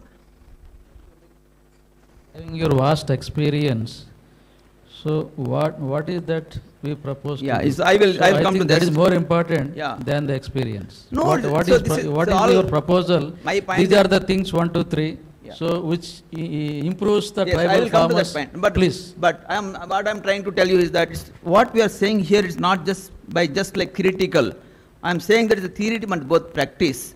That, that experience is very, very important. Otherwise, I will not speak in this floor, forum. With that, with that actually background, I'm trying to say that, but I'm come to this uh, workshop recommendation, a couple of recommendations to say from uh, Foundation. Uh,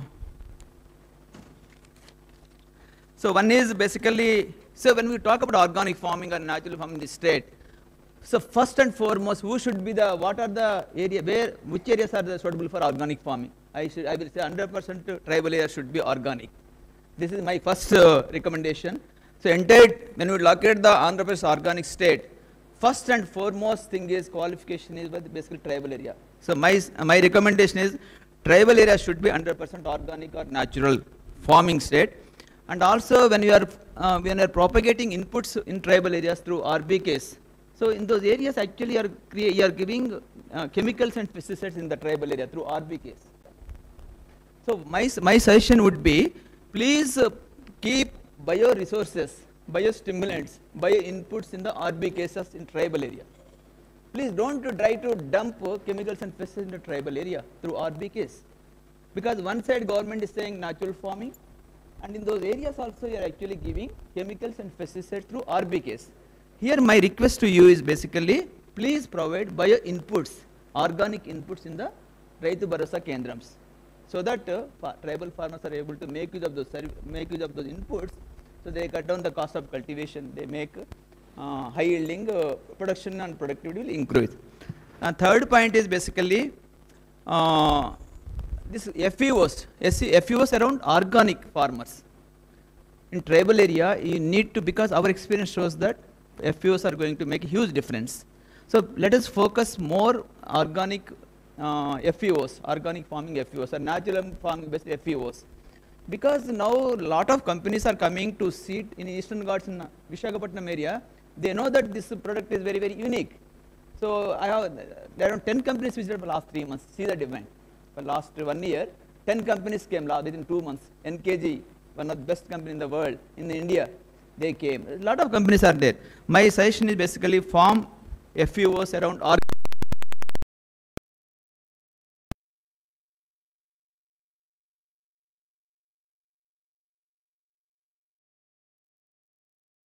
organically, it's not happening. So let us focus on certification and branding. This is very, very important to actually realize better incomes for the farmers. And also bio input resource centers. We talk about natural farming in this state, but are we providing inputs for the farmers? So we should have kind of a model where village level bio input resource centers. We are not supporting anything from, uh, uh, from the government. Those who are coming forward to abandon chemical farming and switching over to natural farming. But what kind of support we are giving to those natural farming farmers? They also need inputs. We are providing urea and DAP to the chemical farmers, but we are not providing support to uh, natural farming farmers. The how వాళ్ళందరూ ఎంత కష్టపడి చేస్తున్నారండి ప్ర- ప్రకృతి వ్యవసాయం చేస్తున్నారు natural సేంద్రీయ వ్యవసాయం చేస్తున్నారు but are we giving any incentives to the farmers it's not happening So that is another, act- this all, what I'm saying is all coming from the field, farmers' voices. And last, two more things, agroforestry models. We talk about monocultures. We talk about you know, mango, mango plantation, cashew plantation, silver oak plantation, or casuarina plantation, or eucalyptus plantation. But tribals never do monocultures, but they also now switching over to monocultures. So our experience, we have done 1000 acres in 60 villages where we have gone for agroforestry models. Trees on farms, animals on farms, and there are a lot of 365 days crops. So that has, uh, that has uh, taught us we can actually make a sustainable income and also ecological integrity. Ecology, we are promoting ecology and economy. So agroforestry models are very, very important tribal areas. And, uh, and another aspect which universities all to be focused is basically medicinal aromatic plants sector, which is really booming in this country across the globe. Medicine and aromatic plant సంబంధించి ఈ రోజున ప్రపంచంలో మన భారతదేశంలో ఎంతో demand ఉంది. ఈరోజు Covid నేపథ్యం అనండి అంతకుముందు అనవ్వండి కానీ మెడిసిన్ ఆరోపాంట్ సెంటర్ సెక్టర్ది ఇవాళ మనం నెగ్లెక్ట్ చేస్తున్నాం. గిరిజన ప్రాంతాలన్నీ కూడా చాలా most suitable for medicine aromatic plant cultivation. Which are never propagating which are never promoted in our tribal areas not only tribal even plain areas also it's happening I will quote one example of Kurnool డిస్టిక్లో నన్నారి అనేది ఒక plant తీసుకున్నాం రెండు వేల పద్నాలుగులో it is endemic plant to south India it is one of the medicinal plants which is being in sharbats and other as a like Ayurvedic industries when this plant is actually not able to get from the forest areas, we started understanding entire, we have done research and development of nannari plants, how to collect seeds, how to nursery, raise nurseries and how to cultivate. I am telling you today, uh, now we have got a breakthrough. ఏదైనా ఒక రైతుకి మనకి వాళ్ళ ఆదాయం రావాలంటే అండి ఒక ఎకరంలో ఎనిమిది లక్షల రూపాయల ఆదాయం వచ్చింది. నాకు చెప్పండి ఈ ప్లాట్ఫామ్లో ఎవరైనా ఒక ఎకరానికి ఎనిమిది లక్షల రూపాయల ఆదాయం తీసింది. పులిశంకరయ్య అనే ఒక Chenchu tribal farmer from Deevanipenta I think I'm very happy to see doctor Ravindra Reddy garu here Srisailam PO where where we are work work work to, working government కలిసి పనిచేస్తున్నలో ఎందుకు చెప్తున్నాను ఇది ఎగ్జాంపుల్ మెడిసిన్ డైరెక్టర్ ఒక example. నన్నారి cultivation చేయించి పులిశంకరయ్య గారి ద్వారా ముప్పై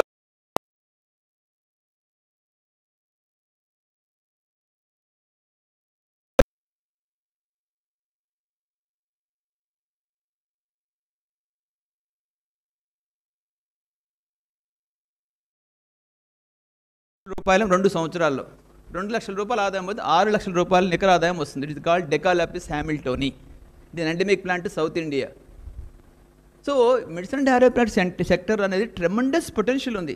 Which you're not at all looking at it when you're talking at farmers income be it farm tribals are be it plain farmers we need to look at MAPs as a sector how actually we can cultivate how can certify those products how can make it a USP in the market that is another and finally ఎన్ఆర్ఈఎస్లో ఉందండి. ఈ ప్రకృతి వ్యవసాయం ప్రోగ్రామ్స్లో మన ఈ agro forestry model కానివ్వండి cat shed linings కానివ్వండి ఈ న్యాచురల్ ఫార్మింగ్ సంబంధించిన బయట బొటల్ ఎక్సైడ్ సంబంధించిన ప్లాంట్స్ అన్నీ కూడా ఆ నర్సరీలో పెట్టి ప్లాంటేషన్ మనం ఎన్ఆర్ఈసర్ చేయగలిగితే అది చాలా ఉపయోగపడుతుందని అనుకుంటున్నాను.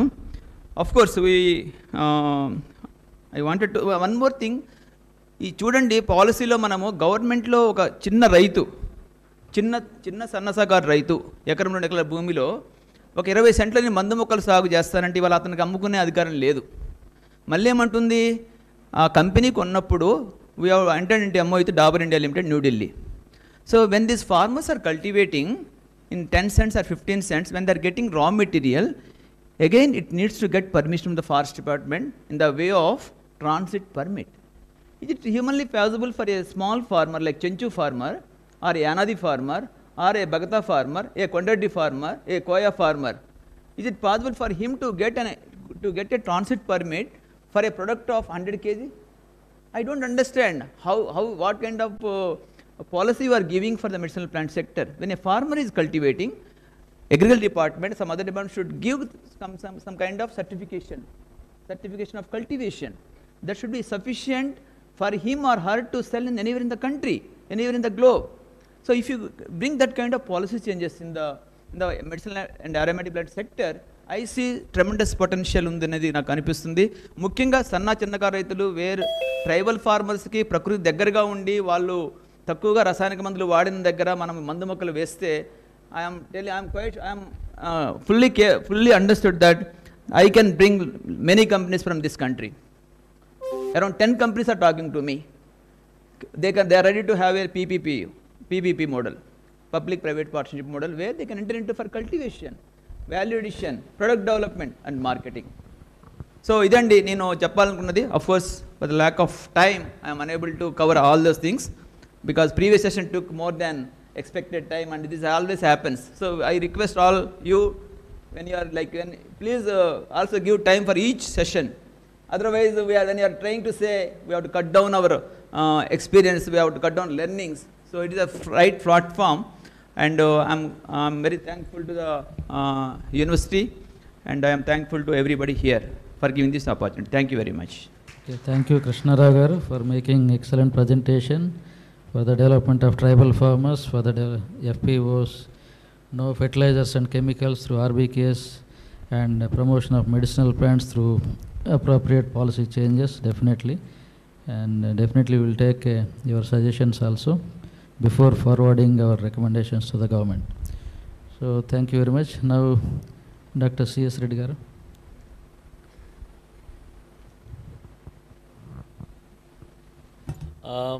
Thank you very much vice chancellor గారు అందరికీ నమస్కారం ఐ థింక్ సమయాభావం అని అంటున్నారు కాబట్టి uh, నిన్న కూడా నేను మాట్లాడాను రైతు ఉత్పత్తిదారుల సంస్థలు వాటితో కలిసి మనం ఎలా చేయొచ్చు అనేది Rural development tribal development agriculture I think ఈ మూడు టాపిక్స్ దాంతోపాటు ఫార్మర్స్ ఎంపవర్మెంట్ అంటే రైతు సాధికారత ఎలా సాధించాలి అనే దాని మీద ముఖ్యంగా దృష్టి పెట్టారు.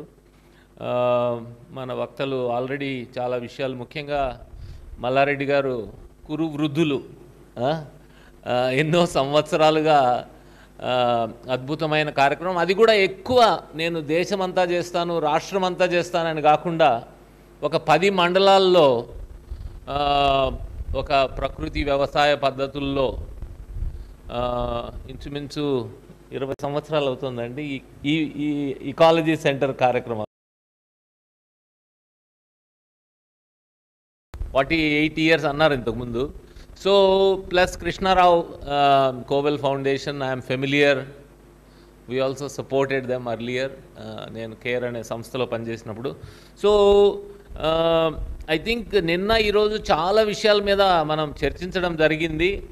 Um, జస్ట్ ఒక ఐదారు పాయింట్లు మేబీ ఫైవ్ పాయింట్స్ నేను మెన్షన్ చేసి I will give opportunity particularly I think ITDA PO should get the time to speak so మొట్టమొదటి విషయం ఏంటంటే uh, రైతు రైతు సాధికారత అనేది ఎప్పుడు సాధ్యం అవుతుంది అంటే వాళ్ళు సంఘటితంగా ఉన్నప్పుడు.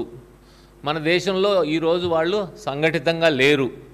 సో అందరూ వాళ్ళని ఎక్స్ప్లాయిట్ చేస్తున్నారు. సీడ్ కంపెనీస్ కావచ్చు ఇంకా మార్కెటింగ్లో ఉన్న కంపెనీస్ కావచ్చు. ఒక రకమైన ఎక్స్ప్లాయిటేషన్ ఉంది. మనందరికీ తెలుసు primary agriculture cooperative credit societies ఎన్నో సంవత్సరాలు వంద సంవత్సరాల పైన ఉన్నాయి కానీ కొంత పొలిటిసైజేషన్ బ్యూరోక్రటైజేషన్ అవ్వడం వలన ఈరోజు అవి పటిష్టంగా లేవు. మన లివింగ్ ఎగ్జాంపుల్ మన దేశంలో Amul. Anand milk union limited వాళ్ళు అద్భుతమైన ఫలితాలు సాధించారు.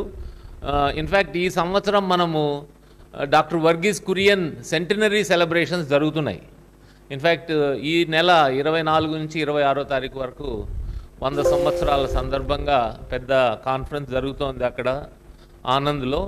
So I think organising farmers అనేది ఓల్డ్ కాన్సెప్ట్ అయినా కానీ ఈరోజు కూడా చాలా రెలవెంట్ దాన్ని మనము ఎఫ్పిఓ అనండి ఫార్మర్ ప్రొడ్యూసర్ ఆర్గనైజేషన్ అనండి ఫార్మర్ ప్రొడ్యూసర్ కంపెనీ అనండి మొన్న వైఎస్ఆర్ లైఫ్ టైం అచీవ్మెంట్ అవార్డ్స్లో కూడా రెండు ఎఫ్పిఓలకు అవార్డు ఇవ్వడం జరిగింది. సో ఒక విధంగా దీన్ని మనము ఒక మూమెంట్గా ఎలాగైతే మహిళా సంఘాలు సెల్ఫ్ హెల్ప్ గ్రూప్ది ఒక మూమెంట్ వచ్చిందో అట్లనే రైతు ఉత్పత్తిదారుల సంస్థల యొక్క ఒక ఉద్యమం మన తెలుగు రాష్ట్రాల్లో లేకుంటే ఆంధ్రప్రదేశ్లో వస్తే బాగుంటుంది. అది మొట్టమొదటిది. రెండవది వాతావరణ మార్పు అనేది మనము అందరికీ తెలిసిన విషయం. దానికి సంబంధించి రైతులను మనం ఎలాగా సమాయత్తం చేస్తాము? ఆ క్లైమేట్ చేంజ్ని ఎదుర్కోవడానికి. అంటే మిటిగేషన్ గురించి మనం మాట్లాడవచ్చు బట్ అకాడమిక్ రీసెర్చ్ కోసము బాగుంటుంది. కానీ అడాప్టేషన్ మీద మనం ఎక్కువ దృష్టి పెట్టాలి. ఈ మారుతున్న వాతావరణానికి అనుగుణంగా ఎలాంటి పంటలు వేయాలి లేకుంటే పంట మార్పిడి ఎలా చేసుకోవాలి లేకుంటే పంట పండించే పద్ధతుల్లో ఐ థింక్ దాని మీద కూడా ఎక్స్టెన్షన్లో కానీ ప్యాకేజ్ ఆఫ్ ప్రాక్టీసెస్లో కూడా చాలా వర్క్ చేయాల్సిన అవసరం ఉంది. So that is the second point agro ecology మనము మన ఇకాలజీ సెంటర్ ఏపీ మాస్ మా సంస్థ మేము కలిసి అనంతపూర్లో దీని మీద ప్రాజెక్ట్స్ చేస్తున్నాము. దాని అనుభవాలు కూడా రీసెర్చ్ పేపర్స్ కానీ పబ్లికేషన్స్ కానీ అందరితో షేర్ చేయడం జరుగుతుంది.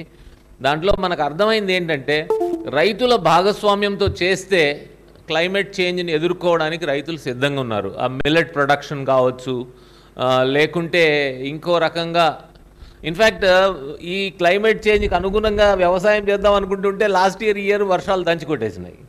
సో ఒక విధంగా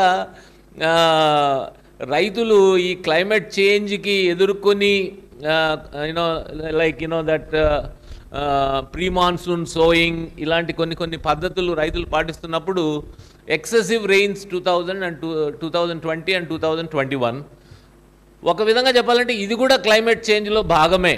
కుండపోత వర్షాలు పడ్డం ఒకే రోజు పది సెంటీమీటర్ల వర్షం పడడం మళ్ళీ ఒక నాలుగు వారాలు వర్షాలు లేకపోవడం. సో ఈ క్లైమేట్ చేంజ్ మనం ఎలాగ ఎదుర్కోవాలి? అది రెండవ అంశం. మూడవ ముఖ్యమైన అంశం ఏంటంటే ప్రభుత్వం నిన్న కూడా ఈ విషయం చెప్పాను ప్రభుత్వం అన్నీ చేయలేదు. ఐ థింక్ uh, నార్మల్గా ప్రభుత్వంలో ఆలోచన ఎట్లుంటుందంటే మేము అన్నీ చేయగలుగుతాము అనే ఒక భావన ఉంటుంది. రైతులే ఏదైనా చేయగలగాలి.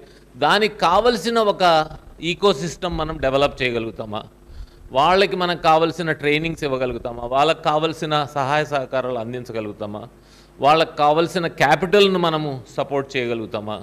వాళ్ళకు కావలసిన మార్కెట్ లింకేజెస్ మనం ఫెసిలిటేట్ చేయగలుగుతామా? ఐ థింక్ దేర్ మన కోవిల్ ఫౌండేషన్ వాళ్ళకు ఉన్న అనుభవం కానీ ఈ నిన్న కూడా సాయంత్రం వచ్చిన విషయం ఏంటంటే మార్కెటింగ్ అనేది చాలా ముఖ్యమైన విషయం. ఆ మార్కెటింగ్లో కూడా పండించింది పండించినట్లు అమ్మకుండా దానికి ఏదైనా వాల్యూ అడిషన్ అది గ్రేడింగ్ కావచ్చు సార్టింగ్ కావచ్చు లేకుంటే క్లీనింగ్ కావచ్చు లేకుంటే కందులను కందు బేడలు తయారు చేయడం అమ్మడం లేకుంటే మీరు యూనో టమాటో మన టామరెండ్లో డీసీడింగ్ చేసి టామరెండ్ అమ్మడం. చాలా చిన్న చిన్న పద్ధతులు. డీసెంట్రలైజ్డ్గా ఒక గ్రామ స్థాయిలో కానీ మండల స్థాయిలో కానీ ప్రైమరీ ఆర్ సెకండరీ ప్రాసెసింగ్ చేసుకునే అవకాశం ఉంది. సో ఈ మార్కెటింగ్లో కావలసిన సహకారం అందించడం ఇది మూడో విషయం.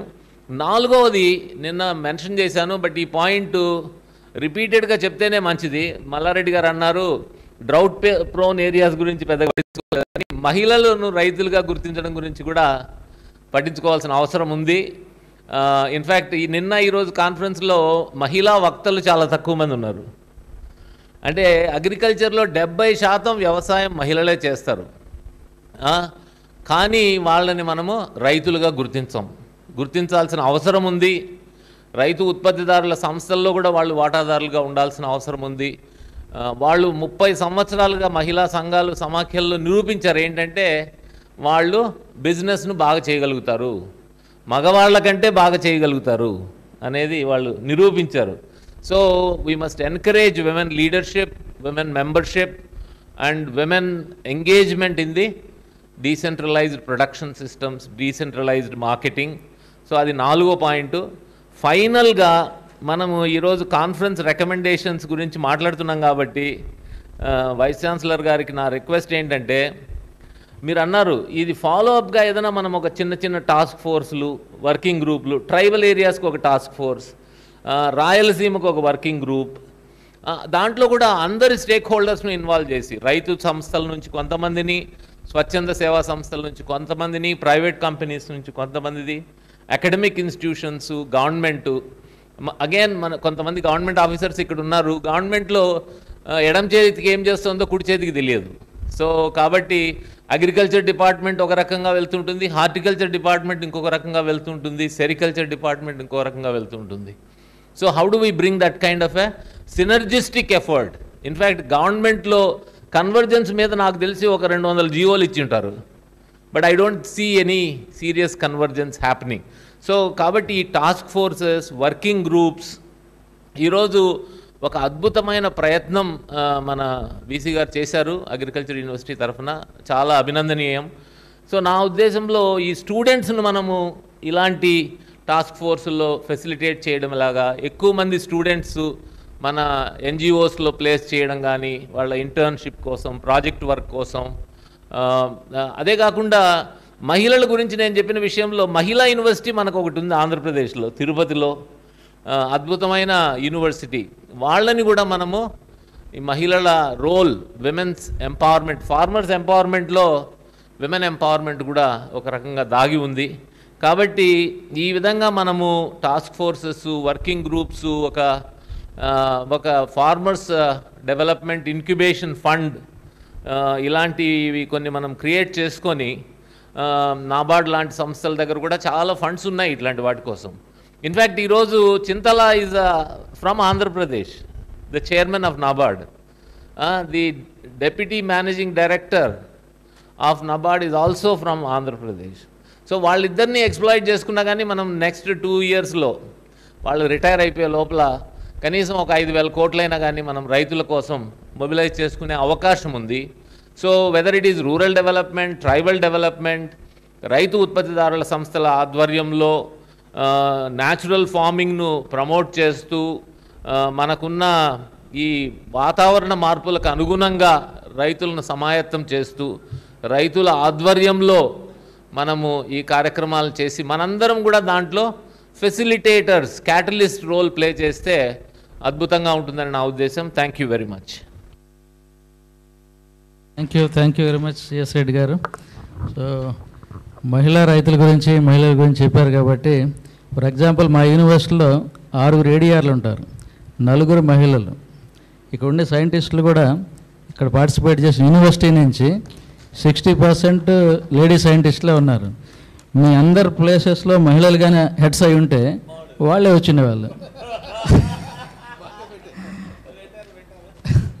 Thank you very much for your valuable suggestions definitely ఈ వర్కింగ్ గ్రూప్స్ తయారు చేసి ఫైనల్గా సజెషన్స్ తీసుకుంటాం. Now I request Ravinder Reddy please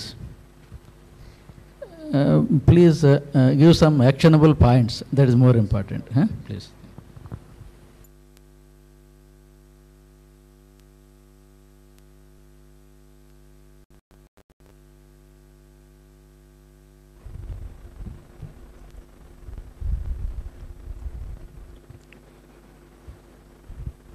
respected uh, uh, chairman of the uh, session, our honorable vice chancellor, Dr. Vishnuvardhan Reddy sir, and other uh, co-speakers, uh, Malla Reddy sir, very senior uh, RDT person, uh, vast experience in uh, uh, agriculture in RDT, and uh, Sresh Reddy garu, and Kovel Foundation, Krishna Rao garu, and uh, Prahar, Praharaj garu. So good afternoon, everybody, and uh, colleagues and uh, uh, delegates uh, who have participated in this uh, national workshop. Everybody, good, good afternoon.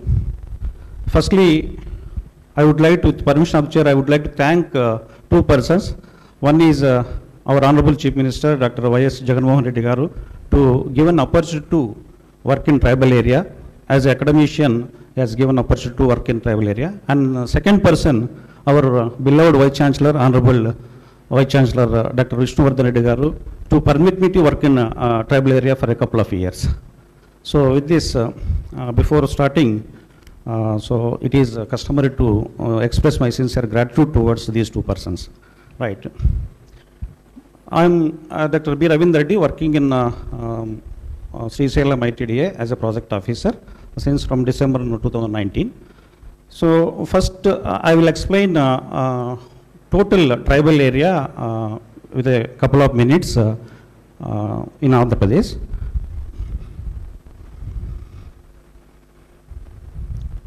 Next. Yeah, scheduled area and non-scheduled area. Tribal area divided into scheduled area and non-scheduled area in AP.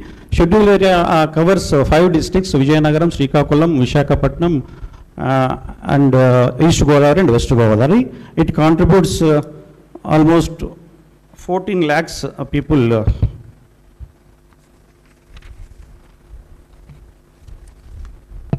Fourteen point five one lakhs ST people Uh, in uh, scheduled areas, scheduled tribes 53% uh, with uh, an households of uh, 3.2 uh, households and spread over 4,737 habitations in five districts. And literacy rate is only 49.05%. When the dominant uh, tribal uh, uh, communities are uh, Savara, Jatapu, Gadaba, Purja, Kohand, and uh, Kondadora, and Kondareddy, and Valmiki.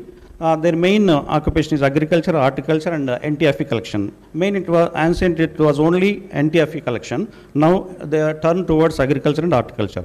When coming to the non-scheduled area, this contribute uh, total uh, 12.88 lakhs people, 47% uh, scheduled tribes, uh, and households of 2.83 lakhs, and uh, distributed across the 6,795 habitations in eight districts, and uh, uh, 40% of STs covered in this non-scheduled area, and literacy rate is 40.49, uh, 48.95 uh, percent.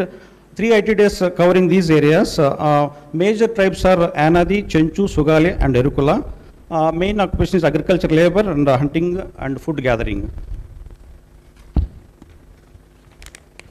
As uh, uh, Vice Chancellor rightly pointed uh, in uh, inaugural speech, that is so many years and 70 years and seven decades, so many initiation have been taken from the government side and NGOs. Still, the tribes are not moving forward in, terms of empowerment and um, education.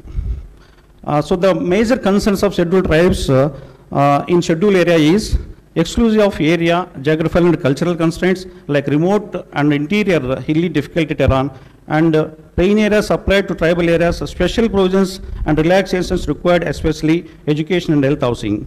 Poor productivity of primary sector, and lack of access to quality of education and health care, lack of adequate infrastructure, prone to unrest and left-wing extension. In, in coming to the plain areas, scattered and habitations, lack of adequate social and physical infrastructure, lack of adequate economic support, lack of access to quality of education and awareness, lack of special constitutional safeguards such as LTR.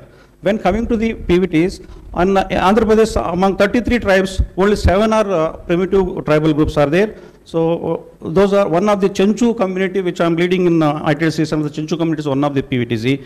Of, uh, concerns of the PVTs are uh, problem of transition as a PVTC are marked by very slow adoption to economic and social change, lack of adequate food security, lack of proper access to quality health care, poor access to quality and higher education, lack of special reservation to the particular vulnerable tribe group.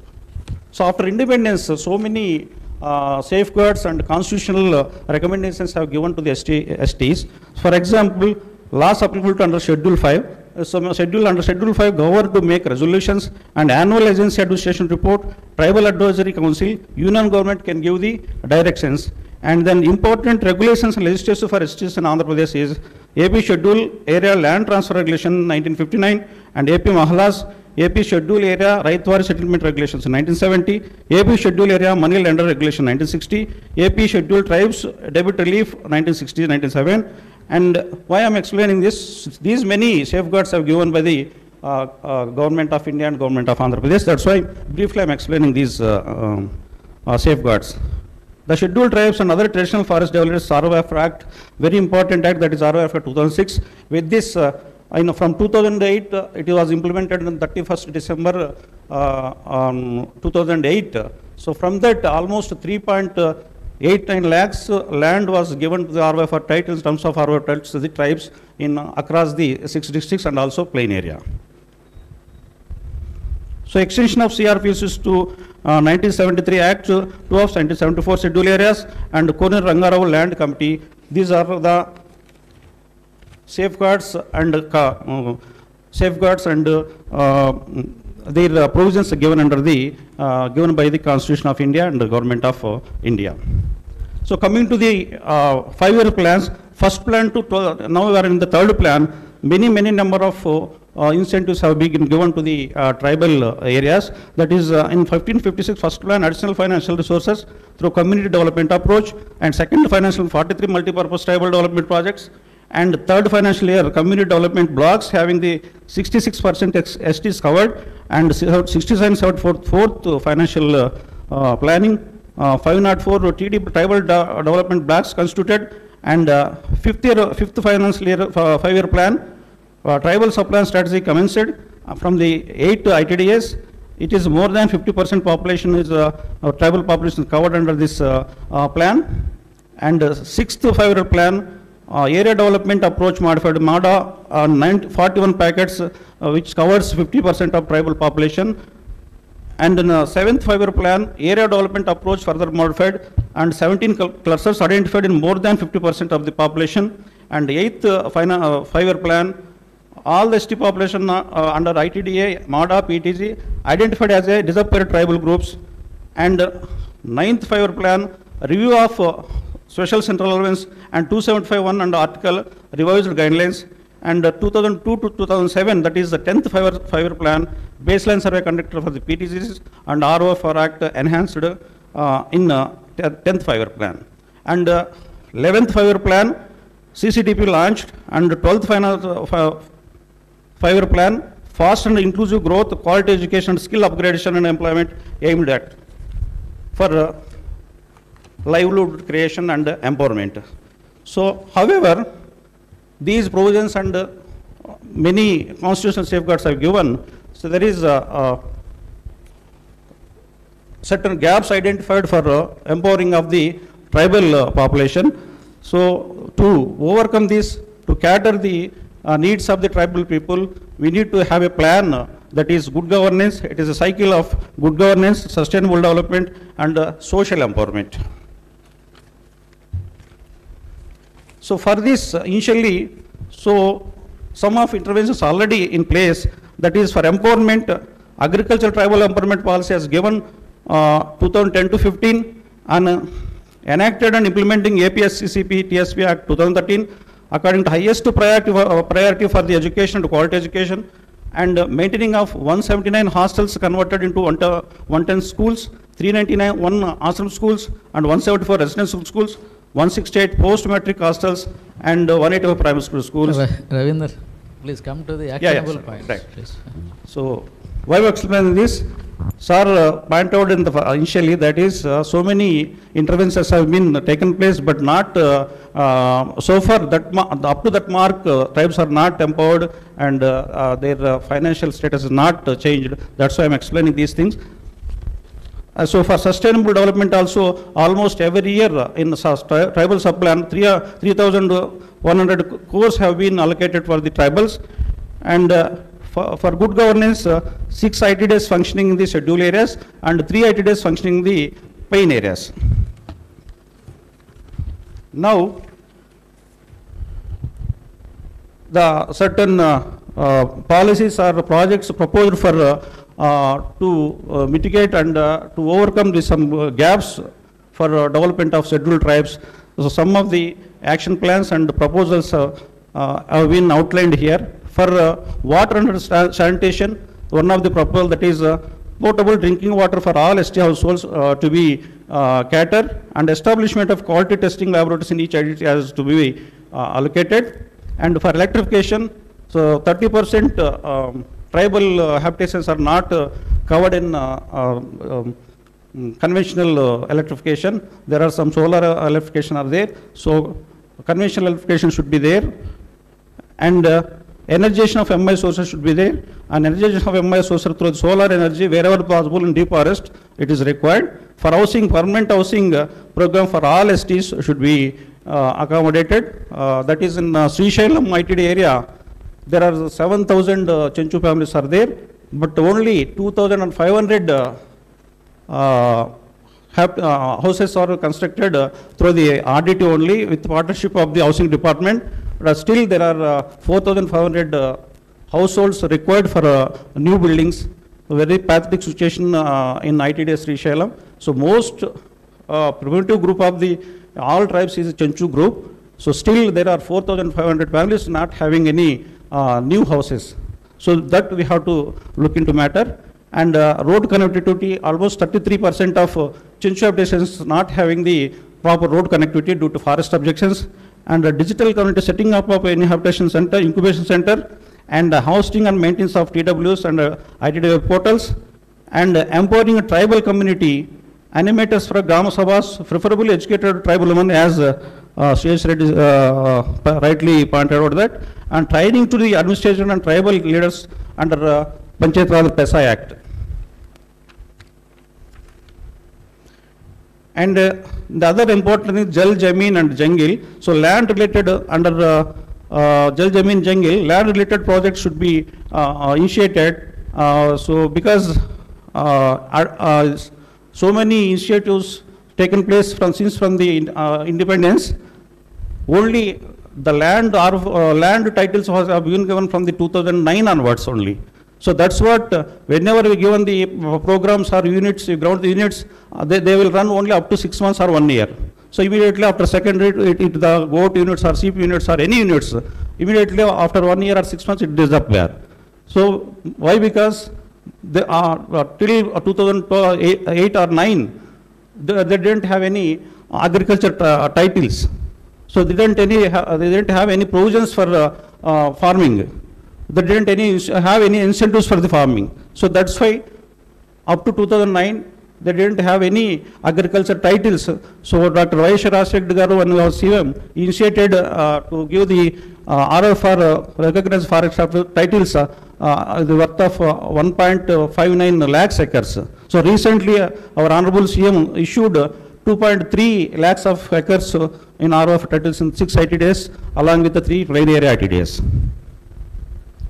So water resource related uh, uh, issues, providing irrigation facility development lands, awareness of uh, hygienic linked with storage and treatment drinking water and uh, harnessing of mini hydel project.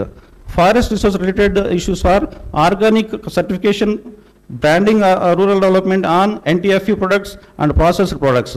Intellectual property rights should be enhanced and patent resume on tribal herbal medicines as in, you may, you might have known that uh, Anandaiah, uh, for Corona, uh, Anandaiah Ayurvedic medicine. So those uh, medicinal plants are collected from the Nallamala forest only. This Nallamala forest is covers uh, Prakasham, Karnulu and uh, Gunturu districts. From them, uh, forest, they collected and uh, they prepared uh, Ayurvedic medicine. So very rich, uh, sound uh, area for the uh, medicinal Ayurvedic medicinal plants.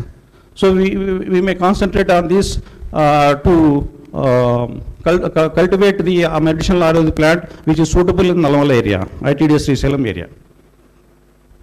Then uh, coming to the quality education, continuation upgrading of existing uh, tribal welfare educational institutions, opening of new educational institution apart from this uh, existing uh, institutions, quality initiatives of educational institutions, including uh, digital classes which are being uh, um, undertaken in the Nadu Nedu uh, uh, program, infrastructure in education institutes, including centralized uh, kitchens and additional amenities to the borders, and strength of post-matric education and strength of school health services.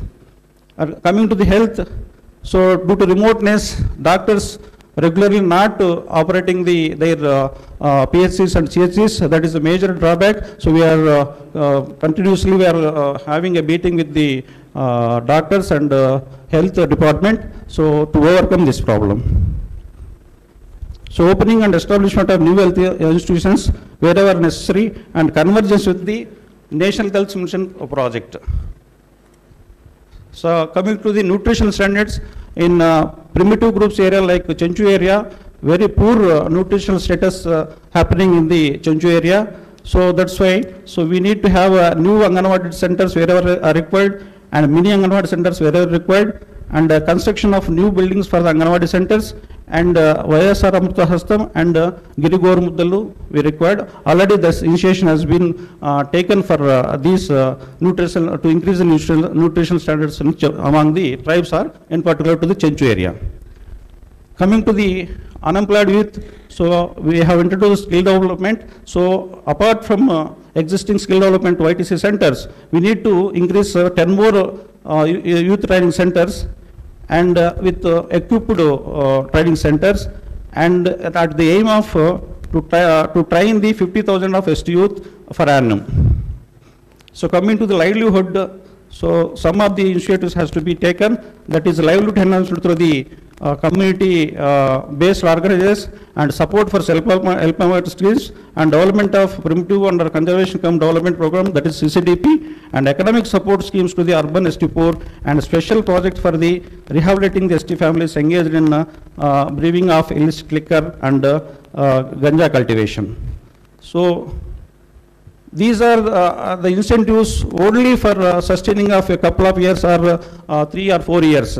But when we own the some agricultural land, if you give the titles to uh, the farmers of uh, uh, tribal area, so that will be more worthy and that will uh, uh, that will uh, cater the needs of the uh, tribes uh, uh, over the years.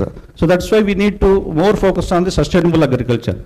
So preparation of uh, detail, uh, detailed soil mapping and farming system planning and land purchase scheme for the landless ST families. So it is more uh, uh, required in uh, uh, forest area like it is uh, tiger uh, uh, reserve forest area. So RWF, are not uh, uh, worthwhile in the uh, reserve forest area. That's why we need to, some of the remote habitats shift to the uh, main area and we need to give the uh, purchase land to the uh, tribals and implementation of comprehensive agriculture exchange project uh, comprising of farm mechanization, seal villages and farming training and plantation of regeneration of uh, uh, oil seeds like pulses, coffee and cashew and mango, promotion of satellite nurseries and vegetable cultivation, implementation of integrated livestock development program, support to our fishermen cooperation societies in river-based area.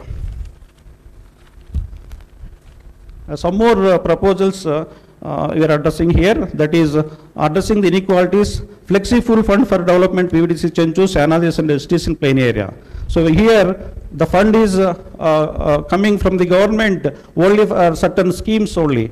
So whenever uh, the tribe required the, some borewell repair or. Doctor, please summarize, please. Yeah, so coming to end, sir. So there is no flexi full fund in the uh, ITD area, so required flexi full fund area, this, uh, uh, this has to be addressed uh, in government level. And the tribal and cultural tradition has to be promoted, and games and sports are required in tribal area, and we need to strengthen the GCC as uh, Kovel Foundation Krishna said. So earlier GCC uh, started with uh, lower, now it is uh, for annum 500 crores turnover uh, in the GCC and in nationally the second, uh, fo- fourth uh, time is getting award for the best collection of M- MFAs and NTFP. So now in GCC they are purchasing only like in Nannari routes they are purchasing for the 250. Outside they are selling for the 500 550 rupees. So we need to uh, change the uh, minimum supporting price uh, for the GCC collected uh, M- uh. And finally, good governance. So there is a uh, vast la- lack of staff in uh, ITDS. So administration technical support uh, required in ITDS and strengthen of administrative infrastructure and evaluation studies of TW education institution. So with this, these points, if you focus, so entire holistic and uh, uh, if you go integrated approach, so tribal uh, uh, area and tribal people, we can empower them and we can give the sustainable development. Thank you, thank you, Governor. Thank you, thank you, Dr. Ravindra Reddy, for his comprehensive presentation. Now I request uh, Sri Praharaj, uh, kindly restrict your presentation to 10 minutes and please give actionable points, please. respected VC sir, respected panel speakers, and respected invitee members.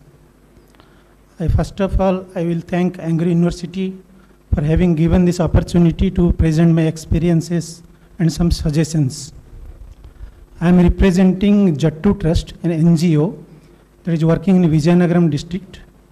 We are working in two mandals, Gumalakshmipuram and Kurupam, covering about 10,000 farmers. So today's topic is integrated approach for empowerment. Integrated, why integrated? What we understand, nowadays agriculture is uh, issue based. It is no more plowing, harvesting, and consumption. Gone are those days. Those are only subsistence farming. Nowadays, there are so many issues issues like post harvest technology, issues of credit linkage, issues of transfer of technology. So, so many issues are there. That is why integrated. So, so many factors will contribute towards the development of the farmers. And empowerment. By this word, what I understand is it in, uh, connotes two things. That is giving an opportunity for the voicing of the farmers. That is one kind of empowerment. And second one is economic development. So before that, I am, I am assigned to speak about the development of tribal farmers. Let me uh, uh, describe the scenario in our area. Our area, most of the lands are two to three acres near small and marginal farmers. Almost all crops are under rain-fed condition there is contribution of family labor so to say 100% family labor either the women and men both are involved either they uh, uh, contribute they, uh, they work in the field or there is exchange of labors also exchange of draft power bullock power and third one is it is uh, what I I am very happy to tell you even the farmers are illiterate, still then they're enlightened. Because of so many media, I find farmers are no more uh, unaware. They're aware of many things regarding technology, regarding uh, availability of schemes. So this is the scenario. So for voicing, what we have, I am sharing our experience. We have empowered the farmers through formation of SHGs, 100% of the farmers are under the fold of SHGs. And there is a formation of both male farmer and the woman counterpart, both are included in the SHG. The women counterpart, they are called mirror SHG. So that is very effective. They have, uh, they are participating in all decisions. They have come forward. They are uh, putting forth the demand and uh, going to various offices. They, they are smarter than before and we have formed farmer clubs, village organizations. So these are the things which uh, Jattu has uh, promoted and empowered. Regarding economic growth, economic growth, because I, I have already uh, mentioned, almost all are small and marginal farmers. So there is collective bargaining is lacking. So we have uh, promoted three FPOs, farmer producer organizations. But because of their resource poor, they are not able to contribute shareholding. That is why membership enrollment, shareholders are less. Maybe in each, each FPO around 500. But indirectly all the farmers are getting benefit because of this aggregation and selling in bulk quantities. We are even helping them for uh, digital marketing. We have experimented uh, in the Hyderabad market and there is one organization that is Digital Green Foundation which has helped uh, introducing IT, IT in agriculture scenario. So they are helping us for online marketing and they have created an app that is helpful for uh, chili and uh, vegetable experimental uh, stage it is. Uh, farmers are getting crop advisory and marketing information also.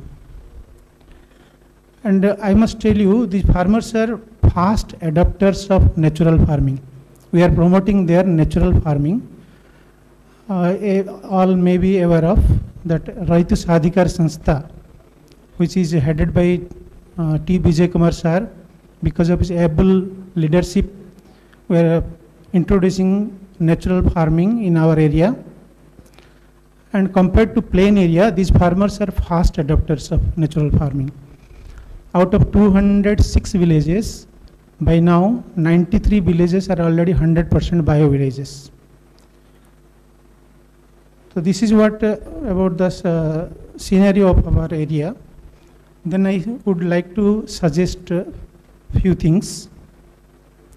First of all, FPOs, because these, these are uh, farm, farmed by poor farmers, they don't have uh, resources. One constraint is land. They want to have a l- big uh, land for uh, construction of a godown for storage. Bank is agreed to provide them loan, and there is one scheme from SFAC. We have uh, we can get a matching grant of uh, shareholders. Some 5 lakhs uh, contributed by farmers, 5 lakhs will be grant from SFAC. So that will increase their credit worthiness. There is no doubt. Banks will give uh, loan. But problem is there is no land. So I would like to suggest, uh, sir, please propose in the policy that FPOs should be given a community land for construction of godowns, maybe free of cost as a grant or as a um, on lease basis, 99 years lease basis. One more thing FPOs are facing, the problem is tax. Uh, the irony is that if one farmer sells his produce, he is not taxed. Because they formed a group and selling in, uh, they are collectively through FPO, because it is registered under Company Act, ROC, Register of Company, is imposing all the laws applicable for any other company. The registration is very well, well and good, but uh, farmers should be given some exemption, at least for 10 years. Coming 10 years, they should be exempt of two taxes, that is GST and income tax. Then uh, government should uh, give some training regarding handholding support for branding and packaging. Uh, One honorable speaker yesterday highlighted branding.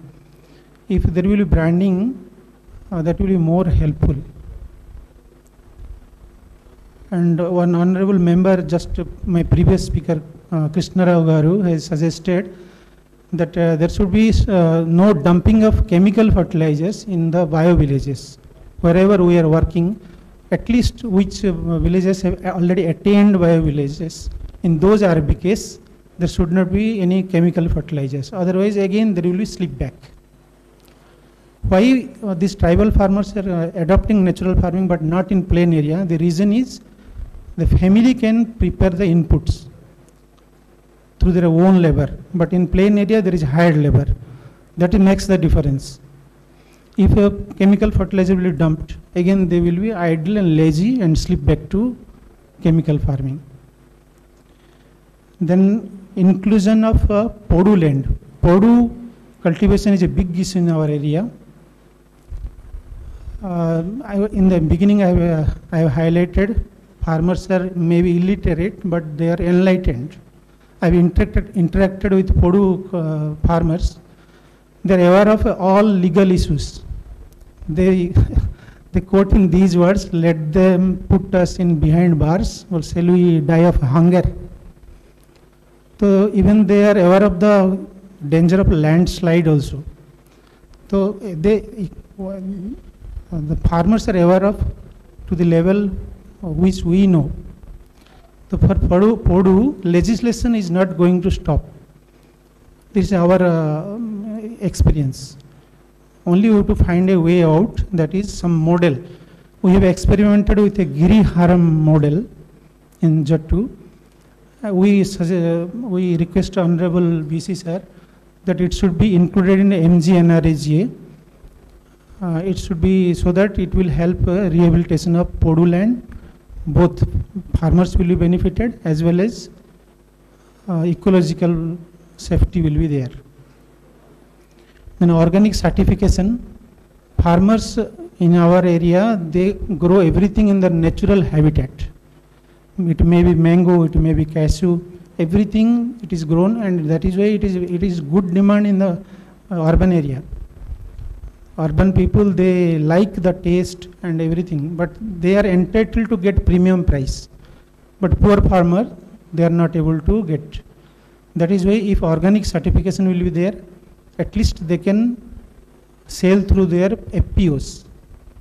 If it will be sell, sold through your uh, FPOs, then they will get premium price.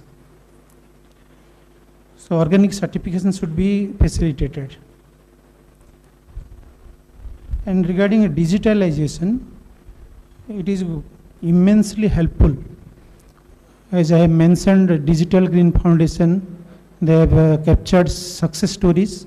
We are disseminating in the various uh, villages through PICO projects. That is why very, uh, very easily we could overcome the, the resistance. So gi- digitalization is quite uh, helpful. And uh, I would like to suggest uh, there are some uh, presentation of uh, various facts uh, through monograms, research theses, everything is available, but it is of no use to the farmers. It should be in an entertainment, entertaining way that we have experience in Doordarshan, that is a health program is produced, beamed as Kalyani. Kalyani program you might have seen, uh, watched. And that is quite entertainment, educating through entertainment. Our Jattu Trust is uh, very skilled in that. We have a panel of authors. We have uh, produced short video films on uh, chemical farming, harmful effects of uh, the, um, chemical fertilizers, pesticides. So four or five video, short video films are there. And we have a dance drama called uh, Erula Vagotam. That is uh, written by an eminent uh, poet, late uh, Vangapandu Prasad Rao. Uh, that is, uh, whenever we uh, stage that drama, at least I've seen for next six months, people keep on speaking on, uh, on natural farming. So physically or digitally, if that can be shown to the farmers, it will be more helpful through entertainment. And I am happy to tell you, we are producing a feature film that is to be released in cinema halls, two and a half hour. Uh, that is uh, Amrita Bhumi, Jattu Trust, with assistance from ROASS. That is uh, almost it is completed. There is some formalities to be released. So, Praharaj And garu, finally, sir. kindly conclude. Ah, sir, last point. Last point is regarding convergence. Because NGOs are quite responsive to the, the needs of the uh, farmers and so we can uh, locate and we can identify the needs of the farmers. So uh, Jattu Trust NGOs should be given priority for convergence of from various schemes of ITDA. Just like uh, water resources requirement is there, sprayers, tarpaulins, drying yards, some millet seeds, weeders. If there are no weeders, there is no SRI. So weeder, weeder is a most critical input. So these things should be converged to NGOs. Thank you, sir. Thank you, thank you very much. Now, anyone from audience, any suggestion for the tribal areas or dryland areas uh, development? Just Ramarao garu. Doctor Ramarao ADR. చెప్పండి అక్కడి నుంచి పర్వాలేదు. వేదిక పైన ఉన్న అసలు పెద్దలందరికీ అదేవిధంగా వేదిక ముందున్న మన ఎక్స్ వైస్ ఛాన్సలర్ రాఘవరెడ్డి గారికి అందరికీ కూడా నా హృదయపూర్వక నమస్కారాలండి. సార్ ఈ సంద ఈ సందర్భంగా నేను ఒక- నాలుగు పాయింట్ చెప్తాను సార్. మొట్టమొదటిది మీరు ప్రపోజ్ చేసిన మీ బ్రెయిన్ చైల్డ్ గిరిజన ప్రాంతంలో సేంద్రియ పూల సాగు ఇవాళ రోజున ఒక ఫ్రూట్ఫుల్నెస్కి అది వస్తుంది సార్. ఎందుకంటే ఈ మధ్యకాలంలో మన చింతపల్లి పరిశోధనా స్థానంలో tulips gladiolus tuberosa and China aster చామంతులు బంతులు అన్ని వాటిలో కూడా ఒక్కోదంటే ఐదేసి రకాలు తెచ్చి గ్రో చేశాం సార్ మీ సజెషన్ ప్రకారంగా. ఈ మధ్య కాలంలో ITDA PO garu IAS doctor Gopalakrishna garu ASP Tushir దూదే గారు మన పరిశోధనా స్థానానికి వచ్చి వాళ్ళు ఒకటే అడిగారు సార్ సార్ చింత విశాఖ మన్యములో కొన్ని చట్ట వ్యతిరేక కొన్ని పంటలు సాగు చేస్తున్నారు అమాయక గిరిజనుల్ని వాళ్ళ యూత్ని మేము దాని నుంచి మాన్పించి మన మామూలు మార్గంలో తీసుకురావాలి సార్. మీ పరిశోధనా స్థానంలో ఆల్టర్నేటివ్ క్రాప్ చూపించండి అనేసి రెండు గంటల సేపు ఏఎస్పీ గారు ఉండారు సార్. మన పరిశోధనా స్థానంలో ఉన్న అన్ని పంటలు చూపించాను సార్. వాళ్ళు ఈ ఈ పూల సాగు దగ్గరికి వచ్చేటప్పటికల్లా చూసి చాలా ఇంప్రెస్ అయ్యి సార్ మనము గిరిజన రైతులకి ఎంతైనా మేము వాళ్ళకి సీడ్ మెటీరియల్ తెప్పించి ఇస్తాము ఇది దీంట్లో ఎంత ఆదాయం వస్తుంది? ఇది మిగతా వరి పంట కన్నా చిరుధాన్యాల కన్నా దీంట్లో ఎక్కువ క్యాష్ క్రాప్ కాబట్టి విశాఖపట్నం దగ్గరలో ఉన్న మన మార్కెటింగ్ ఫెసిలిటీస్ వాళ్ళని ఆ వైపుకి మళ్ళిస్తే ఈ చట్ట వ్యతిరేక పంటలు కూడా పోతాయని మేము అనుకున్నాం సార్. సో దీనిపైన మాకు కొంచెం మీ యొక్క సలహాలు కావాలి మీ యొక్క ఇది కావాలని చెప్పి అడిగారు sir. It is because of you only sir every week మీరు గత నాలుగు నెలల నుంచి సార్ మీరు నాకు ప్రతి వారం మీరు నాకు ఫోన్ చేస్తున్నారు సార్. ఏంటి ప్రోగ్రెస్ ఏంటి రామారావు ఏంటి అని ప్రతి పంట గురించి అడిగారు sir it is I'm very much thankful to you sir ఇప్పుడు అది చిన్నగా మనకు ఫ్రూట్ఫుల్నెస్లోకి వస్తూ ఉంది సార్ సో ఈ సందర్భ ఈ సందర్భ ఈ సందర్భంగా ఆ పంట కనుక మనం సాగు చేసినట్లయితే గిరిజన రైతుల యొక్క ఆర్థిక స్థితిగతులు మెరుగుపడతాయి అనుకున్నాం సార్ అదే రకంగా మీరు ఇంకోటి వెజిటబుల్స్ సార్ అక్కడ వెజిటబుల్స్ మార్కెట్ కూడా బాగా ఎక్కువ ఉంది సార్ మనం పది రకాల వెజిటబుల్స్ చేసాం సార్ అక్కడ. అన్నీ కూడా చాలా సక్సెస్ఫుల్గా వచ్చినాయి సార్. ఇప్పుడు మళ్ళా రెండో దశలో కోల్ క్రాప్స్ చేస్తున్నాం సార్. అది కూడా బాగుంది సార్. రెండోది సార్ గిరిజన ప్రాంతంలో మారుమూల ప్రాంతాలకు కూడా విత్తన సరఫరా జరగట్లేదు సార్. పాపం వాళ్ళకి నిజంగా మీరు ఇచ్చిన మాకు గిరిజన ఉప ప్రణాళికలో మీరు నూనె గింజల డైరెక్టర్గా ఉన్నప్పుడు నాకు పదిహేను లక్షల రూపాయలు ఇచ్చారు సార్. నేను పదిహేను లక్షల్లో ఏడు వందల యాభై మంది రైతులకి అంటే ఒక్కొక్క రైతుకి రెండు వేల రూపాయలు చొప్పున విత్తనాలు పనిముట్లు కొనుక్కే తీసుకెళ్ళి ఇస్తుంటే ఫెల్ట్ వెరీ హ్యాపీ సార్ ఇలాంటి విత్తనాలు మేము చూడలేదు సార్ మా దగ్గర రావట్లేదు సార్ అంటున్నారు సార్ సో పక్కాగా సార్ ఆర్బీకేఎస్ ద్వారా కానీ లేదా ఐటీడీఏ ద్వారా కానీ విత్తన సరఫరా బాగా జరగాలి సార్ అప్పుడే మనకి గిరిజనుల్లో మంచి వాళ్ళు మంచి పంటలు పండించి మంచి ఆదాయాన్ని వస్తుంది సార్ వాళ్ళ లోకల్ వాళ్ళకి ఏమి దొరకకపోతే ఆ లోకల్గా ఉండే వెరైటీస్ వాళ్ళు గ్రో చేసి తక్కువ ఇప్పుడు రాజ్మా తీసుకోండి సార్ వాళ్ళు వాళ్ళ లోకల్ వెరైటీస్లో కింటా రెండు క్వింటాల్ ఎక్కువ రావట్లేదు సార్ మన దగ్గర ఇంపోర్ట్ వెరైటీస్ ఉన్నాయి సార్ మనకు ఐదు ఆరు క్వింటాల్ దాకా మనకు వస్తాయి సార్ సో దాని మీద కూడా మీ మీరు ఈ మధ్యకాలంలో అయ్యే అయ్యే మన కాన్పూర్ డైరెక్టర్ గారితో మీరు మాట్లాడి ఇవ్వడం వల్ల మనకి ఒక వాలంటరీ సెంటర్ కూడా మీ వల్ల మాకు వచ్చింది సార్ చింతపల్లికి. ఇప్పుడు మాకు ఐబీటీ ఏబీటీస్ తర్వాత పాలీక్రాసెస్ అన్నీ కూడా మాకు రాజమాది సంవత్సరం నుంచి మా దగ్గర జరుగుతున్నాయి సార్ ఇంకోటి వచ్చేటప్పుడు సార్ గిరిజన ప్రాంతంలో ఓన్లీ ఖరీఫ్ పంట మాత్రమే వేస్తున్నారు సార్ అంటే వాళ్ళకి రెండో పంట అసలు వాళ్ళు వేయరు సార్ ఇక్కడ. ఎందుకంటే కారణం సార్ మేము అన్ని ఆవులు వదిలేస్తాం సార్ అని చెప్పి. ఆవులు వదిలేస్తాం వల్ల ప్రాబ్లం ఉంటుంది సార్. అది కాదు సార్. మేము గత మూడు సంవత్సరాల నుంచి చింతపల్లి పరిశోధన స్థానంలో సంప్రదాయేతర పంటలైనటువంటి గోధుమ ఆవాలు అవిసెలు శనగ ఈ నాలుగు పంటలు చక్కగా పండుతున్నాయి సార్. మంచి దిగుబడి వస్తుంది సార్. వాళ్ళు ఈ రెండో పంట వేయకుండా ఖాళీగా ఉంటున్నారు సార్. వాళ్ళకి అక్కడ గిరిజన ప్రాంతాల్లో మన ప్లెయిన్స్ లాగా ఇండస్ట్రీస్ లేవు ఏమి లేవు సార్. వాళ్ళకి కనీసం జరగడానికి కూడా కష్టంగా ఉంది సార్. అదర్వైజ్ వాళ్ళు ఎన్ఆర్జీఎస్లో ఏదైనా పని దొరికితే ఎన్ఆర్జీఎస్లో వెళ్తున్నారు సార్. వీళ్ళు కనుక రెండో పంట కనుక మనం కనుక వాళ్ళని ప్రోత్సహిస్తే వాళ్ళ అది వాళ్ళ యొక్క ఇన్కమ్ బాగా పెరిగింది సార్. నాలుగో సెషన్ సార్. ఇక్కడ గిరిజన ప్రాంతాల్లో ముఖ్యంగా మీరు ఈ టీఎస్పీలోనే నేను ఈ మధ్యకాలంలో sir oil niger oil extraction machines ఒక పది మిషన్స్ పది గ్రామాలకి ఇక్కడ కుశలవుడు గారు ఉండారండి ఒక గ్రామానికి ఒకటి చొప్పున ఇచ్చాను సార్. అది చాలా యూస్ఫుల్గా ఉంది సార్ వాళ్ళకి. ఈ దంపుడు ఎన్ని కార్యక్రమాలు లేకుండా దాని ద్వారా నేను గుజరాత్ నుంచి తెప్పించి ఇచ్చాను సార్. ఈ ట్రైబల్ సప్లయన్సే కాకుండా మన గవర్నమెంట్ ద్వారా కూడా సార్ ఈ చిరుధాన్యాల ప్రాసెసింగ్ యూనిట్స్ కానీ ఈ యొక్క ఆయిల్ ఎక్స్ట్రాక్షన్ నైజర్ కానీ గవర్నమెంట్ ప్రోత్సాహం ఇచ్చి వాళ్ళకి మిషనరీ కనుక సప్లై చేస్తే వాళ్ళ యొక్క బ్రతుకులు చాలా మారుతాయి సార్. సో ఈ నాలుగు పాయింట్లు మీకు చెప్తాను thank you so much sir thank you sir thank you thank you Ramarao. ఆ, తప్పకుండా. రామారావు ప్లీజ్ మాట్లాడు డాక్టర్ పాత్రో. నమస్తే సార్. నా పేరు భవనం జయరాం రెడ్డి ఆ, నేను ఒక రైతుని. ఇవాళ ఆర్గానిక్ ఫార్మింగ్లో పండించే రైతులు ఉన్నారు అక్కడక్కడ. చాలామంది ఉన్నారు. ఒక్క నిమిషం.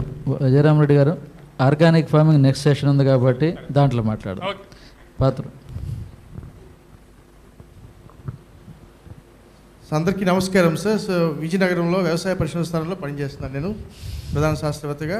సో ఈరోజు ఈ యొక్క ఈ ఈ కాన్సెప్ట్కి మనం సజెస్ట్ చేసే విషయాలు ఏంటంటే ఫస్ట్ ఏంటంటే విత్తన గ్రామాలని తయారు చేయడం అనేది చాలా ముఖ్యమైనది సార్ సో గిరిజనులు ఒక మనకి మిల్లెట్ మిషన్ స్టార్ట్ అవడానికి ముందు రెండు వేల పద్నాలుగు ముందు చిరుధాన్యాలు అనేవి కనుమరుగైపోయి సో మనకి ట్రైబల్ సప్లైన్ ప్రోగ్రామ్ ద్వారా రెస్మిసర్ ప్రోగ్రామ్స్ ద్వారా ఈ యొక్క చిరుధాన్యాలని మనం పెద్ద స్కేల్లో మనం ఉత్పత్తి చేసి రైతులకి మనం ఇవ్వడం ద్వారా సుమారు ఇరవై ఐదు విత్తన గ్రామాలని మనం మూడు జిల్లాల్లో తయారు చేయడం జరిగింది సార్.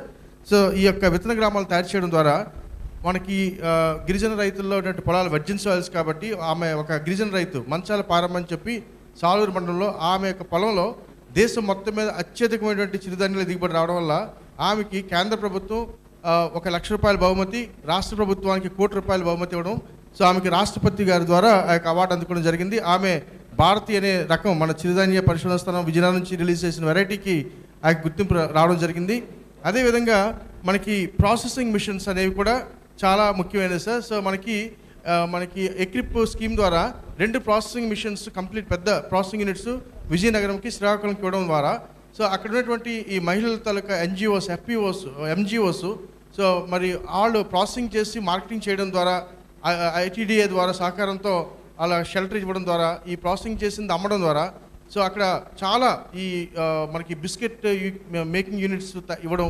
సో దాని ద్వారా ఉమెన్ ఎంపవర్మెంట్ కలిగి so finally that lady the farmer tribal farmer she got Nari Shakti Puraskar because of the support from agriculture registration Vizianagaram and KVK Amadalavalasa so ఇది యాక్చువల్గా సక్సెస్ స్టోరీ సో మనకి ఈ విషయంలో చూస్తే sir ఆరు వందల డెబ్బై ఆరు మరి మండలాల్లో మన పదమూడు జిల్లాల్లో ఎనభై ఏడు మండలాలు మాత్రమే గిరిజన మండలాలు ఉన్నాయి కాబట్టి సో ఈ ఎనభై ఏడు మండలాలకి కూడా కంప్లీట్గా ప్రాసెసింగ్ మిషన్స్ కానీ ఇవ్వగలిగితే ఈ మిల్లెట్స్ అనేవి ప్రాసెసింగ్ లేకుండా అది అమ్మితే ఇరవై రూపాయలు సార్ మార్కెట్లో కోళ్ళ మార్కెట్లో కోళ్ళకి తినిపిస్తారు.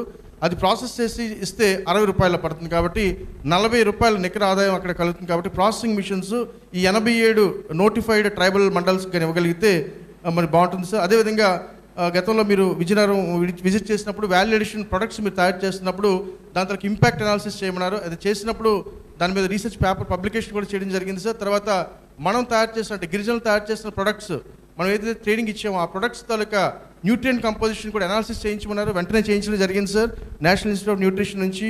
సో చేసినప్పుడు ఈ రకంగా ఈ గిరిజనులు తయారు చేసినటువంటి మనకి ప్రొడక్ట్స్ని మనకి న్యూట్రిషన్ కాంపోజిషన్ మన దగ్గర చేయించి చాలామంది గిరిజనులకి సుమారు పదిహేను వందల మహిళలకి గత మూడు సంవత్సరాల నుంచి ట్రైనింగ్ ఇవ్వడం జరిగింది సార్ మన విజయనగరం నుంచి. సో కాబట్టి హ్యాండ్ ఆన్ ట్రైనింగ్తో పాటు ఆ యొక్క బ్రాండింగ్ అనేది చాలా ప్యాకింగ్ అనేది ఈ ఈ మధ్య నబార్డు వారు విజయవాడలో ఆర్గనైజ్ చేసిన మీటింగ్ మీరు మమ్మల్ని పంపించడం జరిగింది సార్. సో వెళ్ళినప్పుడు వాళ్ళు అంటుందంటే గిరిజలు తయారు చేసిన ప్రొడక్ట్స్ చాలా బాగుంటున్నాయి కానీ ఆ తర్వాత ప్యాకింగ్ అనేది ఎప్పీలింగ్గా లేకుండా సో కొంచెం నాసిరకంగా ఉండడం వల్ల అది అట్రాక్టివ్గా పబ్లిక్ అర్బన్ మార్కెట్కి వెళ్ళలేకపోతుందని చెప్పారు కాబట్టి ఆ ప్యాకింగ్ మీద మనకి దృష్టి పెట్టడం. అదేవిధంగా వాళ్ళు చాలా ఆర్గానిక్ ప్రొడక్ట్స్ గిరిజన ప్రాంతాల్లో చాలా మటుకు కూడా మరి ఆర్గానిక్ ప్రొడక్ట్స్ కాబట్టి ఆర్గానిక్ సర్టిఫికేషన్ అనేది లేకపోతే దానికి ప్రీమియర్ ప్రైస్ లేకపోవడం వల్ల వాళ్ళు చేస్తున్న చాలామంది రైతులు గిరిజన రైతులు అందరూ కూడా వాళ్ళకి సరైన ఇన్కమ్ రిటర్న్స్ రావట్లేదు రావట్లేదు కాబట్టి ఆ బ్రాండింగ్ లేకపోవడం వల్ల ఆ సర్టిఫికేషన్ లేకపోవడం వల్ల మామూలు ప్రోడక్ట్కి అంతే వస్తుంది కాబట్టి సో ఆ సర్టిఫికేషన్ ఒకటి తర్వాత linkages with FPO so this is one of our success stories sir మన విజయనగరంలో ITDA project officer by junior friend ఐఆర్ఏలో ఆయన ఫిజియాలజీ చేసి ఐటీడీఏ పిఓగా జాయిన్ అయ్యారు లక్ష్మీ షా అని చెప్పి. సో ఈ was so motivated with the support of NABARD and ARS Vizianagaram. So మనం అన్నీ కూడా మిల్లెట్ ప్రొడక్ట్స్ బిస్కెట్స్ చేసి ట్రైబల్ ఉమెన్ గర్ల్స్ హాస్టల్లో సో మొత్తం అన్ని హాస్టల్కి రోజుకి పద్నాలుగు వేల మంది పద్నాలుగు వేల బిస్కెట్స్ మనం ఎఫ్పిఓ ఆ సభల ఎన్జిఓ ద్వారా మన విజయనగరం సో ఇద్దరు కలిసి జాయింట్గా చేసి ఐటీడీకి సప్లై చేస్తే వాళ్ళు కరోనా టూ థౌజండ్ ట్వంటీ ఫిబ్రవరి వరకు మనం సప్లై చేయడం జరిగింది సార్. సో అది వన్ ఆఫ్ ద అంటే ప్రతి ఈ యొక్క ఈ బిస్కెట్స్లో ఐరన్ జనరల్గా ఈ ట్రైబల్ ఏరియాలో ఉండే గర్ల్స్ అందరూ కూడా ఎనిమిక్గా ఉంటారు కాబట్టి ఈ రాగిలో కాల్షియం ఐరన్ ఎక్కువ ఉంటుంది కాబట్టి మన బయోఫోర్టిఫైడ్ వెరైటీస్ని ఇప్పుడు రెండు టన్నులు మనకు చాలా ఇప్పుడు ఇండియన్ కూడా వచ్చింది సార్ మనకి ఐఎంఆర్ నుంచి. సో కాబట్టి ఈ లింకేజెస్ ఐటీడీఏ నబార్డ్ మన రీసెర్చ్ స్టేషన్స్ ఏవైతే ఉన్నాయో ఈ NGOs FPOs so man power ఉంటుంది కాబట్టి వాళ్ళకి ఉమెన్ ఎంపవర్మెంట్ కూడా మనం అడ్రస్ చేయగలుగుతాం. అదే రకంగా ఈ మాల్ న్యూట్రిషన్ కూడా అడ్రస్ చేయడానికి ఉంటుంది కాబట్టి సో మనకి ఈ యొక్క ఈ బిస్కెట్స్ ఏదైతే ఉన్నాయో మిల్లెట్ బిస్కెట్స్ని మనకి ఐటీడీ హాస్టల్స్లో చేయడానికి ఏర్పాట్లు చేస్తే బాగుంటుంది. సో అదేవిధంగా మనకి సక్సెస్ స్టోరీ మా గౌరవ అసోసియేట్ డైరెక్టర్ ఆఫ్ రీసెర్చ్ వారు మనకి శ్రీకాకుళం జిల్లాలో మనీ దీమిక్ అనే ఒక ఎన్జిఓ ఉంది సార్. సో వాళ్ళు ఎక్సలెంట్ కోల్డ్ స్టోరేజ్ ఫెసిలిటీస్ అక్కడ పెండే పైనాపిల్ అన్నీ కూడా మరి అర్బన్ మార్కెట్కి వెళ్ళే లోపల పాడైపోతున్నాయి కాబట్టి కోల్డ్ స్టోరేజ్ ఫెసిలిటీస్ అక్కడ పెట్టడం జరిగింది సార్ సో మనకి ఉండేటువంటి ఎనభై ఏడు మరి ట్రైబల్ మండల్స్లో అట్లీస్ట్ మండల హెడ్ క్వార్టర్స్లో ఒక మంచి దానికి చాలా చిన్న కాంపాక్ట్ యూనిట్ సో దానికి ఒక పదిహేను లక్షలతో సరిపోతుంది అన్నారు. సో ఈ ఈ యొక్క మనకి కోల్డ్ స్టోరేజ్ ఫెసిలిటీస్ మనకి చేయడం బాగుంటుంది సార్ అదేవిధంగా మరి మనకి Indian institute of military ICR institutes కూడా ముందుకు వస్తున్నాయి సార్ సో గిరిసిరి అనేది ఎఫ్పిఓని టర్మరిక్ కోసం ఎక్స్క్లూజివ్గా క్రాప్ బేస్డ్ ఎఫ్పిఓస్ ఎస్టాబ్లిష్ చేస్తున్నారు సార్ సో అది ఐటీడీ ఐఎంఆర్ఓ సపోర్ట్ చేసి స్పాన్సర్ చేస్తున్నారు. అదేవిధంగా విజయనగరంకి నాలుగున్నర కోట్లు ఈ మిల్లెట్ ప్రాసెసింగ్ యూనిట్స్కి ఇవ్వడం జరిగింది సార్ అది ఆల్రెడీ లాంచ్ చేస్తున్నారు. సో అదేవిధంగా విశాఖపట్నం జిల్లాలో ఎస్విడిఎస్ వారికి మన అనకాపల్లి పక్కన ఆర్ఏఎస్ పక్కన ఉంటుంది. సో వారికి కూడా ఐఎంఆర్ సహకారంతో millet processing unit primary processing secondary processing ఇచ్చారు కాబట్టి ఈ కంప్లీట్ ప్రాసెసింగ్ ప్యాకేజ్ అనేది ఎనభై ఏడు మండలాలకు ఉంటే బాగుంటుంది. సార్ లాస్ట్ పాయింట్ ఏంటంటే సో పౌల్ట్రీ ఇంటిగ్రేటెడ్ అన్నాం కాబట్టి మనకి ఎంత కూడా అగ్రికల్చర్తో పాటు ఈ పౌల్ట్రీని మన దగ్గర విజయనగరంలో ఐఎఫ్ఎస్ మోడల్లో సో మనకి ఈ యొక్క రాజశ్రీ బర్డ్స్ అని తెప్పించడం జరిగింది సార్. సో దా యొక్క బర్డ్స్ సిక్స్ మంత్స్ కంటిన్యూస్గా ఎక్స్ పెడుతున్నాయి. సో నూట ఎనభై గుడ్లు నాన్ స్టాప్గా పెడతాయి కాబట్టి సో ఆ గుడ్ల నుంచి మనకి ఆ బ్రోడర్స్ కూడా ఇస్తున్నాం సార్. సో థర్టీ సిక్స్ ఫార్మర్స్ని అక్కడ విజయనగరం జిల్లాలో ఐడెంటిఫై చేసి మళ్ళీ కొత్త ప్రాజెక్ట్ కూడా రాశాం సార్. టూ పాయింట్ ఫోర్ క్రోర్స్తో ఐసీఆర్ ఐఎఫ్ఎస్ యూనిట్లో మళ్ళీ అప్రూవ్ చేయడం జరిగింది. సో ఈ పౌల్ట్రీ రాజశ్రీ బర్డ్స్ని మనం ప్రమోట్ చేయడంతో పాటు డూప్లెక్స్ పౌల్ట్రీ యూనిట్స్ ప్రతి ఫ్యామిలీకి కూడా ట్రైబల్ ఫ్యామిలీస్కి సో ఐటీడీఆర్ సహకారంతో కానీ గవర్నమెంట్ సహకారంతో అది పదివేల రూపాయలు అవుతుంది సార్. అది duplex poultry unit lock and key ఉంటుంది కాబట్టి ఈ పౌల్ట్రీ బర్డ్స్ని యొక్క వైల్డ్ యానిమల్స్ తినకుండా ప్రొటెక్ట్ చేసుకుని లాక్ అండ్ కీలో ఉంచుకోవచ్చు.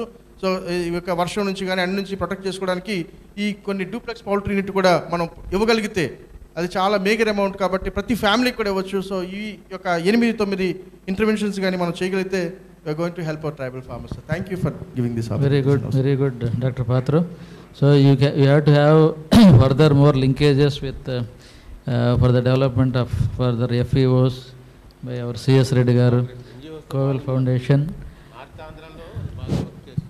Yes so we can prepare for next action plan for any financial assistance from government let us prepare projects and request for the support so doctor Nayak please ఇక్కడ sir నా పేరు కే. Karunanidhi sir. Karunanidhi. నుంచి వచ్చాము sir. సూటిగా points చెప్పండి. ఏం చేస్తే బాగుంటుంది? బస్ సార్ ఇప్పుడు మన పెద్దలందరూ చెప్పినట్టుగా అక్కడ ప్రాసెసింగ్ యూనిట్స్ అని మనం పెట్టుకుంటే బాగుంటుంది అని అన్నారు సార్.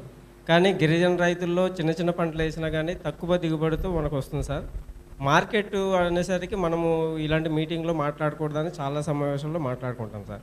మార్కెట్ అంటే మార్కెట్ రైతుకు కావాలంటే అంటే కనీస మద్దతు ధర అయినా సరే గిరిజన ప్రాంతంలో ఉన్నట్టయితేనే అది మనము వాల్యుబుల్ ఉంటుంది సార్.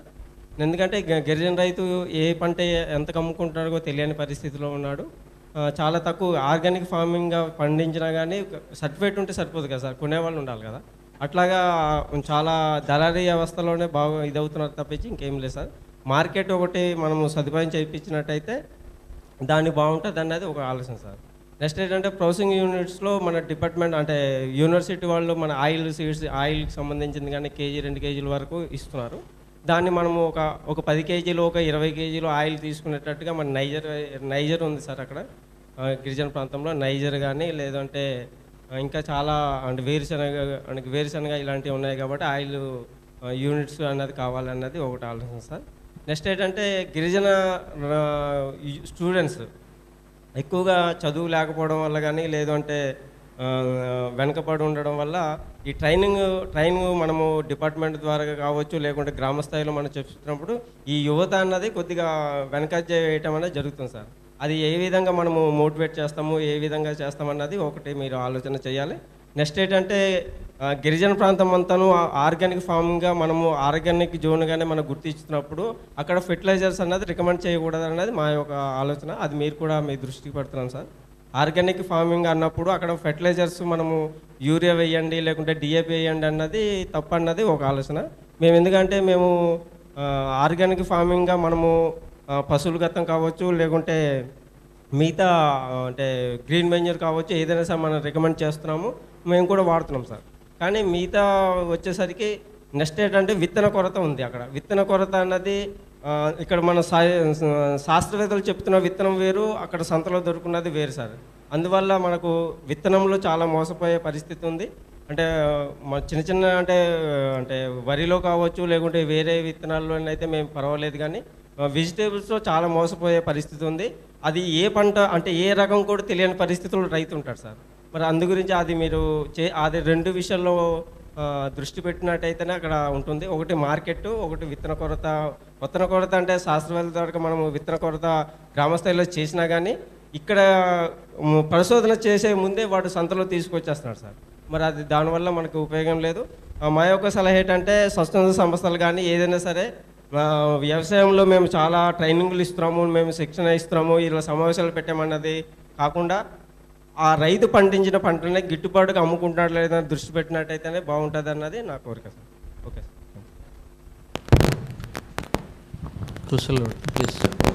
నమస్తే అండి. నా నా పేరు కుసలవడి అండి. చింతపల్లి నుంచి వచ్చాను ఇప్పుడు మా ప్రాంతీయ వాసిగా మా ఏడిఆర్ సారు మేము చెప్పవలసినటువంటి విషయాలన్నీ కూడా వివరంగా అందరికీ అర్థమయ్యే విధంగా చెప్పారు. వారికి నా హృదయపూర్వక నమస్కారాలు.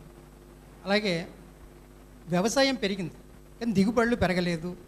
ఈ వ్యవసాయంతో పాటు ప్రభుత్వం ఇచ్చేటటువంటి చేయుత ఏదైతే క- సబ్సిడీలు ఉన్నాయో అటువంటివన్నీ కూడా మరి ఎక్కువ అవి కూడా పెంచినట్టయితే బాగుంటుంది నా యొక్క మనవి. అలాగనే మెకనైజేషను.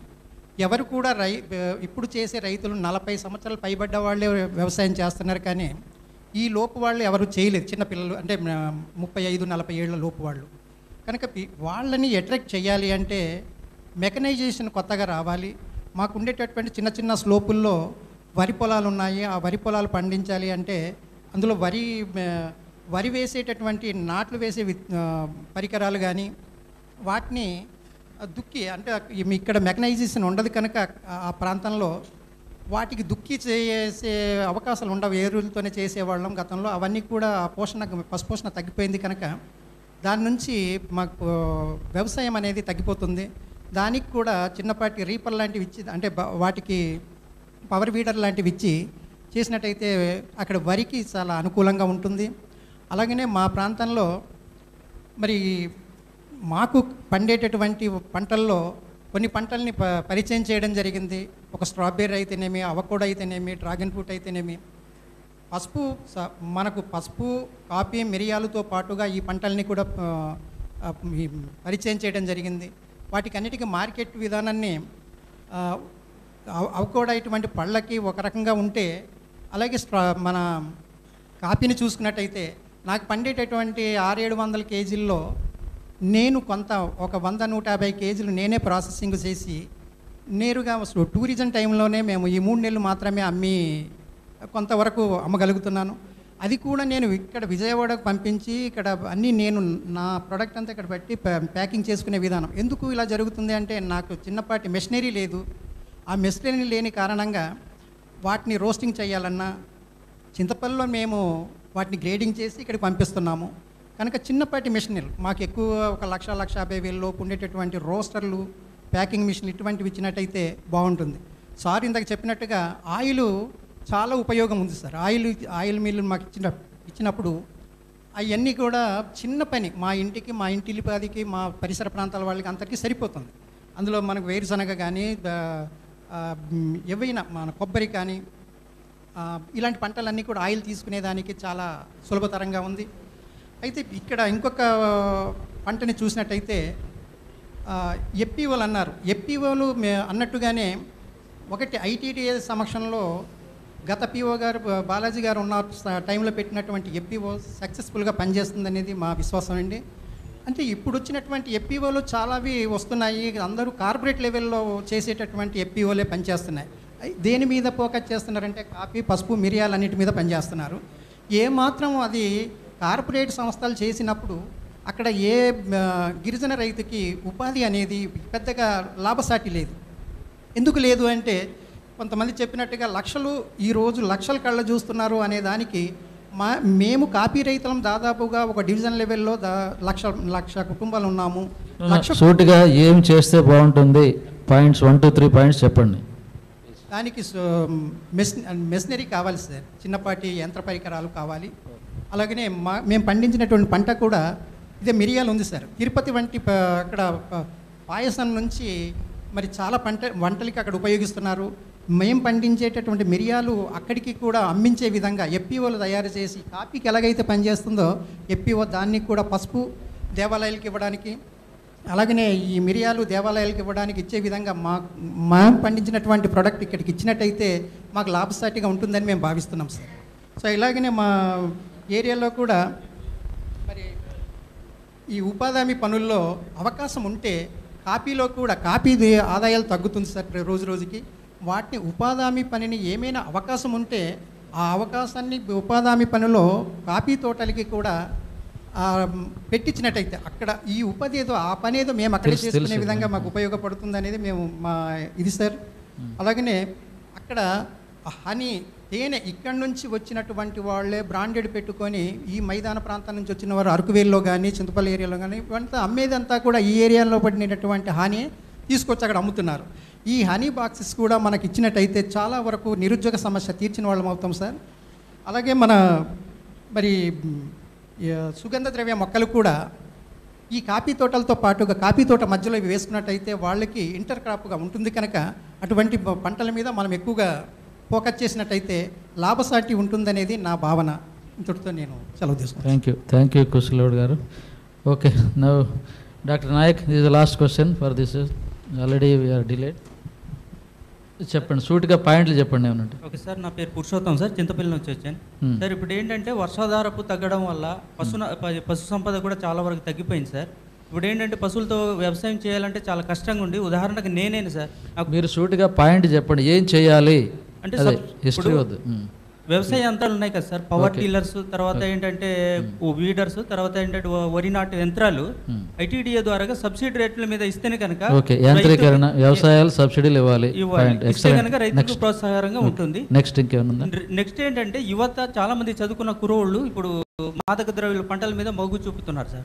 వాళ్ళకి ఏంటంటే ఇవి ఇప్పుడు చెప్పినట్టు సార్ చెప్పినట్టుగా వివిధ రకాల పూల తోటల సాగులు ఇప్పుడు ప్రాంతీయ వ్యవసాయ శోధన కేంద్రంలోని జరుగుతున్నాయి కాబట్టి వాటికి ఇలాగే ఎంపవర్మెంట్ అంటే వాళ్ళకి ట్రైనింగ్ శిక్షణలు ఇచ్చి ఆ దిశగా వాళ్ళకి మనం మళ్ళిస్తే కనుక ఈ మాదక ద్రవ్యాల పంట అనేది మొత్తం నశించిపోతుందని నా ఉద్దేశం sir. Thank you thank you sir thank you doctor Nayak cases Nayak sir actually ఈ నార్త్ కోస్టల్ డిస్ట్రిక్ట్స్లో Kadiri Lepakshi groundnut variety ఖరీఫ్లో ఇంతవరకు ఏ వెరైటీ కూడా ఫే ఎస్టాబ్లిష్ కావట్లేకపోయింది. కదిరి సిక్స్ కూడా ఆ ధరణి నిత్యహరిత కూడా ఎఫ్ఎల్డీస్లో చేసాం అక్కడ. అయితే ఈ మధ్య హెవీ రెయిన్ఫాల్లో కూడా అది హైట్ వన్ ఫుట్ కంటే ఎక్కువ పెరగలేదు. ప్లస్ కాపు కూడా అన్నిటికంటే చాలా ఎక్స్టెన్సివ్గా తొంభై నుంచి నూట ప్రమోట్ చేయాలి. పచ్చికాయలు బాగా పండించి పచ్చికాయల మార్కెట్ బాగా అమ్ముతున్నారు సార్. అయితే ఎవరి టైం పచ్చికాయలు పండిస్తారు అమ్మేస్తారు. అక్కడ సీడ్ దొరకడం లేదు. సో అక్కడ ఆ సీడ్ ఎక్కడైనా ప్రొడక్షన్ టెకప్ చేస్తే మనం మీరే చేయాలి. You are the principal scientist groundnut you prepare an action plan, take production plan, yes. and then supply, you have tie-up with Department of Agriculture, ITDA, whatever yes. support you want from university, we will give. మీరు ఇమీడియట్గా DR గారు చూడండి. ఇమీడియట్గా మీరు ఈ ఏదైతే కొత్త రకాలు అంటున్నారో దాన్ని స్ప్రెడ్ చేయడానికి యాక్షన్ ప్లాన్ తయారు చేయండి. లార్జ్ స్కేల్లో ప్రొడక్షన్ చేసి గిరిజన ప్రాంతాల్లో స్ప్రెడ్ చేయండి. University will support hundred percent thank you okay now I thank all the speakers Malla Reddy garu CS Reddy గారు. Krishnarao garu, Ravinder and Praharaj garu for their excellent presentation for the rural development and tribal areas development. Uh, now, okay, we are ready. Uh, at the concluding of this session, now I request the Honorable Vice Chancellor to present uh, mementos to the lead speakers. First call, uh, Vayu Mallareddy garu, RDT, we request.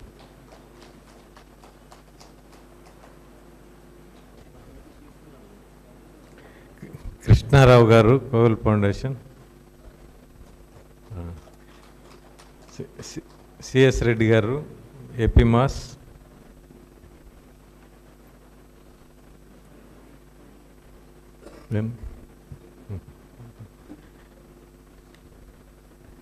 Krishnarao గారు. ప్రహరాజ్ garu. Ravinder Reddy garu.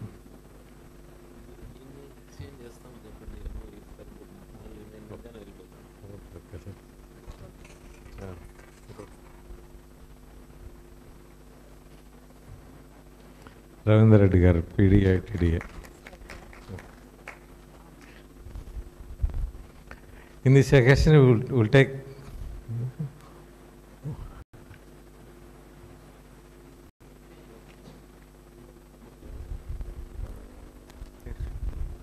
At this occasion, we will not, we don't take not more than 30 seconds. The MOU, we will exchange an MOU between AP Mass and ANGRAU.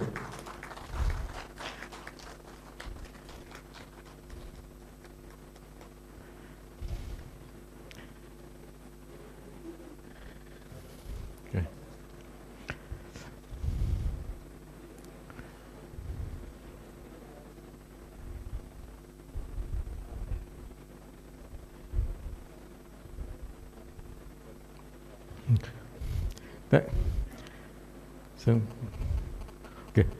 So we take this opportunity to thank Honorable uh, Vice Chancellor and Chairman of the session and all the lead speakers for their valuable contribution to the theme Tribal Area Development. Now, the next session, of course, just you have to bear with us for a little more time. So it's lunch time. Uh, because uh, in fact we thought of giving a lunch break, but already the uh, people for the session has already joined long back. They have been waiting. Another thing is post lunch session we have only plenary session. So for this small uh, uh, this small inconvenience may be regretted. Now I request the Dr. YG Prasad Garu, who is going to the chair uh, the session weather based pest forecasting.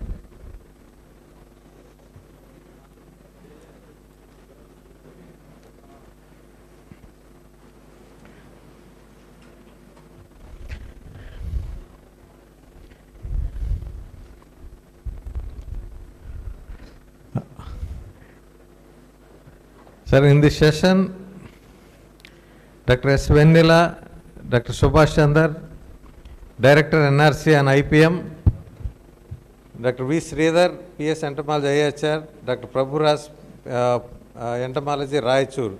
These are going to present.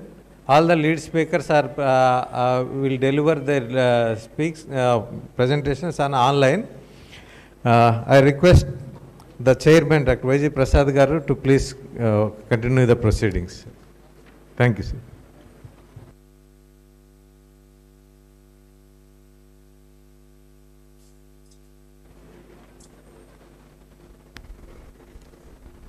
Honorable Vice Chancellor Garu, Vedic Pundana Peddalu invitees, and uh, online, those who have joined, my colleagues and friends.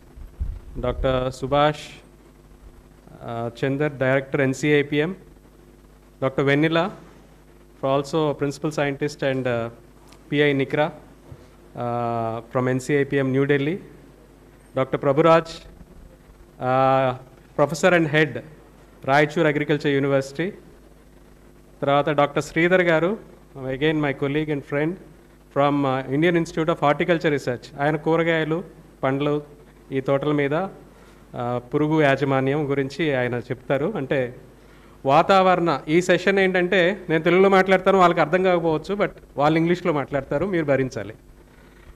వాతావరణ ఆధారిత సలహాలు సూచనలు చీడపీడల గురించి రైతులకి సరైన సమయంలో మనం ఎలా అందించాలి అందిస్తున్నామా ఏ విధంగా చేస్తే బాగుంటుంది ఏమేంటి మోడల్స్ ఉన్నాయి మనకి ఈ సైంటిస్ట్ ఎవరైతే ఎంటమాలజీ పెథాలజీ వెదర్ బేస్డ్ వాతావరణ శాస్త్రవేత్తలు మనకి ఏ విధమైన సూచనలు సహకారాలు ఎలా అందిస్తారు అన్న దాని అంశం పైన మనం ఈరోజు చర్చించుకోవడానికి ఇక్కడ సమావేశమైనాము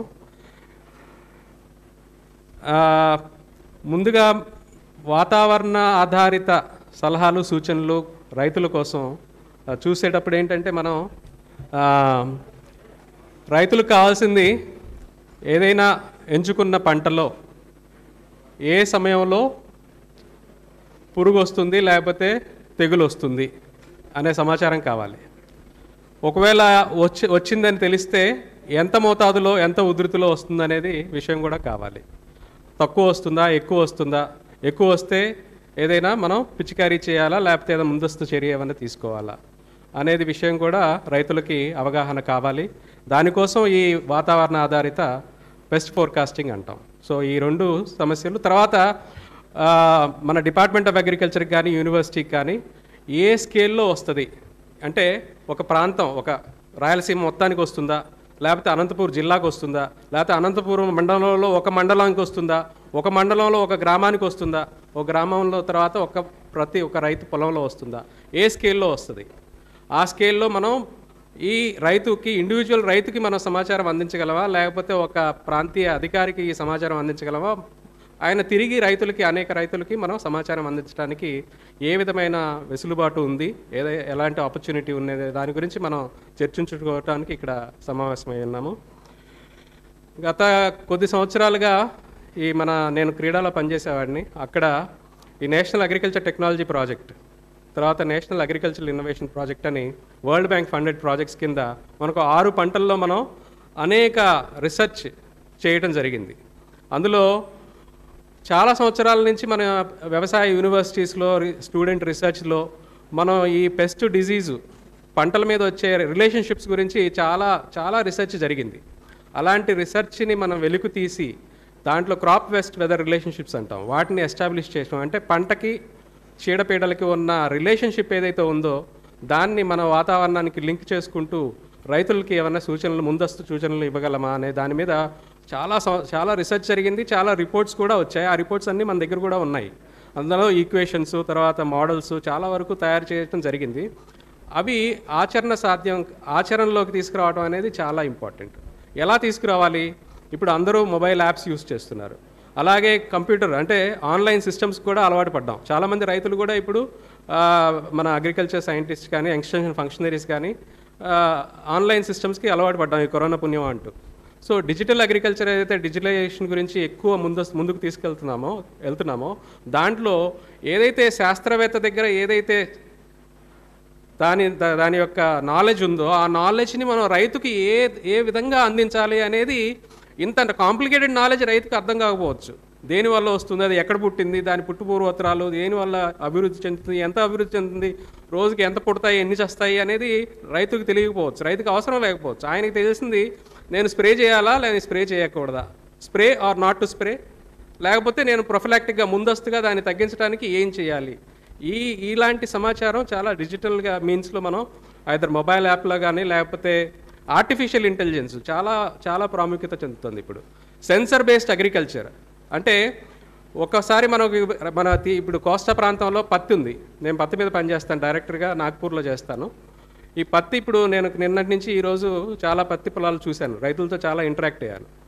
వాతావరణం ఎప్పుడైతే వర్షం బెట్ వస్తుంది వర్షం వస్తుంది. వర్షం వచ్చిన తర్వాత తేమ శాతం ఎక్కువైన తర్వాత తెగుళ్ళు ఈ ప్రాంతంలో పత్తిని పీడించేది ఎక్కువగా తెగుళ్ళు. అలాగే రాయలసీమ తర్వాత మనకి డ్రై ఏరియాస్లో మనకి ఎక్కువగా రసం పీల్చే పురుగుల ఎక్కువ ఉధృతి ఉంటుంది. దానికి వాతావరణంతో సంబంధం ఉంటుంది. ఈ రెండింటికి వర్షంతో సంబంధం లేకపోతే వర్షం లేకపోవడంతో సంబంధం. వా ఎక్కువ టెంపరేచర్ ఉంటే ఎక్కువ ఉష్ణం ఉంటే ఎక్కువ సంబంధం. సో ఈ సంబంధాలను మనం అర్థం చేసుకొని రైతులకి ఏ విధంగా మనం సూచనలు సహకారాలు ఇవ్వాలి? ఎలాంటి రీసెర్చ్ జరిగింది? డైరెక్టరేట్ ఆఫ్ ఎన్సీఐపిఎం అంటే సెంట్రల్ గవర్నమెంట్ ఇన్స్టిట్యూట్ అది. అలాగే కూరగాయల పండ్ల తోటల్లో చేసే శ్రీధర్ గారు తర్వాత ప్రభురాజు గారు ఈ శాప్ అని ఈ agri solutions for pest solutions ఈ శాప్ అనే ప్రోగ్రామ్ని రాయచూరు ప్రాంతంలో అభివృద్ధి చే డెవలప్ చేసి అది రైతులకి ఎలా సహకారాలు డయాగ్నోసిస్ ముఖ్యంగా ఎలా గుర్తించాలి పంటలో వచ్చే తెగుల్ని చీడపీడల్ని దానికి తగ్గట్టు మనం ఏ విధంగా ఏ మోతాదులో వస్తే ఏం చేయాలి అనే దాని గురించి డిజిటల్ సొల్యూషన్స్ కూడా ప్రొవైడ్ చేస్తున్నారు. సో వాళ్ళందరి గురించి ఇంకా చాలా చెప్పాలనుకున్నాను బట్ మనం ఇప్పుడు ఏంటంటే లంచ్ టైంకి సమీపమైంది. సెషన్స్ మనకు ఆన్లైన్ మిత్రులు ఒక గంట నుంచి జాయిన్ అయి ఉన్నారు కాబట్టి స్ట్రైట్గా వాళ్ళ దగ్గరికి వెళ్దాం వాళ్ళని విందాం తర్వాత మనం చర్చించుకోవడానికి కొంత సమయం చూసుకొని అలా ముందుకెళ్దాం. నేను చెప్పేది ఏంటంటే కొన్ని ప్రోగ్రామ్స్ ఏదైతే మనం ఈ ఏదైతే సైంటిఫిక్ ఇన్ఫర్మేషన్ ఉందో దాన్ని మనం రైతులకి ఎలా అందించాలనే దాని మీద ఎక్కువగా ఫోకస్ చేయాలని చెప్పేసి నేను మన వక్తల్ని కోరుతూ I request all the panelist to focus on providing what are the actionable solutions based on the complicated knowledge, complex knowledge that we have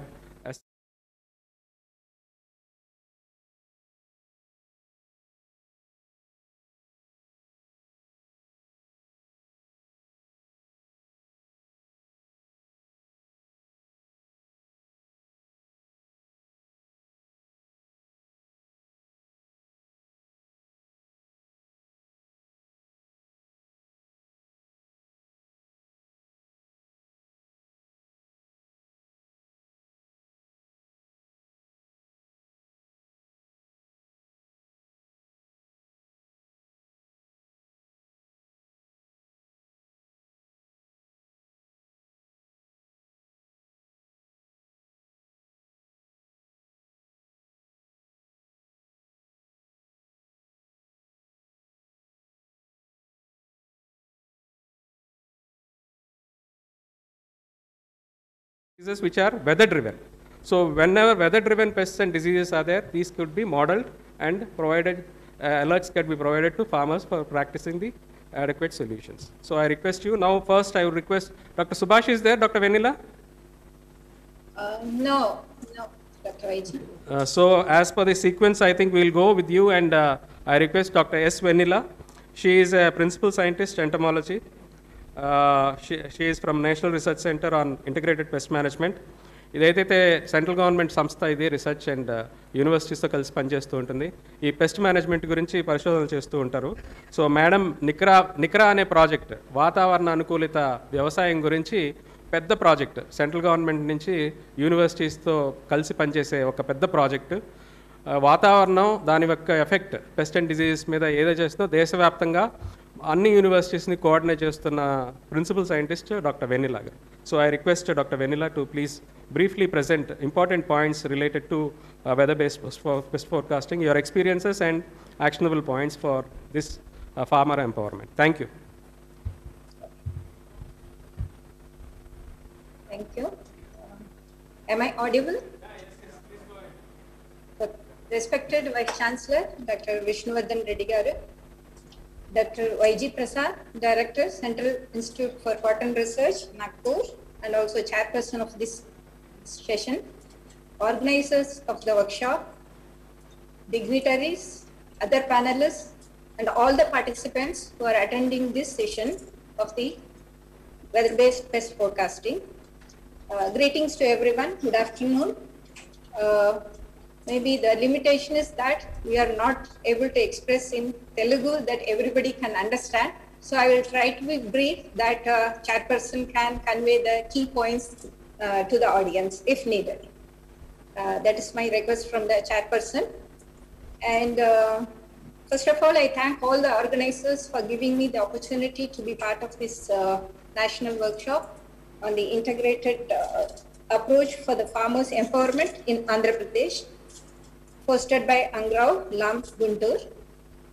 Um, all of us know crop protection is a part of crop production. That means crop production includes crop protection. Uh, we also know uh, the crops grow in the soil, organisms of the um, cropping systems or the forest ecosystems everywhere, both harmful or beneficial, and also the natural abiotic environment, the atmospheric variables, all of them are natural resources. And they exist, uh, try to be in an equilibrium, but as mankind, as human, uh, our efforts is to domesticate crops so as to meet the needs of the uh, growing population, so many of those things. Uh, animals also, and we exploit the natural resources and uh, we strive to increase or improve the quality, quantity, and we use the external inputs in terms of like uh, good varieties, cultivars, hybrids, or even in case of animals, the breed development. And we apply fertilizers and pesticides, especially to protect the crop from the insects, diseases, weeds, or whatsoever. Uh, and also many industrial activities are taking place and uh, this is all uh, interacting elements and uh, we are in a changing environment and this change is continuous and we are also seeing the changing climate which is the hot topic of the present days. And also we know the response of each element of the component of this natural resources what i mentioned uh, they continuously uh, interact and ultimately the manifestation of the crop um, mm, health or animal health or crop production or the productivity what we are calling which affects the food security safety economy environmental quality all these are interconnected so uh, so we are in under such situations we as researchers try to study the uh, effect of the environmental factors uh, on these components. Like here today in this session, we are going to talk about the uh, uh, the environmental uh, factor of the weather on the pest. Uh, whenever I say pest, kindly try to take it that it could be insect or disease or weed or other vertebrates, uh, nematodes and so on. So you can always uh, run your thought process whenever I mention the term pest. And also pest, when we say like they could be present and they could be present in such levels that they cause damage wherein we have to interfere and take action. So farmers uh, want the crop uh, to be healthy and they want to minimize the loss caused due to these insects or diseases or the nematodes so that they can achieve better yields with minimum cost and minimum uh, disturbance to the environment. And also it should fit in whatever we say like we are in an information age it should fit in the socio-economic milieu of the system. And as a crop protection specialist and the aim is to minimize the loss caused due to pests and uh, if I am to order the uh, sequence of the events uh, for better crop protection, comes the pest surveillance first. Even to uh, identify the presence of an insect, we have to go for survey or we have to continuously monitor so as to have a data whether to take uh, management measures or not. So pest surveillance comes first, then pest diagnosis comes, then I put this pest forecasting because we have surveyed, we have the data sets. So what uh, can come in the third rank for better crop protection is pest forecasting. And of course, we have uh, uh, always uh, developed so many tactics, methods that could reduce the population and uh, um, that we can uh, that that the methods could be accessible to the farmers and they can be cost effective and also environmental friendly. These are all the points we take to manage the pests when they occur on the crop and also we have uh, the concepts of economic threshold levels oh, that critical details but they are all essential information for better crop protection and not only that we have all these things. We have to disseminate this knowledge to different people and uh, they have to go as a part of the agro advisories and uh, ultimately they have to get implemented in the field level for the desired benefits. So coming to the topic of the forecast uh, dr YG prasad had uh, told you in a uh, in a brief way and an effective way that we would like to know uh, uh, or forecast these uh, pests what for why for so as to have take timely actions to manage them so anytime we predict into the future it is called forecast so it is like a future thing. And prediction is generally the word which is even above uh, the forecast and it is a generic word. And there are differences that I will not go to but you, we usually say forewarned is forearmed. If we are able to uh, know what is going to come we are empowered and we can tackle the situation very effectively. So uh, essentially forecasting means pertaining to some dates beyond uh, the data. So we have to use the data of the future especially of the weather to fit into the model which we have developed. That you can refer them as predictions and then try to give the forecast. That is one thing. And we know weather forecasting services are effectively used to plan farming operations in our country through the indian meteorological uh, division and uh, uh, and this topic is uh, so much important that as crop protection specialist uh, as Dr. Ch- uh, Chairperson was telling, we have plenty of the models using the data sets developed. We have, have in plenty, all in reports. Uh, but how to operationalize them? That we can be effectively integrating our crop protection activities also in a scientific manner into the agro advisories and in a digital era. Uh, it can all uh, happen mm, effectively. So that is the main uh, thing. But uh, so the status where we are uh, what is happening in the environment we say about the climate change. So we essentially focus means we it all depends on the data data data and also over time. So as as and when we have those data that too ideally from the field uh, population. And there are also when i come to models uh, some statements i will try to say that there are process based models wherein based on the laboratory studies using the behavior of the insects or the diseases, growth patterns, other things, we try to match with the environmental factors and try to uh, predict. That is growth pattern under the laboratory and what is expected using the uh, conditions of the outside and then we try to predict. That is one thing.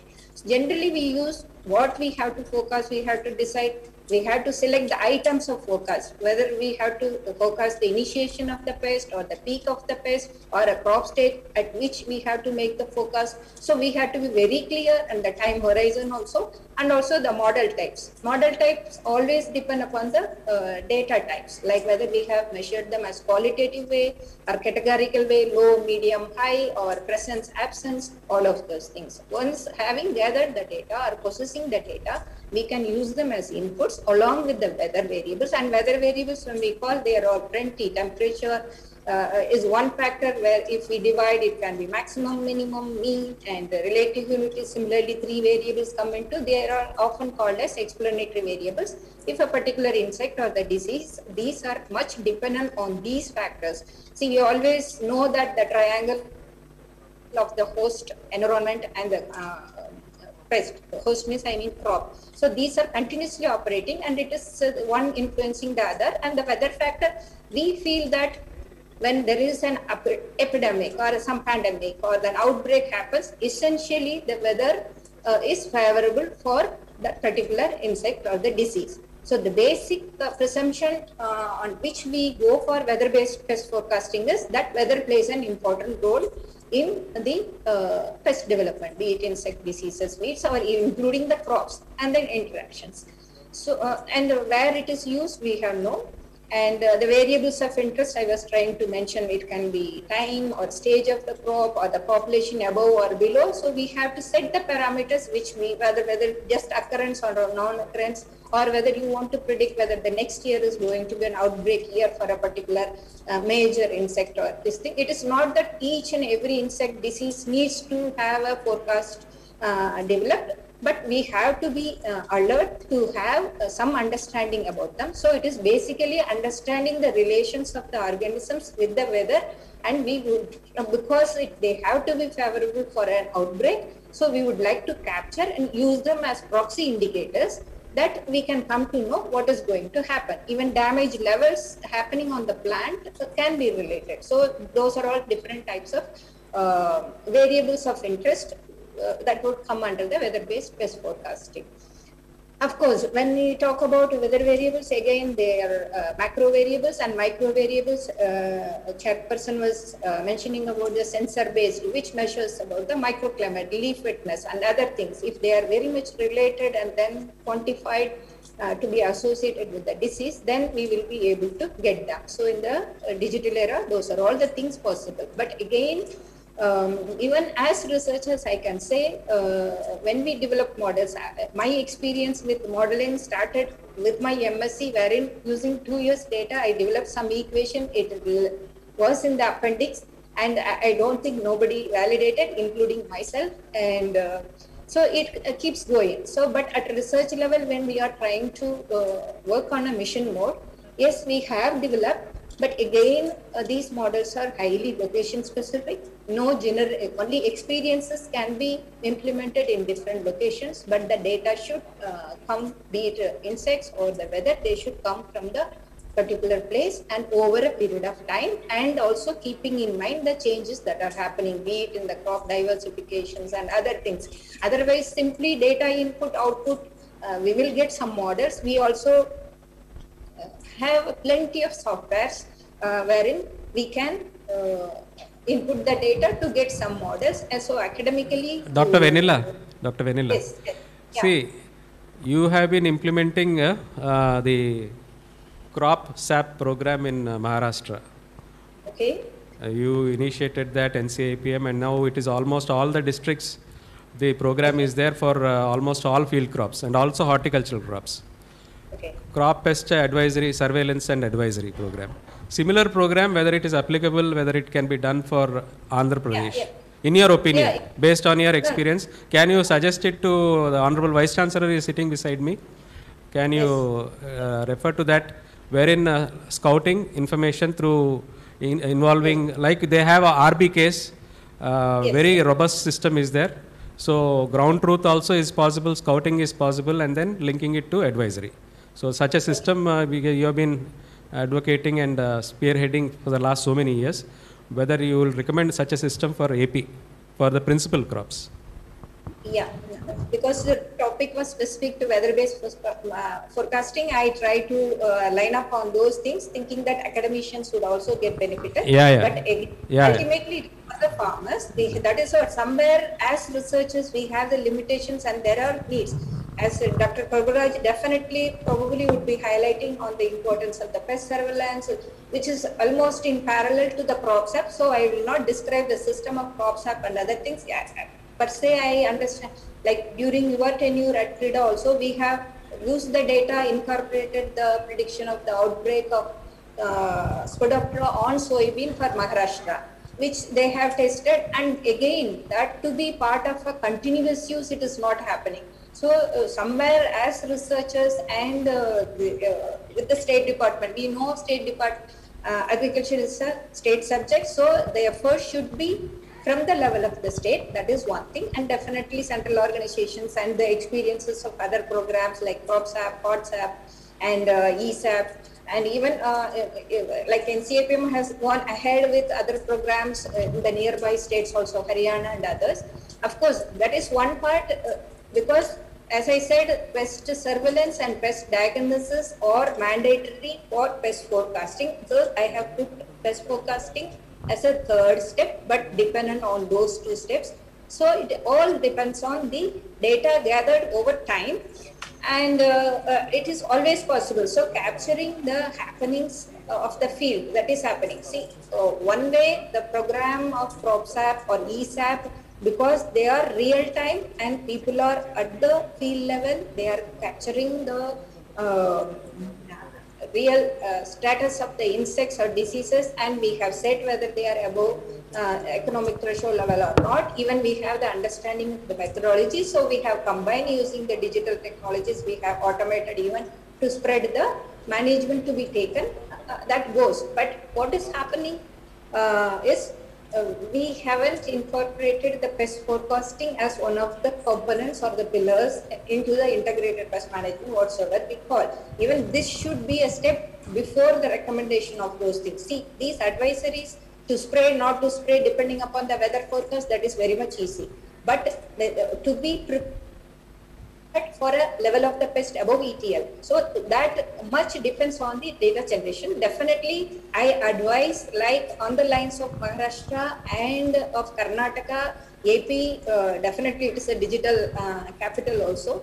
Uh, this program should go consider prioritizing the crops and then uh, how uh, to assemble the data sets and capture even the weather along with it. It should not be in piecemeal. Like we only for talking, we talk integrated, holistic, uh, and all those things. I know uh, insects influenced by fertilizers, even applied pesticides, how they influence research, all those things. They they have to be integrated, brought to a common platform, synthesizing it, so which uh, it is needed. So the I, I would say the non-uniformity of data collection, if you take at a national level, being a central organization, we see it. And uh, some, so we have to arrive at that. We know we have plenty of uh, analytics. So, but the data, uh, what we have and how we synthesize to to think, and uh, it should keep on improving with the recent methodologies of uh, neural networks, data mining, which we Uh, and also, uh, Dr. Vennila, you have developed so many mobile apps, uh, mobile app-based decision support systems. Uh, weather-based also, some some of them I think weather-based also for several crops. Whether these also can be, I mean, some sort of training for our extension scientists, some of the capacity building for our own research teams here, and also on its uh, use, testing, validation, involving farmers. Very progressive farmers are there in Andhra Pradesh. So that also could be an area for uh, you can think of uh, highlighting. If I am to uh, highlight in brief about the experiences with the climate change program where 26 different locations and Andhra Pradesh Kadiri for groundnut we have included wherein we have quantified, I do not know if I am uh, I may be having, like uh, interesting results had come that uh, uh, during the season, Kharif season of the Kharif, what is the magnitude of the change in, in temperature, rainfall and over years, six years data we have considered uh, because beyond that we did not continue with Kadiri. That is one thing. So continuity is needed. That is one thing. And these uh, uh, data were used, develop models, and they are input uh, into the mobile app that is called Test Predict Kharif, uh, and it is available for rice, groundnut, pigeon pea, and uh, tomato for different locations. Kadiri is one of the locations for groundnut, which found in the climate change program, and they're uh, online right now, live, and people can validate all the. K- we have sent, been sending uh, uh, information to the KVKs to validate them.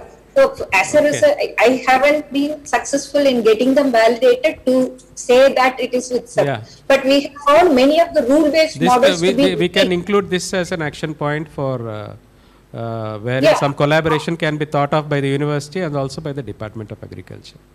At least for already available ones. So we are also in the third phase to assimilate all the developed models, including the CRIDA under NATP, NAIP. So we will just uh, develop such a system which will be easy for the researchers Yeah. and the implementers, and they can test and validate, and we can improve our agro advisories, Okay. incorporate health forecasting. I think, that- Thanks. and one more thing, Yeah. multidisciplinary approach this uh, no see as an expert of entomology i know I, my domain is strong but i'm not very good at ict i'm not very good at running these uh, data analytics all those things. I can interpret after the results come. So students and uh, the researchers should be uh, exposed to such of those latest developments and the methodologies. That is So ca- another action point that is coming from you is capacity development is very much required. So that also Yeah. we'll put and uh, some partnerships also are required, including private sector, which is very strong in IT, ICT, then app development and decision support systems and all. Some good public-private partnerships also required to convert this uh, complex knowledge into actionable operational use. Thank you very much, Yeah. Dr. Vennila. Thank you very much. Now I invite Dr. Sridhar to very briefly summarize uh, his line of work and its application for empowerment of farmers to provide uh, weather-based pest pest and uh, disease forecasting.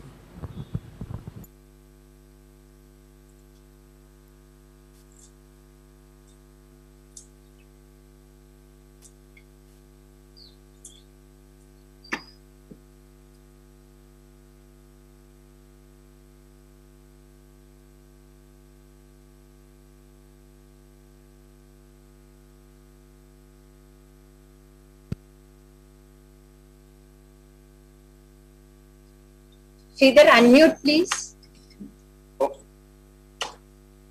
Okay, thank you. Re- Respected Dr. Vishnuvardhan Reddy Garu, Vice Chancellor, ANGRAU, uh, Dr. Vaidyu Prasad, uh, Chairman of this particular session, uh, that is weather-based forecasting. Uh, I will be sharing some thoughts on horticulture. Here, basically, if you see whatever we are doing this uh, weather-based forecasting, uh, generally, if efficient scheduling of pesticides so that we can avoid excess use of the pesticides and uh, emergence of the pest resistance also because we will be minimizing the use of pesticides. Uh, as Dr. Vennila uh, said, it, it is also essential, uh, it should be, weather uh, based pest forecasting should be a part of the uh, integrated pest management strategy. Here I have mentioned like rain fastness because nowadays suddenly unforeseen, rains are happening. Uh, in that conditions, suppose we may not have sufficient one day also uh, before proceeding for uh, uh, spray, there we have to choose the chemicals like which are having properties of rain fastness. If suppose uh, a rain is expected within 10 hours, we have to choose a chemical which will enter into the plant, uh, enter into the plant or kill the superficial uh, microbes causing diseases on the plant. That is the rain fastness, where we have to make use of that particular property of the chemicals, where short-term forecasting of uh, rains in the presence of some diseases happening, particularly in case of uh, vegetables like uh, tomato. Uh, if you see in the uh, recent past, last week, some parts of Andhra as well as Karnataka, because of the continuous rains, which are not expected diseases like late blight, they, they are becoming a major problem and they already the price of uh, uh, tomato reached 50. If these uh, uh, interventions are not followed immediately, uh, means timely, it will be uh, very problematic. Uh, coming to the different forecasting models, Madam has told, I won't touch here. Uh, coming to the uh, Dr. Importance Sridhar. Dr. Sridhar. Ah, sir. See, I'm I'm physically seeing the audience. There are not uh, actually most of them are uh, other discipline, many multidisciplinary, and some farmers are there. So, ba- based on the behind, what is uh, the science behind the forecasting that you may skip and try to come to some case studies. Sorry to say this, your uh, lecture slides and every very high quality, but some case studies if you can highlight and then uh, tell some action points for farmers. What are the, what is possibility if you can demonstrate? I request you because of that paucity of time only, no, nothing else. Thank you. if uh, the, here uh, from the gathering, uh, I'll give one or two examples from horticulture where this uh, weather-based forecasting uh, can be followed. Uh, one is potato late blight. Uh, this is the one. Uh, this particular one has come from the Central Potato Research Institute. From IIHR also, there is a model developed for the late blight of uh, uh, potato. Here in India, more than these insects, particularly in horticulture, for diseases, uh, few models are available. Uh, another uh, case is the, with the example of downy mildew and uh, powdery mildew in case of grapes. Here, some farmers uh, in uh, Maharashtra, they are following this one uh, by subscribing also. Some of the models are through subscription, they will get the apps and based on the recommendation, they are going for this price. That is one. Another is uh, tomato late. Uh, uh, this is from uh, temperature and RH base, particularly for Kharif season. It is uh, uh, from the IIHR. From I- IHR, we are attempting for the mango disease like anthracnose and hoppers in mango. This this is being running after a, a gap. Now again, this particular work is initiated.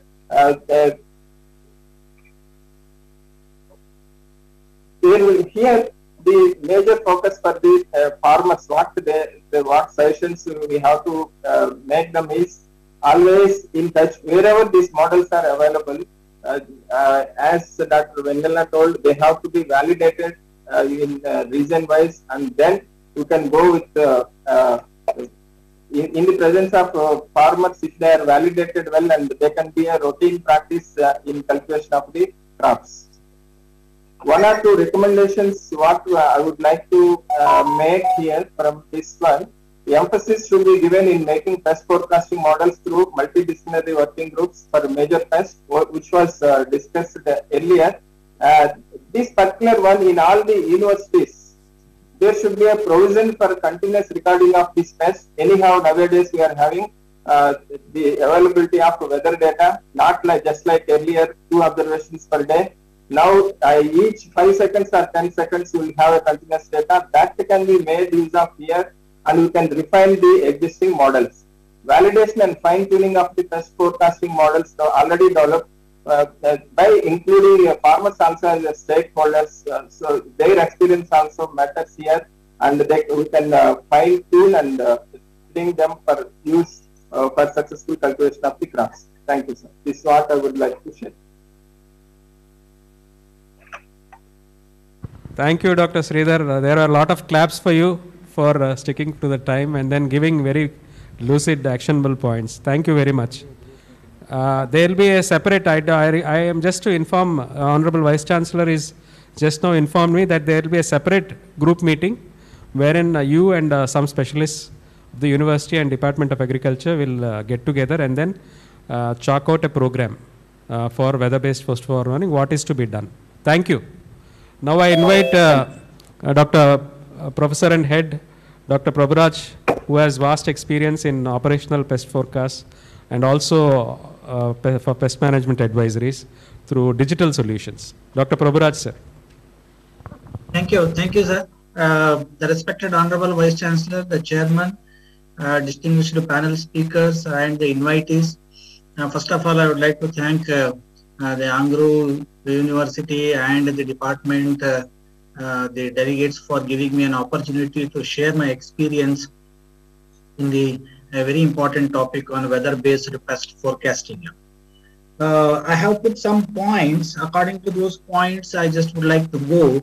As uh, Dr. Vennila Madam has already very briefly told about that, what actually has been done with respect to the forecasting in terms of developing models, either at the research level. Okay. So, but when it comes to be transformed into the field level, So definitely uh, it needs a validation and also its integration into a suitable platforms. In fact, so why I'm using a platform means uh, because for a large scale or expansion, so it only happens with the very suitable ICT platform. The first point is, first of all, we should have a very strong authenticated the ground data, what we call it as a big data, uh, in terms of the farm, the crop, the pest, its intensity, and all these things. Without an authentic data, so we cannot come out with any kind of a prediction or the forewarning system. This is most important. So that we also have an experience with the weather data. With so much of the weather data that we we have, still most of our weather predictions go unpredictable, in fact. So this is a very important point. So how to achieve that? So of course the research has been done in certain pockets, on certain pests, in certain localities, so which cannot be expanded or maybe ex- uh, scaled up. But we need to have a ground data at a larger scale, and that can happen only with uh, the uh, putting into a very suitable digital platform into it. So I have my own experience uh, wherein with the ESAP, that is an electronic solutions against agricultural pest. So with uh, uh, which being adopted throughout Karnataka, I can give one example where uh, I developed a pest prediction and risk assessment maps on the pests of uh, the cotton and as well as the red gram. So in our northern Karnataka, we're using uh, around eight hours through. So where uh, the ESAP rightly identifies and also we do the pest surveillance as a quantifies it.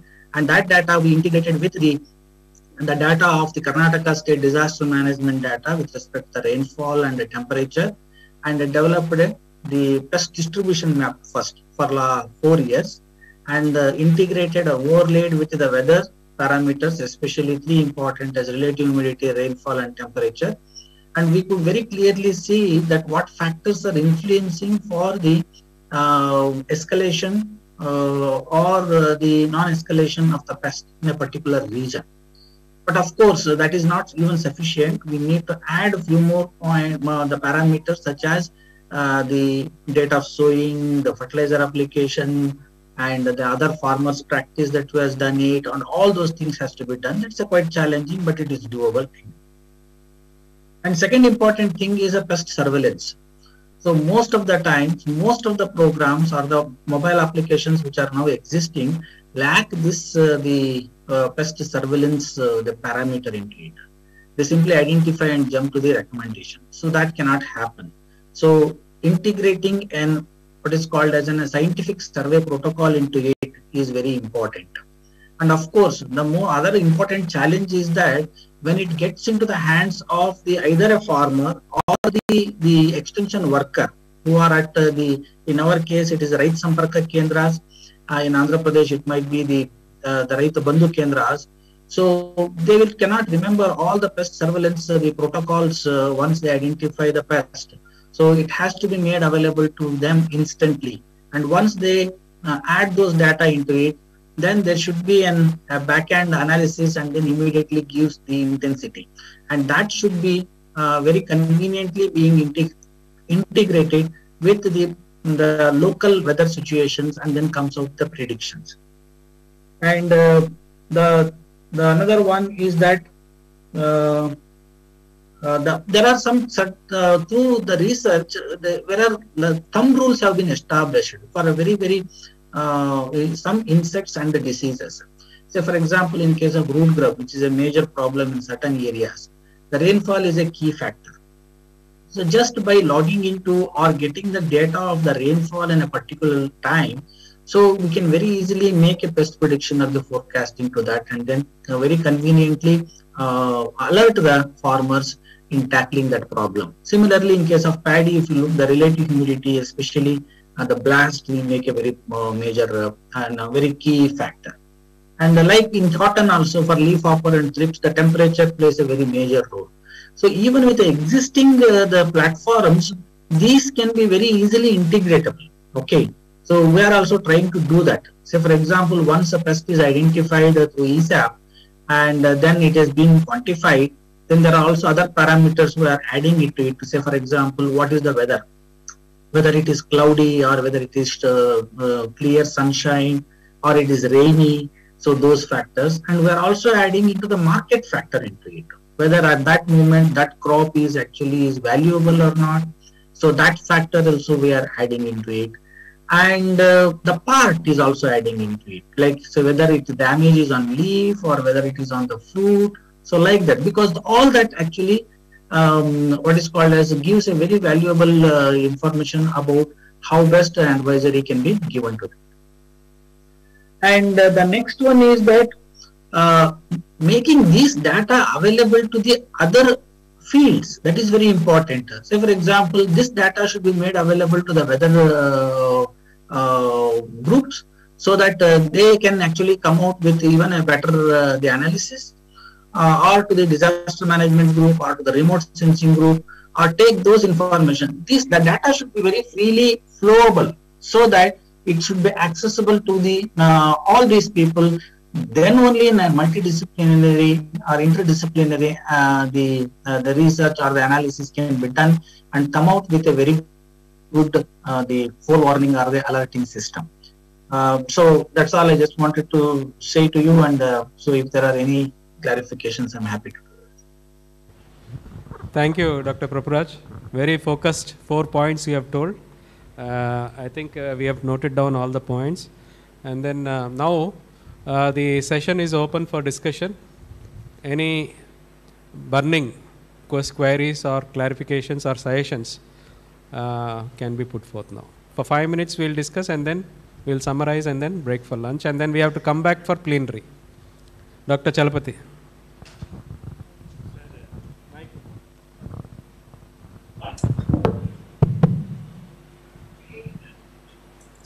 Very good afternoon, sir.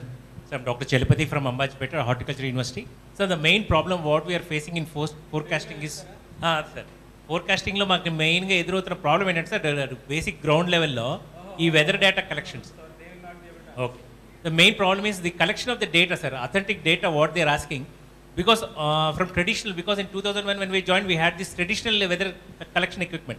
Now everything has become automatic. And servicing is this of automatic weather stations is biggest the biggest problem sir. Now we have every research station has one automatic weather station. And off and on there are some regular problems. After two years i think we have to change the sensors which are very costly. And even the annual maintenance cost of the weather stations is also escalating. 10% of the total cost what they have quoted. This is problem and the continuity of weather data availability, realistic weather data. Sometimes we may substitute it with the app data and the location specific rainfall what it may not get reflected in that. So I only request that the uh, weather stations what we install in our universities, they should be have an annual maintenance contract by the university rather than individual stations so that the person who is commissioning that uh, weather stations will definitely take care of the issue instead of individual head of the station pursuing this matter which will be taking a lot of much more time and uh, administrative difficulties. And second thing is identification of uh, uh, emer- emergence of sporadic pest into major pest. That one thing what we observed after my career in Ambajipet, sir, slug earlier we used to call it as sporadic pest off and on. But from 2010 when I am collecting data, I could see that there is regular incidence of this pest. Regularly, especially in specific hotspots. What are those hotspots? Out of my uh, regular surveys, I could make it out that conversion of agriculture into aquaculture. So certain climatic conditions which uh, certain agricultural practices what we are practicing is making the pest more susceptible. Especially black red caterpillar we used to have only in uh, December, February to March, but now we have continuously throughout the season. So the impact of other factors, especially the interventions what we take in agriculture also should be taken into account while we take up this data. Otherwise, over over a period of time, the generation of this sort of data will be helping us to uh, predict future pest outbreaks, especially if area is changing into other sort of agriculture systems. Thank you, sir. Thank you. I think just you made some valid points like uh, service contract. This experience we had in NICRA because NICRA. I don't remember six seven years back. So if you have a service contract at the time of procurement itself for three year five year maintenance, then it will sm- run smoothly. Data defects will not be there. Gaps will not be there. Very good suggestion. It can be thought of. Second, of course, this uh, whatever the knowledge and uh, inferences are there by the scientist.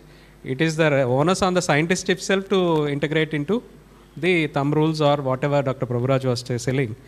We have to generate those thumb rules and operationalize and see that these are operationalized. Any other query? Ah, please. Sir, since 1820, we are giving agro advisories to the uh, farmers, sir. Uh, so in that also, uh, most of the farmers are uh, preferring for our pest and disease forecast and uh, uh, control measures only, sir. Mostly instead of forecast also. But whatever the regression equations are generated, say for example, you have developed for groundnut under NATP project, sir. For three years, I have validated those those regression equations from Murli, sir, and uh, they are not uh, suiting well for all the seasons, sir. And because uh, I think uh, even in, in at present uh, in climate variable situations also there is an extreme situations are prevailing in between the cropping season and within the week in weeks periods also sir. Standard weeks also. So that has to be taken care and uh, this amount of extreme rainfall events are also creating a lot of problems like uh, uh, two three generations of a sucking pest like that sir. So these models only if we generate a thumb rule then only it is uh, becoming very easy to fit into the agro advisory services sir. Uh, and we, we have tried to develop uh, equations for uh, bla- uh, blackgram for YMV and uh, uh, the present um, me warming al- also sir. Uh, but uh, really these uh, regression models are uh, not that much uh, fitting well for uh, because we are developing for local uh, uh, climatic data only sir. Even for a block also they are not fitting well sir. So only thumb rules we have to generate and we have to uh, give it to the farmers sir Yeah. Thank this uh, thumb rules, Dr. Vennila, you have any input on that? Uh, yeah, it is easy to develop. uh, sorry, uh, if we have uh, enough data sets of both, and now I think with this uh, later machine learning techniques, uh, data classification methods also, we can run, identify the key parameters, and try to even the complex models. Uh, can be brought into simple thumb rules. There is a possibility. That is what we are striving to achieve in the coming days instead of uh, support vector regression, ARIMA, ARIMAX, all those things. uh, and when we apply to the field conditions, they work for one year and they may not fit for the second year. And also, from the other point, I'm telling, like be it uh, research, uh, come extension also, wherever data sets are taken, let it be holistic, including like uh, right from the date of sowing and uh, this uh, uh, production and protection practices, fertilizer applied, all such details are needed so that the even these thumb rule operation over a long period of time can operate despite this climatic variability. That is one of my understandings developed through different crops across locations. Yeah, so thank you. Possible, but we need those uh, parameters. Actually, regression empirical models are location specific. And you use a training set and a prediction set. Matlab, but these regression equations which was developed using say suppose 2000 to 2010 data and you are using in 2020 the 10 year gap you have to continue add and then again develop a regression equation. Otherwise what is the variability that is happening that will not be accounted for. So updating is required and uh, continuous generation is required. Moreover uh, there is another type of uh, validations which dr sridhar and uh, other Dr. Vennila is also doing simulation modeling is also there. Process based modeling, life cycle based modeling, wherein you are very sure that uh, those parameters which are related to the development of a pest or disease, those are universal, applicable entire state or entire country and anywhere. So slowly we should move towards that. But as Dr. Prabhuraj has said and Dr. Vennila has said, thumb rules, when you keep updating them, then definitely they are the simplest options. Other things are very complicated, requires expert knowledge in modeling and all those things. So it is not easily available. Uh, not many experts are available. So we should via media choose between regression wherever it is applicable, updating, thumb rules wherever it's applicable for operational use, and complex modeling where it is uh, regional or national level. Situations are there that Dr. Sridhar, Dr. Vennila, and others we can make use of, especially for invasive pests what is the distribution map, where are the potential areas, and all those could also be potential areas for interest. Thank you. Any other?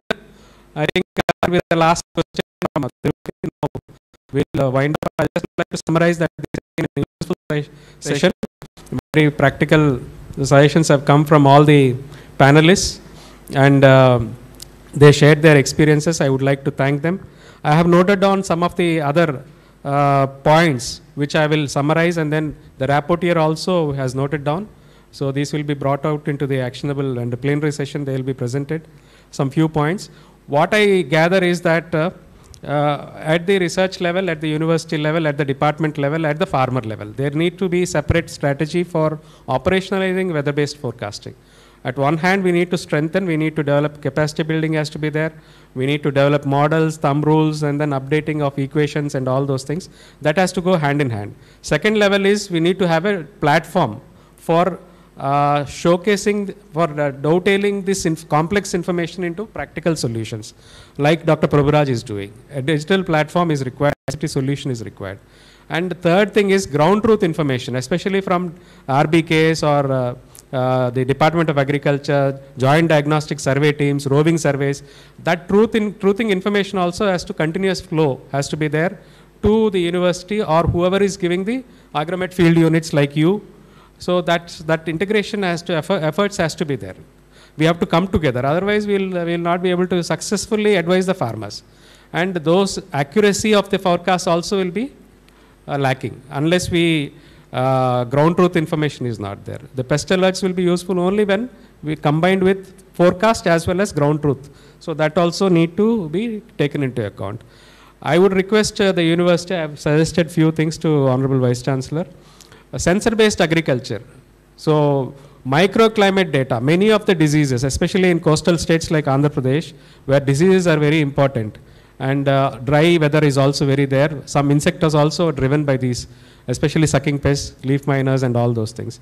In that particular situations, we need to have uh, sensor-based applications, which we have done in uh, several projects with, and we need to get into partnerships with, for example, Center for Development of Advanced Computing (CDAC), where they manufacture and uh, supply us the weather sensors, wherein you can monitor leaf wetness. It is not measured anywhere. So that data is not available. Big data we talk about, that data is not available.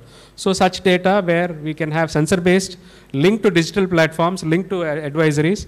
I think this is the way forward and uh, where big data and uh, artificial intelligence also could be roped in to have not only the weather data, but data of sowings, fertilizer applications, and other ancillary factors also. So all these have to be integrated into a correct solution so that farmer receives the advice in such a form that it is operational use is there and then validation is there and then utility eco economics is also fits well. Thank you uh, all the panelists and also the, uh, the carefully, patiently you have listened to all of us and then given, participated in the discussion. Thank you once again. There will be another small group meeting with all the panelists and other experts uh, as promised by the Honorable Vice Chancellor and we look forward to that. Thank you very much. Thank you, thank you, Dr. Vennila, Dr. Prabhuraj and uh, Sridhar. Thank you very much and we will see you shortly in our group meeting which we are going to organize. Thank you very much. On behalf of the organizers, I take this opportunity to, to thank all the lead speakers for their valuable time in spite of their busy schedule. Thank you. Now, uh, on, on behalf of the organizing uh, committee, I request Honorable Vice Chancellor to present memo to Dr. Y.G. Prasad sir. Dr. Y.G. Prasad sir is uh, Director Central Institute of Cotton Research, a renowned entomologist, not only a, a scientist, a reputed research scientist, he has given a good drive to the KVKs also during his term as ATARI. Thank you, sir, for your valuable time for giving us. Thank you.